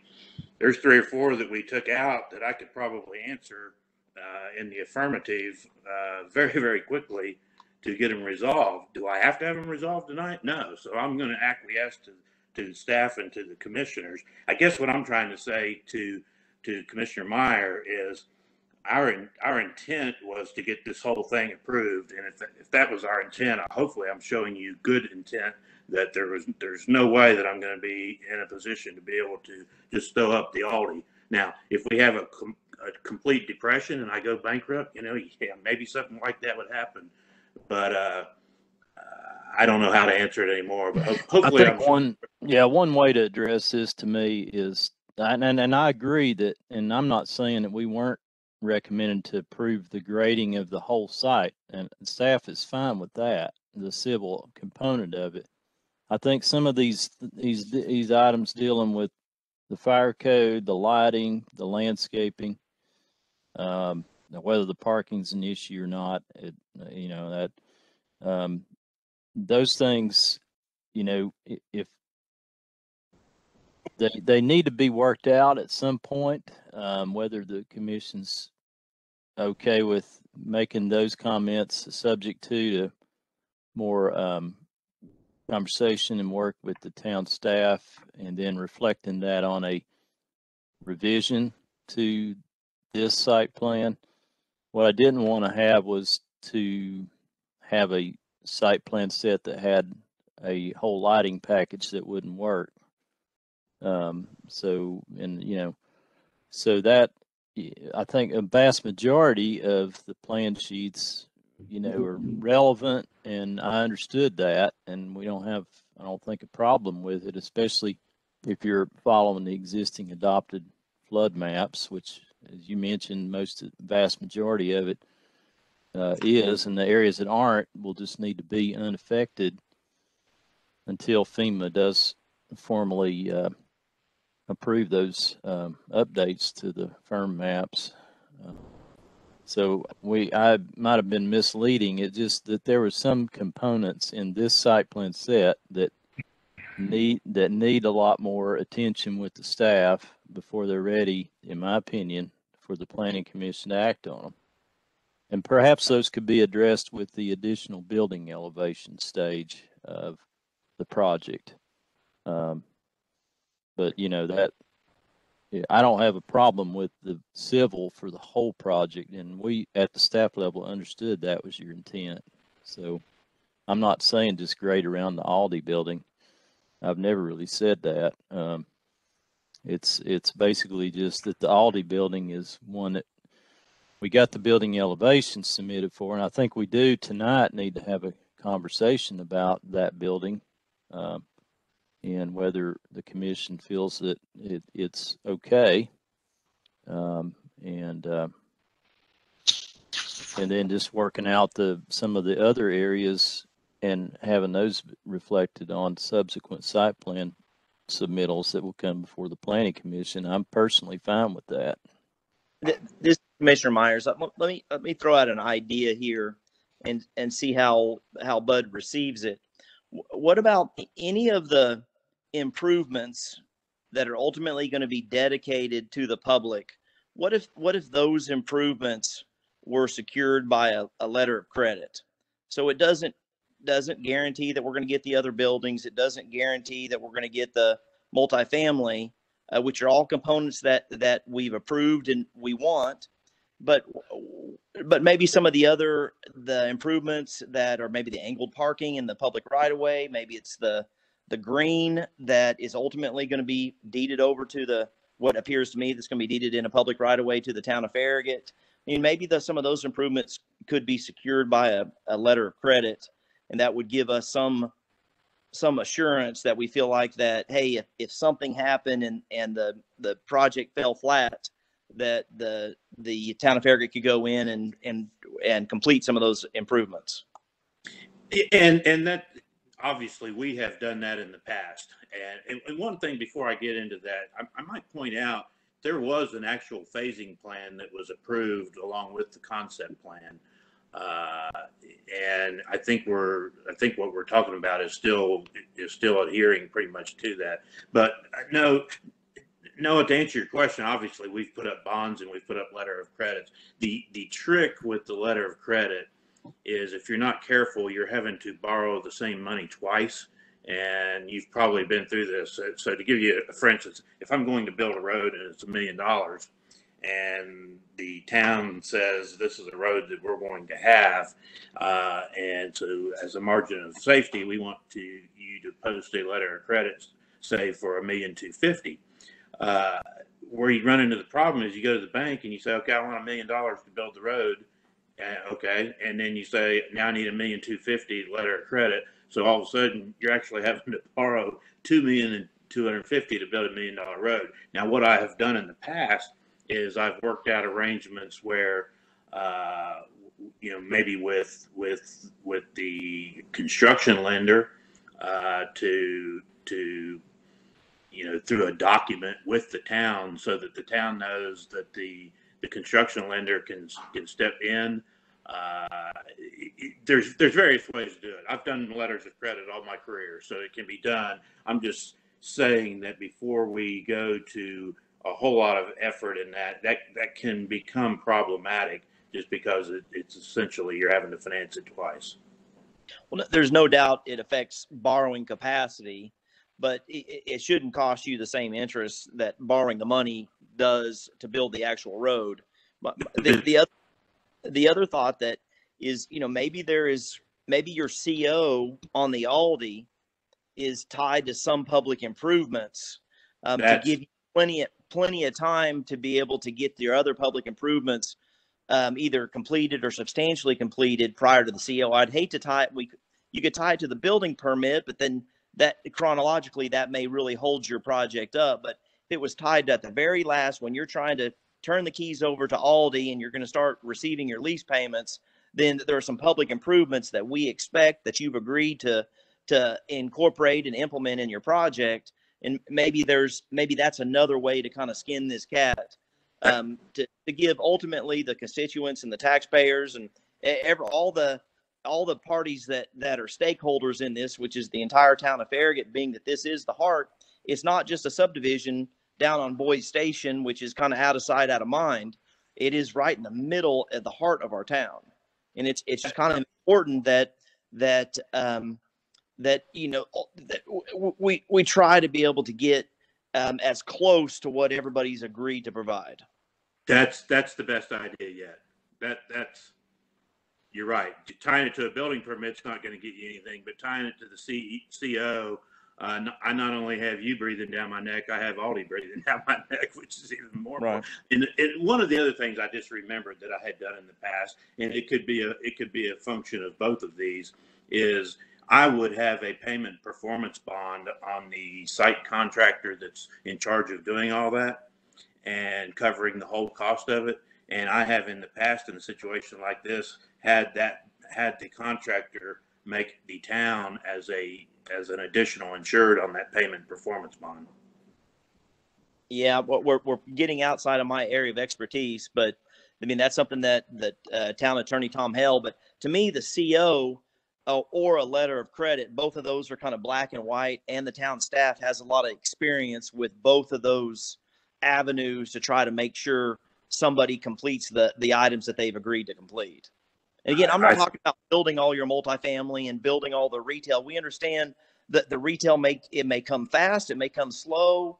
I mean, we all know retail's been turned on its head with COVID, but we, we just don't, uh, we, we want to make sure that, um, that, that ultimately the, the project's going to kind of look like the vision that you've proposed to us. It, it may take five years or 10 years or 20 years, but I, I think there needs to be some caveats in there where it somewhat holds your feet to the fire to, to, to make your best efforts to be able to try to complete those things based upon whatever economy we're in at that moment in time. Yes, and that, and obviously, if, if I've got all that infrastructure in there, the chances of those buildings going ahead and getting built is much better than if it's, than if it's literally just the Aldi and their parking field in front of it. Agree. Yeah, it's, it's a heck of a big investment to walk away from if you had all the infrastructure in there and you only did the Aldi. So we feel like Yeah. that it, there there wouldn't be a you know any kind of shell game going on that that that everybody's all uh, uh, reading off the same page here. Let me ask a question here. May I ask a question? Um, s- a little timeline on what, in my mind, what you're planning on doing. The first thing you're planning on doing is demolition on that whole building that's Kroger, used to be a CVS, and that whole thing will go. Is that correct? That is correct. Okay, and then, um, you will lay out the, the Aldi's building and the parking lot adjacent to it. Is that the next step? That will be, the that will be the next step, but, but almost simultaneously will be, will be, uh, the demolition of the entire, of all of the commercial side, uh, parking lot and putting in the new utilities and, and then ultimately coming back with all of that paving. The one thing that potentially would lag, uh, would be the, the new bridge and the new road out to Road. And the reason for that is we cannot do that until we get the final CLOMR back from FEMA. That's the map revision. Be- Because we're, to do that, we, to do that bridge, we have to be in the floodway. So we can't, right. so, so I would ask for, I would, I would, I would want to be able to do everything else uh, from a site plan standpoint in the commercial part uh, and potentially be able to open the Aldi before that road was finished out to Concord. So the, so the whole parking lot will also go away quickly too? I believe I'm going to, uh, uh, I've got two of my helpers on, but I'm pretty sure we're, we're, when we go out there and start demolishing everything, we're not trying to save any of that parking lot. Is that correct, John Anderson? Yes, that's correct. Okay, Okay, I thought, so. I wanted to make sure. okay, and then shortly after all of that is cleared away, you will start repaving the parking lot? Yes, the, we will, there'll be a lot of utility work. The, the paving part will be the last thing, but, the- but our plan is to open the Aldi and have all of that paving, every, everything on the commercial side done except the- potentially the individual buildings. If, if we have our, if we have our way about it, we would have almost all of those buildings finished also. Uh, that's a, that's a function of the leasing, uh, momentum we get. Right now, it's pretty, pretty good. But frankly. that, um, well, that area for those buildings will be laid out as such already at, by that point? Yes, Okay. sidewalks would be in median parking, all the parking spaces and you name it, yes. And the pads for the building, I'm sorry. and the pads for the building. Yeah, the pads, the pads for, if the buildings themselves weren't there initially, the pads would be there and the sidewalks and everything. Our intent would be that if there was anything lagging on the shops after initial opening, that it would simply be coming back and digging the footings and going up with the walls. But all of the rest of the infrastructure around it would be complete. Parking, paving, park, landscaping, site lighting, everything. Yeah, what y'all are talking about, we, we've done this a number of times. The overlook apartments, we did that in phases. We didn't issue a CO for the first building until the, you had, uh, the proper improvements for that building were in place on the site. And that would be the same way here, that we certainly have the ability, if we don't think that the site is up to, to the, uh, level of completion, uh, that it needs to be to serve the building that we're, that somebody's requesting the CO for, then we won't issue the CO. Uh, Okay, can I, so, can I? yeah. Just, can we, uh, it's eleven ten. Yeah, it's, And we still have a lot to get through. So are we comfortable? Can we move on from, do we have uh, something that we can hold as a carrot or a stick? Or the, ca- as the case might be, that um, we feel comfortable that this can proceed and, and we can start discussing some of the, the, the um, material issues that we're supposed to be discussing tonight? I'm, I'm comfortable with the CO. Okay, I, I'm fine with that too. That, that sounds good. Are we gonna Um, discuss the Aldi elevations? Yes, Yeah, I do want to make one, one comment before we start discussing all the Aldi elevation, because I think we might have to discuss it as a planning commission to recommend a change. I know that there was issues with um, the fire road width um, around the green. Is that Yeah. what I recall, Bud? that's something that needs to be worked, worked out with the staff and then presented to Okay. you all. That's one And of the because big it- it- comments that we need to. It's probably going to require a zoning ordinance change to, uh, to, for a more urban development style. This is my understanding of, from the conversation. Is that correct? I, I don't know. I mean, Yeah. I don't know. I don't Please, think I I think we would. need to- mean, I, You need to be a little bit clearer there for everybody.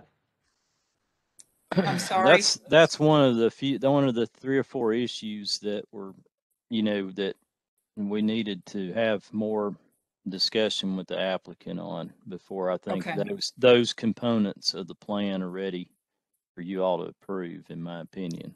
Um, Okay, so we, most we of don't the need, components on the grading and all that are, I think, we're pretty good on those things. I don't, you know, it's just uh, some of these these comments that we have. They, we need to have a pretty in-depth discussion with the town engineer and the fire marshal, myself, and applicable people from the design team to figure out what options there are to address All these right, so that's not going to be settled tonight until you guys all come No. up with a plan that you can propose to us. That's right. Okay, so I, I'm going to leave that back off the table. Just know that that is still a conversation you guys need to have. Okay, can we, we'll go ahead and move into talking about this, the, uh, all these elevations. And I'm not starting that conversation. Someone else can start that conversation. Well, earlier, Mark uh, made a comment about uh, the, the back of the building, uh, and it'll face the other buildings. It will not be something that's in your face, uh, which most of the supermarket buildings do face away from you. You're not looking at the back of the building. Of course, this one here is quite nice in the fact that it's all brick. So um, I don't think it's a eyesore by any means. Um, Yeah, I That- highlighted the area that that would be, it's that red line. So it would back Or up would- to the Wouldn't it back. back of- up to other buildings? Yes. It backs up to the back of a couple of shops at this point. Those shops could change the footprint a little bit depending on what they, Yeah, you know, Frankly, out, the, but the mhm. the rear elevation of the Aldi is being kind of an alleyway in between the Aldi and future buildings, Yeah. and I'm not as concerned about that. I am concerned about kind of some lack of some detail and kind of breaking up the the the kind of the monotone look of the side elevations. And th- there's some things that yeah. that we incorporated, for instance, at the the new Starbucks, which was some brick details of where you kind of look like basically false windows and changing patterns in the brick that on the on the side elevations, which I really think would help um, bring the Aldi more into compliance with our MUTC. Yeah, that was, my, that was an observation I had was it might need some additional transparency elements to it, window space. And, you know, well, it's, it's I a lot I, of, you know, I agree. hardscape. I, I can live with the rear elevation. I, I'd really like to spend some time on the front elevation as well as the two side elevations. Um, and, and let's just, let's spend a little bit of time talking about that and, and how to kind of break that up a little bit and, um, and maybe do, do, do some details, which are not that big a deal to do some details in there that, um, again, is kind of more in keeping with a town center.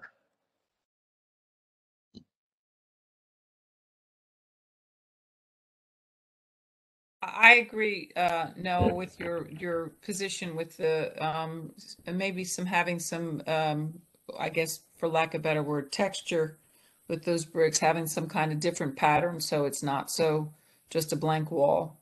Um, certainly, I don't have a problem with the rear elevation that backs up between the buildings. It's not gonna be very visible.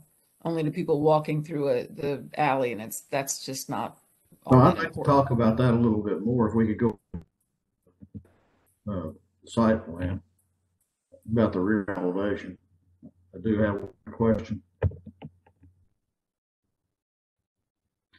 There's, yeah, obviously it's blocked by two of those building pads, but there is that common area in between those buildings.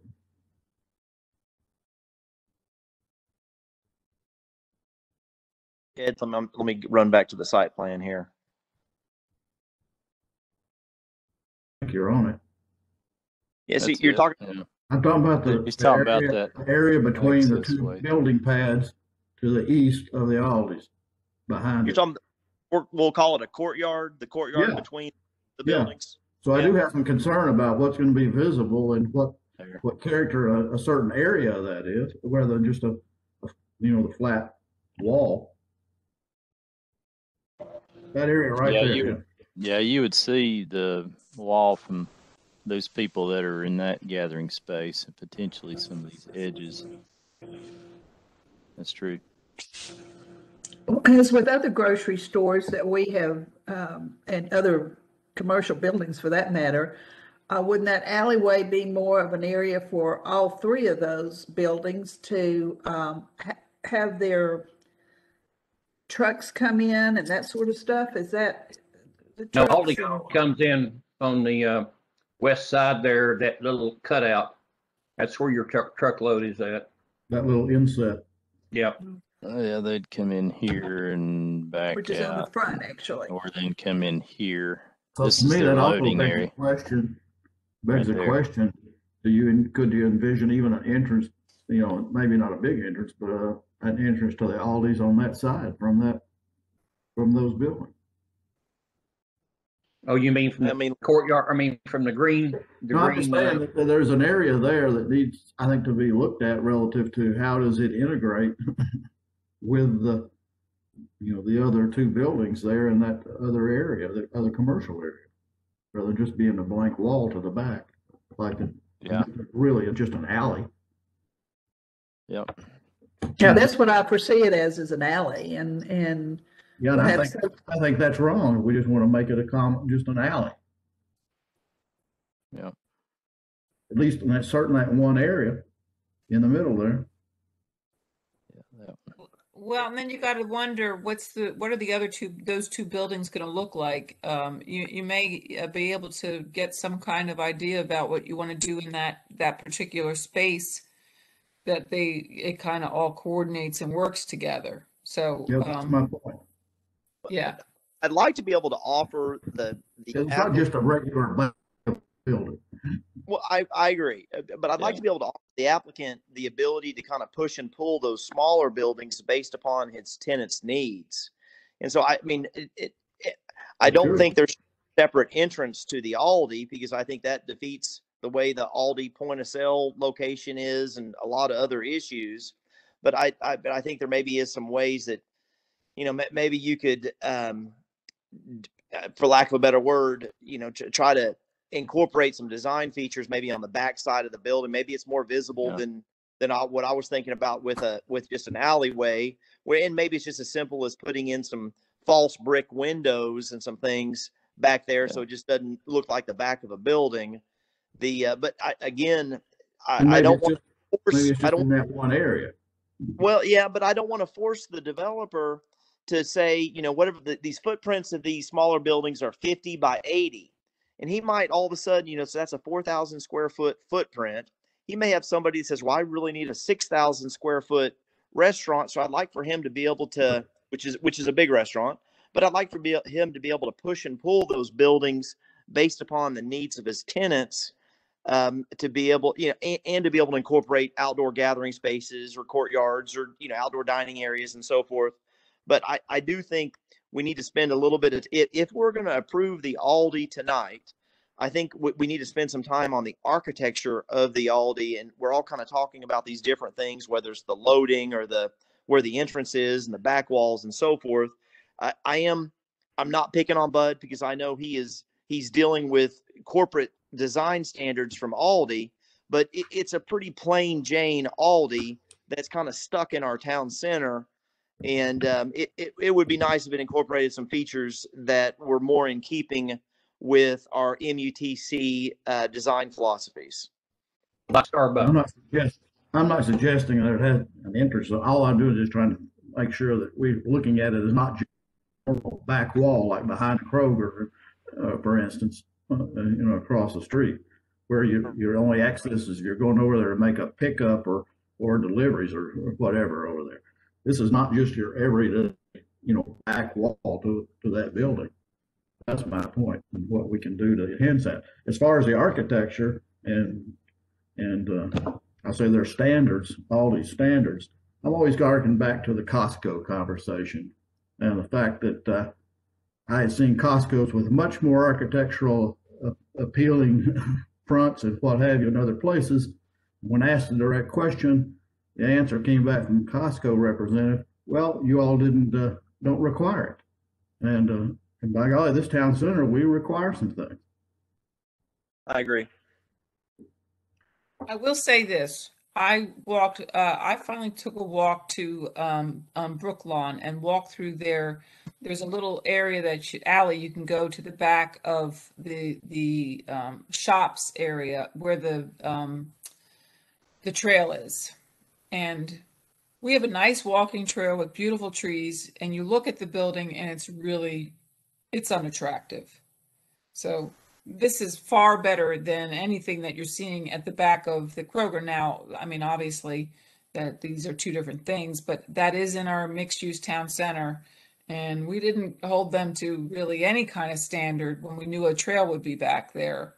So, um, just, I, understand what Noah's saying. I understand what, um, um, Ed's saying. The, the problem is you could ask them to put this thing in, uh, any kind of like geometric or square or rectangular thing that looks like a window, brick window, and it could be not placed right because of the way he ends up building the buildings that it backs up to. Then it looks out of, um, you, you know, it just it doesn't frame the space right, and that's a concern as well. So. I'm wondering if we should look at the Aldi, just the building elevations, when we look at the multifamily uh, next time, as far as, I think they need to hear a little bit more specific guidance from, from you all, but I think that it's pretty clear to me that some changes need to be made. Uh, And uh, we can't design it tonight for the, for them to do that. Um, but it's something that maybe they could, if they got some kind of macro input, uh, you know, on the the major things that need to be revisited, maybe on this. Um, then just let's look at that in relation to the multifamily elevations, because really, to me, all the buildings need to have in the whole PCD need to have kind of a symmetry with each other. And I think that's what Ed's talking about, and that's a good point, is even though that's the back of the building, it's real close to two buildings that front on the, on your main street. Um, and it really needs to be kind of visually integrated with, with those buildings somehow to where it kind of uh, has a different feel or a different character to it than a big, you know, kind of hardscape uh, feature. So, I, I mean, I don't know, you know, I think that's what I would, I mean, again, the civil stuff could go ahead and move forward potentially if that's what the planning commission is comfortable with. But then these, these building elevations may, we may need to look at that next time, uh, you know, to, you know, give us some time. We could also kind of look at some revisions at the next staff developer meeting. Uh, and, you know, look at, look at all those building elevations and take action on those, uh, at the next meeting. That, that, we were gonna suggest that actually, and, uh, I guess my question is, since this has already been submitted, uh, and of course, the next meeting, the submittal date was today, uh, but this would be already considered to be submitted, and we're just, uh, pushing it for a vote to the next month. And- Well, the next, the next deadline, Bud, is actually the nineteenth, Oh, next. Monday. But if this is submitted and, and the commission says we want to discuss this, uh, uh, some more, because, because frankly, what I need to do is I need to have the Aldi people get with the staff. And I think the staff is getting a good idea, uh, from the commissioners of some of the concerns and, and- or, or we'll get a few more as we, as we finish up. And because this is, you know, I'm in the middle on this, frankly. Aldi, Aldi, I'm my lease with Aldi is a ground lease, and they're building their building. And uh, so, if we could, if we could do that, if I could go back to Aldi and say, look, everything's moving forward, but you're going to have to get you and your architect with the staff, and and and, and you know, over the next 30 days. Is it, is that what you're saying? I, Well, I think we need to, they need to, it, it's up to your timeline on that, on the building elevations, but, um, and the staff's just one, we're, we just have, you know, we're, it's ultimately going to be the planning commission. I think the good, the feedback we need tonight is the, the big items that might need to be looked at. And it seems like what I've heard so far is maybe looking at some of these, these larger kind of sections of hardscape and seeing if we can visually break those up or incorporate some additional transparency with those things on this rear elevation, trying to make that more engaging, even though it's a, a rear elevation with what it abuts. Um, and, um, you know, because it is going to be visible in different uh, areas.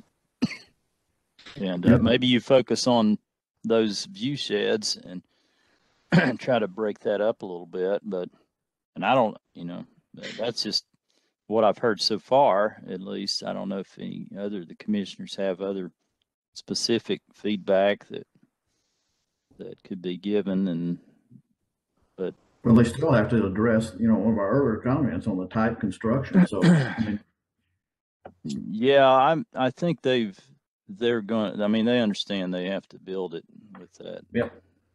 I'm not really sure why it was shown as type five B on the plans. Um, but anyway, yeah, that, well, it, we're making that known to them. sure. yeah, yeah, that's pretty standard with a building like that is you don't, you don't build it out of type five B. Bud, and and I speak just for me and not for the planning commissioners, but I think if we could incorporate more red brick into this building than brown or tan brick. Now, technically, brown and tan fits our color wheel of approved choices, but I, I really think that our vision for this town center is probably a little bit more red brick. At least it is it is for me. And I've seen some some Aldis that, that have some red brick. And so it'd be kind of nice. And, and maybe even it's, it's a combination of multiple, but what I'm seeing uh, uh, right here on these elevations is kind of a monotone brown and tan building that, um, you know, looks like a normal Aldi that we pretty much see anywhere. And it's, it's, um, and we're just trying to, we're, we're trying to give you the ability to incorporate this building in our town center uh, because of the other things that you're bringing to the table. And uh, and we just we just need a little bit of assistance. And if you want to make us the bad guy with aldi that's fine. But I, I, I think we, we've just got some details to work out um, on the Aldi elevations, but before we can get comfortable w- with approving it. And that's, uh, I guess, a couple things to address that. First of all, unfortunately, just an architectural elevation, a detail like this never does the real deal justice. We actually submitted uh, actual brick samples, uh, kind of wall boards. and Mark, maybe you would disagree, but the, when you see the brick samples in person that we submitted that Aldi uh, approved, it looks a hundred times better than the picture that I'm looking at right now on the computer screen. Yeah, and those are in my office. I got a good workout bringing them in here. So any, if any of commissioners wants to come by and look at that, they're certainly welcome to. Just let me know.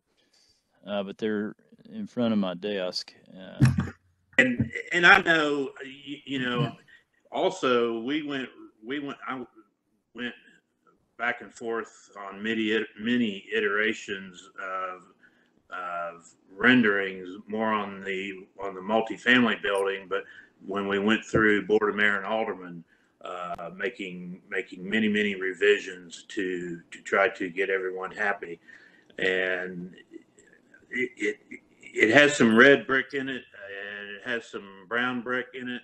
I think the overall look, uh, you know, I might point out this this particular elevation we're looking at is not a whole lot different than what we had when the concept plan was approved. But I do remember talking about breaking up some of those uh, areas on a couple of those sides, and I think I think there's probably certainly ways that Aldi can do that. On that back wall again, again, wherever the break is, and what is that, about 30 to 40 feet, John Anderson? Can you tell me the, the courtyard area? Yes, it's like forty feet between the buildings. So, so 40 feet. So you stop and think about, you're only going to be seeing 40 feet because the, the, well, frankly, if, if I land who I'm working with for that area right now, it's going to be a restaurant that's backing up to it. And that alleyway is how, it's not even, you can't even, what is it, 10, 15 feet?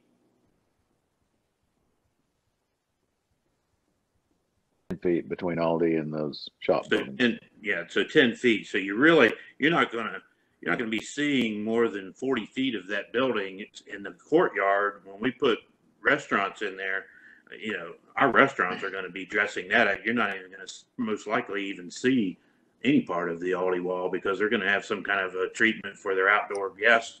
I would, I would think. Uh, anyway, that's just, I'll shut up. One thing you could do on that back wall, if you look at the side view, the side elevation that's down at the very bottom, uh, to the right, before you, you get to the loading dock, you have an area that's taller than the rest of the building. Uh, and you have that in different places, but if that was what you seen through that forty foot opening, uh, that, that is a design feature that's different than just a blank wall. And it could be different colored brick. If you've got red and Yep. He, he's talking about they just put, putting a little taller parapet wall back Yeah. there that would line up where that courtyard is.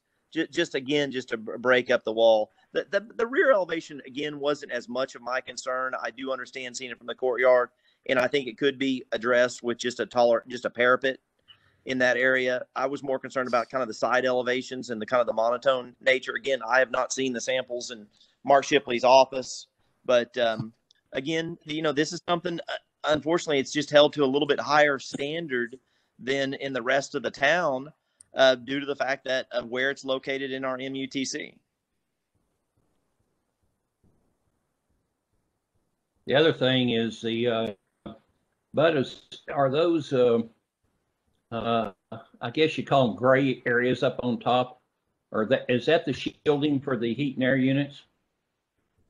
I'm gonna have to defer to Don Kendall on that. I'm not sure. A question to Hey, you, Don, Don. Ken- yeah, Don Kendall, Development Management Group, uh, 4209 Gallatin Pike, Nashville, Tennessee. Um, what you see in that elevation um, is the backside of those parapets from the other side. uh, we had a conversation with the architect uh, for the Aldi earlier today, and they are gonna they're gonna revise these elevations to show the mechanical units dashed in. And if there's any that are exposed above the parapet walls, there will be screening that will be added there so that you can't see them. And they provided us with some details on that.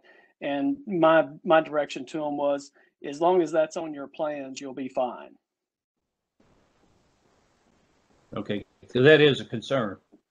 Oh yeah, and, and they understand that that you can't see those from the ground level, so they're aware of that requirement and they are fully ready to meet it. Okay, thank you.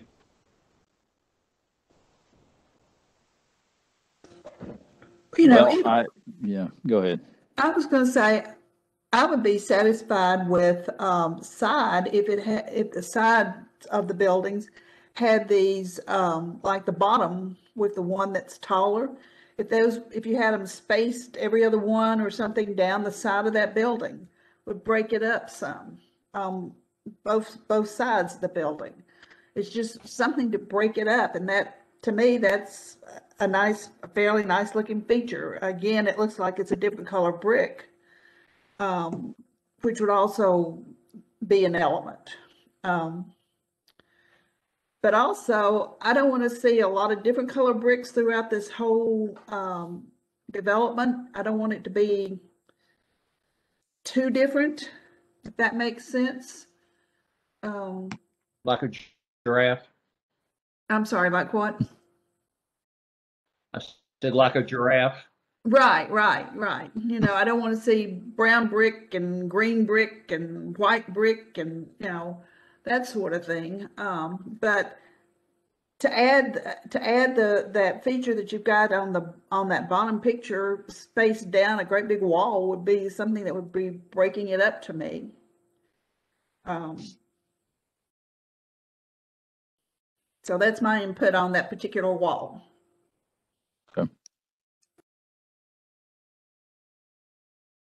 Well, we probably could talk about, does anybody else have any big, big items on the building elevations? Uh, I think there's quite a bit to, it'd be nice if we could get something to where we could at least take a look at it on May the fourth at the next staff developer meeting. Obviously, we'll keep this on the agenda. Mark, could we have that, uh, those samples? Can you lug those down to, to where we can look at the samples? Um, yeah, I mean. I think we can get a Yeah, I two don't mind you coming in my office. You just have to watch about any animals that might still be alive in here, anything. But it's, uh, I don't mind you coming into the office. It is a pretty heavy, heavy, uh, set of bricks. Well, could you, could uh, you move them out to the uh, room where you have the uh, papers? Yeah, all- I could move them out to Yeah. the, uh, front, uh, somewhere out in the front foyer area. Yeah, that'd be fine.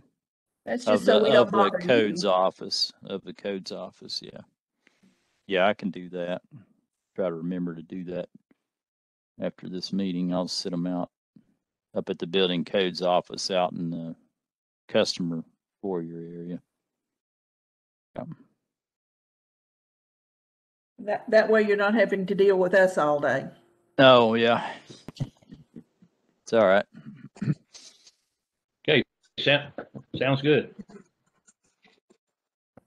So the motion uh, on this was from Vice Mayor Povlin, seconded by St. Clair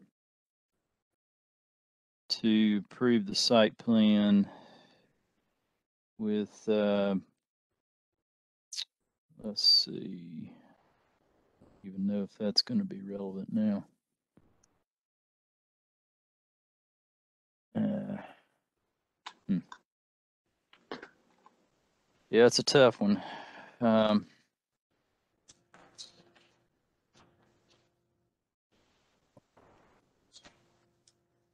Do you want me to amend that to say, uh, further discussion on building elevations? I don't know. What do you want me to do?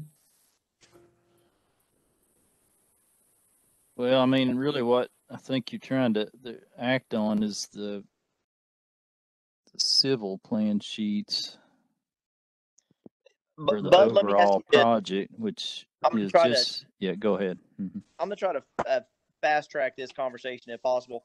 Bud, are you looking for the ability to start your demolition and be eligible for a grading permit? Is that ultimately what you're trying to get tonight? It, it, it was that, but also the Aldi elevations, I will, I will say, Al- Aldi is really, really anxious to get going. And, uh, they, they, it, it, it's gonna break his heart when I tell him it's gonna be another month. Uh, but, you know, it is what it is. But yes, I, I guess it, I'm, what I'm saying is it might be possible if we could get your site plan approved tonight and make it eligible for demolition and a grading permit, um, and then get, get get the Aldi back to us. I I just don't think there's the, the revisions to your elevations. I think are substantial enough. It's going to warrant another meeting. It's just not as simple as you know saying, "Hey, push or pull," or you know, brick color or anything like that. I I just think we need a little bit more work on it, but if you're trying to get rolling with this, I mean, I think we can help you do that. Um, obviously, there's other things that you have to do to, you know, be eligible for a grading permit. You know, like your, you know, all your erosion control measures and your your your letter of credit and you know all the construction entrance, et cetera, et cetera. But I, but I, what I'm trying to do is I'm I'm trying to I'm trying to get you started and not hold you up is what what I'm trying to offer here. yeah, and, I- and I, I'm and I appreciate, I- Yeah. I, I'm sorry. I, I appreciate that. Uh, I, mean, in, in honesty, I think what Aldi was wanting was to get through this so that they could go ahead and submit their building plans so that their building plans could be approved. Look, our schedule right now doesn't have us actually starting demolition until first of July. So, uh, you know, I, now I realize this is middle of April and, you know, in construction and development, first of July is like tomorrow. But the, my point is, Aldi, Aldi was hoping that, that they would have everything ready, that if we were able to start uh, demolition and construction first of July, then they would be getting their building permits. And as soon as we had a pad ready, they could start their pad. And then that way they can be building their building while we're out uh, doing all the rest of the infrastructure. So, you know, that may still be achievable, even if we have to come back with some revisions on the elevations uh, next month. Okay. I, I what what I was okay. I was just trying to keep you if, if you were trying to strictly follow a schedule, I just didn't want to hold you up. Um, I, I'm not, Madam Chairman, I'm not sure the, the best way to proceed with this action item tonight. I'll, I'll leave it up to, to you guys to figure out what we should do with this. Yeah, that's a tricky one. Um, Mark, do you have suggestions for a motion? Well, I think, uh, you know, the erosion control, the SWPPP sheets, the grading and drainage plan sheets, the utility sheets, um, all could be, to me, uh, you know, I guess approved with, you know, with the letter of credit for erosion control, number 21, 22, 23, and 24. Those need to be provided. Because some of these other things that we, the really, the response we got on our, some of these comments is that they would work them out with the staff and the developer, but they haven't been worked out and they're here for you to take action on. So that's my concern. It puts all of us in an awkward spot. Um, I'm fine with the civil sheets, and that's the sheets to me that would be your civil sheets. Um, and generally, the site layout sheet is, you know, for the most part, uh, fine. I mean, some of these things we'll have to deal with with the fire code and with the landscaping. Um, and you know, the parking analysis. If you all are okay with that, um, that's you know, that's just something we pointed out.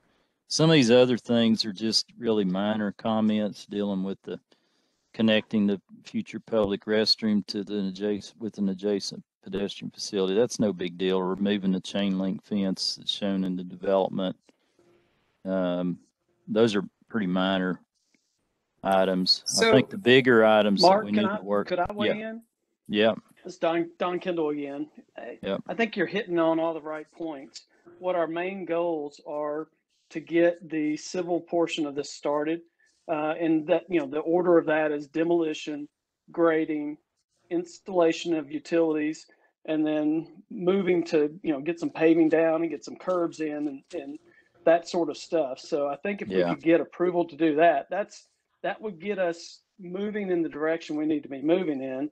I think we're going to have a conversation with the Aldi folks first thing tomorrow and suggest that they go and have a meeting with you so that we can get the, the needed changes to the elevations implemented and then resubmit that and maybe revisit that as part of the discussion at the next planning commission meeting where we discuss the apartments uh, elevations as well. well, and we still have to discuss some site related things too that haven't been worked out. Yes, So that are yes, like some of site these lighting. subject to, well, Yeah, lighting and- and the fire code requirements, uh, the landscaping requirements, you know, those kind of things we need. And to- I envision we, we have, we continue having meetings on that. And that we're probably making a visit to the next planning commission meeting and possibly the next one. Um, and, and hopefully by that point, we may have the first retail building that we can present to you as well. I, I think this is going to be an ongoing thing where we're going to have to continue to go to the planning commission to seek further detailed approvals of the, of the project, but we would like to at least progress it so that we've got a clear path to closing and getting started. All right, so Okay. I'm gonna have to make an amended emotion, Mark. Um, Yeah, I guess. I don't Do you know want what. me to just amend the motion, move to approve the site plan regarding the civil sheets? The you know what civil that means. sheets only at this point. Yeah, Civil that sheets would be your only and- erosion control, demolition, grading and drainage and utility. And tree, tree preservation because that's related to grading. Would that be storm also Yeah, that's your drainage and, uh, grading and drainage, yeah. and, and paving and parking and also? Yeah, paving and parking, the only thing is we'll just have to work out, you know, those fire code Yeah. items. Y- Yeah, yeah. So the civil sheets and 21, 22, and 23, And twenty-four. and 24. 24 is the drainage fee, yeah. 24. Okay. So uh, that's my amended motion. And I second the amended. All right, I think I got it. It's, uh, Come the civil sheets, uh, tree preservation, demolition, erosion control, drainage, utility, and general site layout with the understanding that there's going to be some modifications, uh, to that probably. So, okay. And then subject to the 21 through 24. I think I got it. Okay, Louise, go Let ahead. me, let me read, read the, unless the planning commissioners have any other comments, I'll read the roll call on that motion. Commissioner Green, Mr. Green, aye. Commissioner Dick, Commis- Commissioner Dick, aye. Chairman Holladay, Chairman Holladay, aye. Commissioner Bellamy, Mr. Bellamy, aye. Commissioner Myers, Mr. Myers, aye. Vice Mayor Povlin, Vice Mayor Povlin, aye. Mayor Williams, Mayor Williams, aye. Commissioner St. Clair, Commissioner St. Clair, aye. Commissioner Russ. Commissioner Russ, still here? Aye. Okay. All right. Sounds good. I think that's messy, but I think it works. So Thank you. Thank you, Bud. Uh, thank you. Uh, Rita, Yes. uh, what are your thoughts about postponing 10 and 11 um, next month? I've got a, s- uh, I, am not gonna, I'm not gonna complain, but I've got an early morning meeting, but it is, I I- I'll do second whatever, that. whatever the information we, I'm glad you said that, Noah. Okay. I'm fine. I take that as a fine with it motion. Too. I'm fine with it too. So, um, yeah, Uh, we, let's make a motion on that. Uh, Well, so Noah who made made the the mo- motion and I seconded. Yep, I made, I Noah made it. Uh, I- Povlin second. and number Okay. eleven until next month. Ten and eleven till next month. Okay. Hopefully next month won't be as long as this one. Uh, From your lips to all right, I'll, I guess I'll read out the roll on that motion in second. Uh, Commissioner Green, Aye. Commissioner Dick, Commissioner Dick, aye. Chairman Holladay, Chairman Holladay, aye. Commissioner Bellamy, Aye. Commissioner Myers, Commissioner Myers, aye. Vice Mayor Povlin, Vice Mayor Povlin, aye. Mayor Williams, Mayor Williams, aye. Commissioner St. Clair. I'll vote yeah, I, However, we're, we're going to miss our record uh, duration for a meeting, so That's fine with me. Commissioner Russ. that's We're not with me. We're past midnight. All right. And Commissioner Russ, Commissioner aye. Russ. All right. Commissioner And Rice, so that sounds good. And the So meeting will the be- April fifteenth, twenty twenty-one meeting of the Farragut Municipal Planning Commission is adjourned. Thank you. Sure, there was no citizen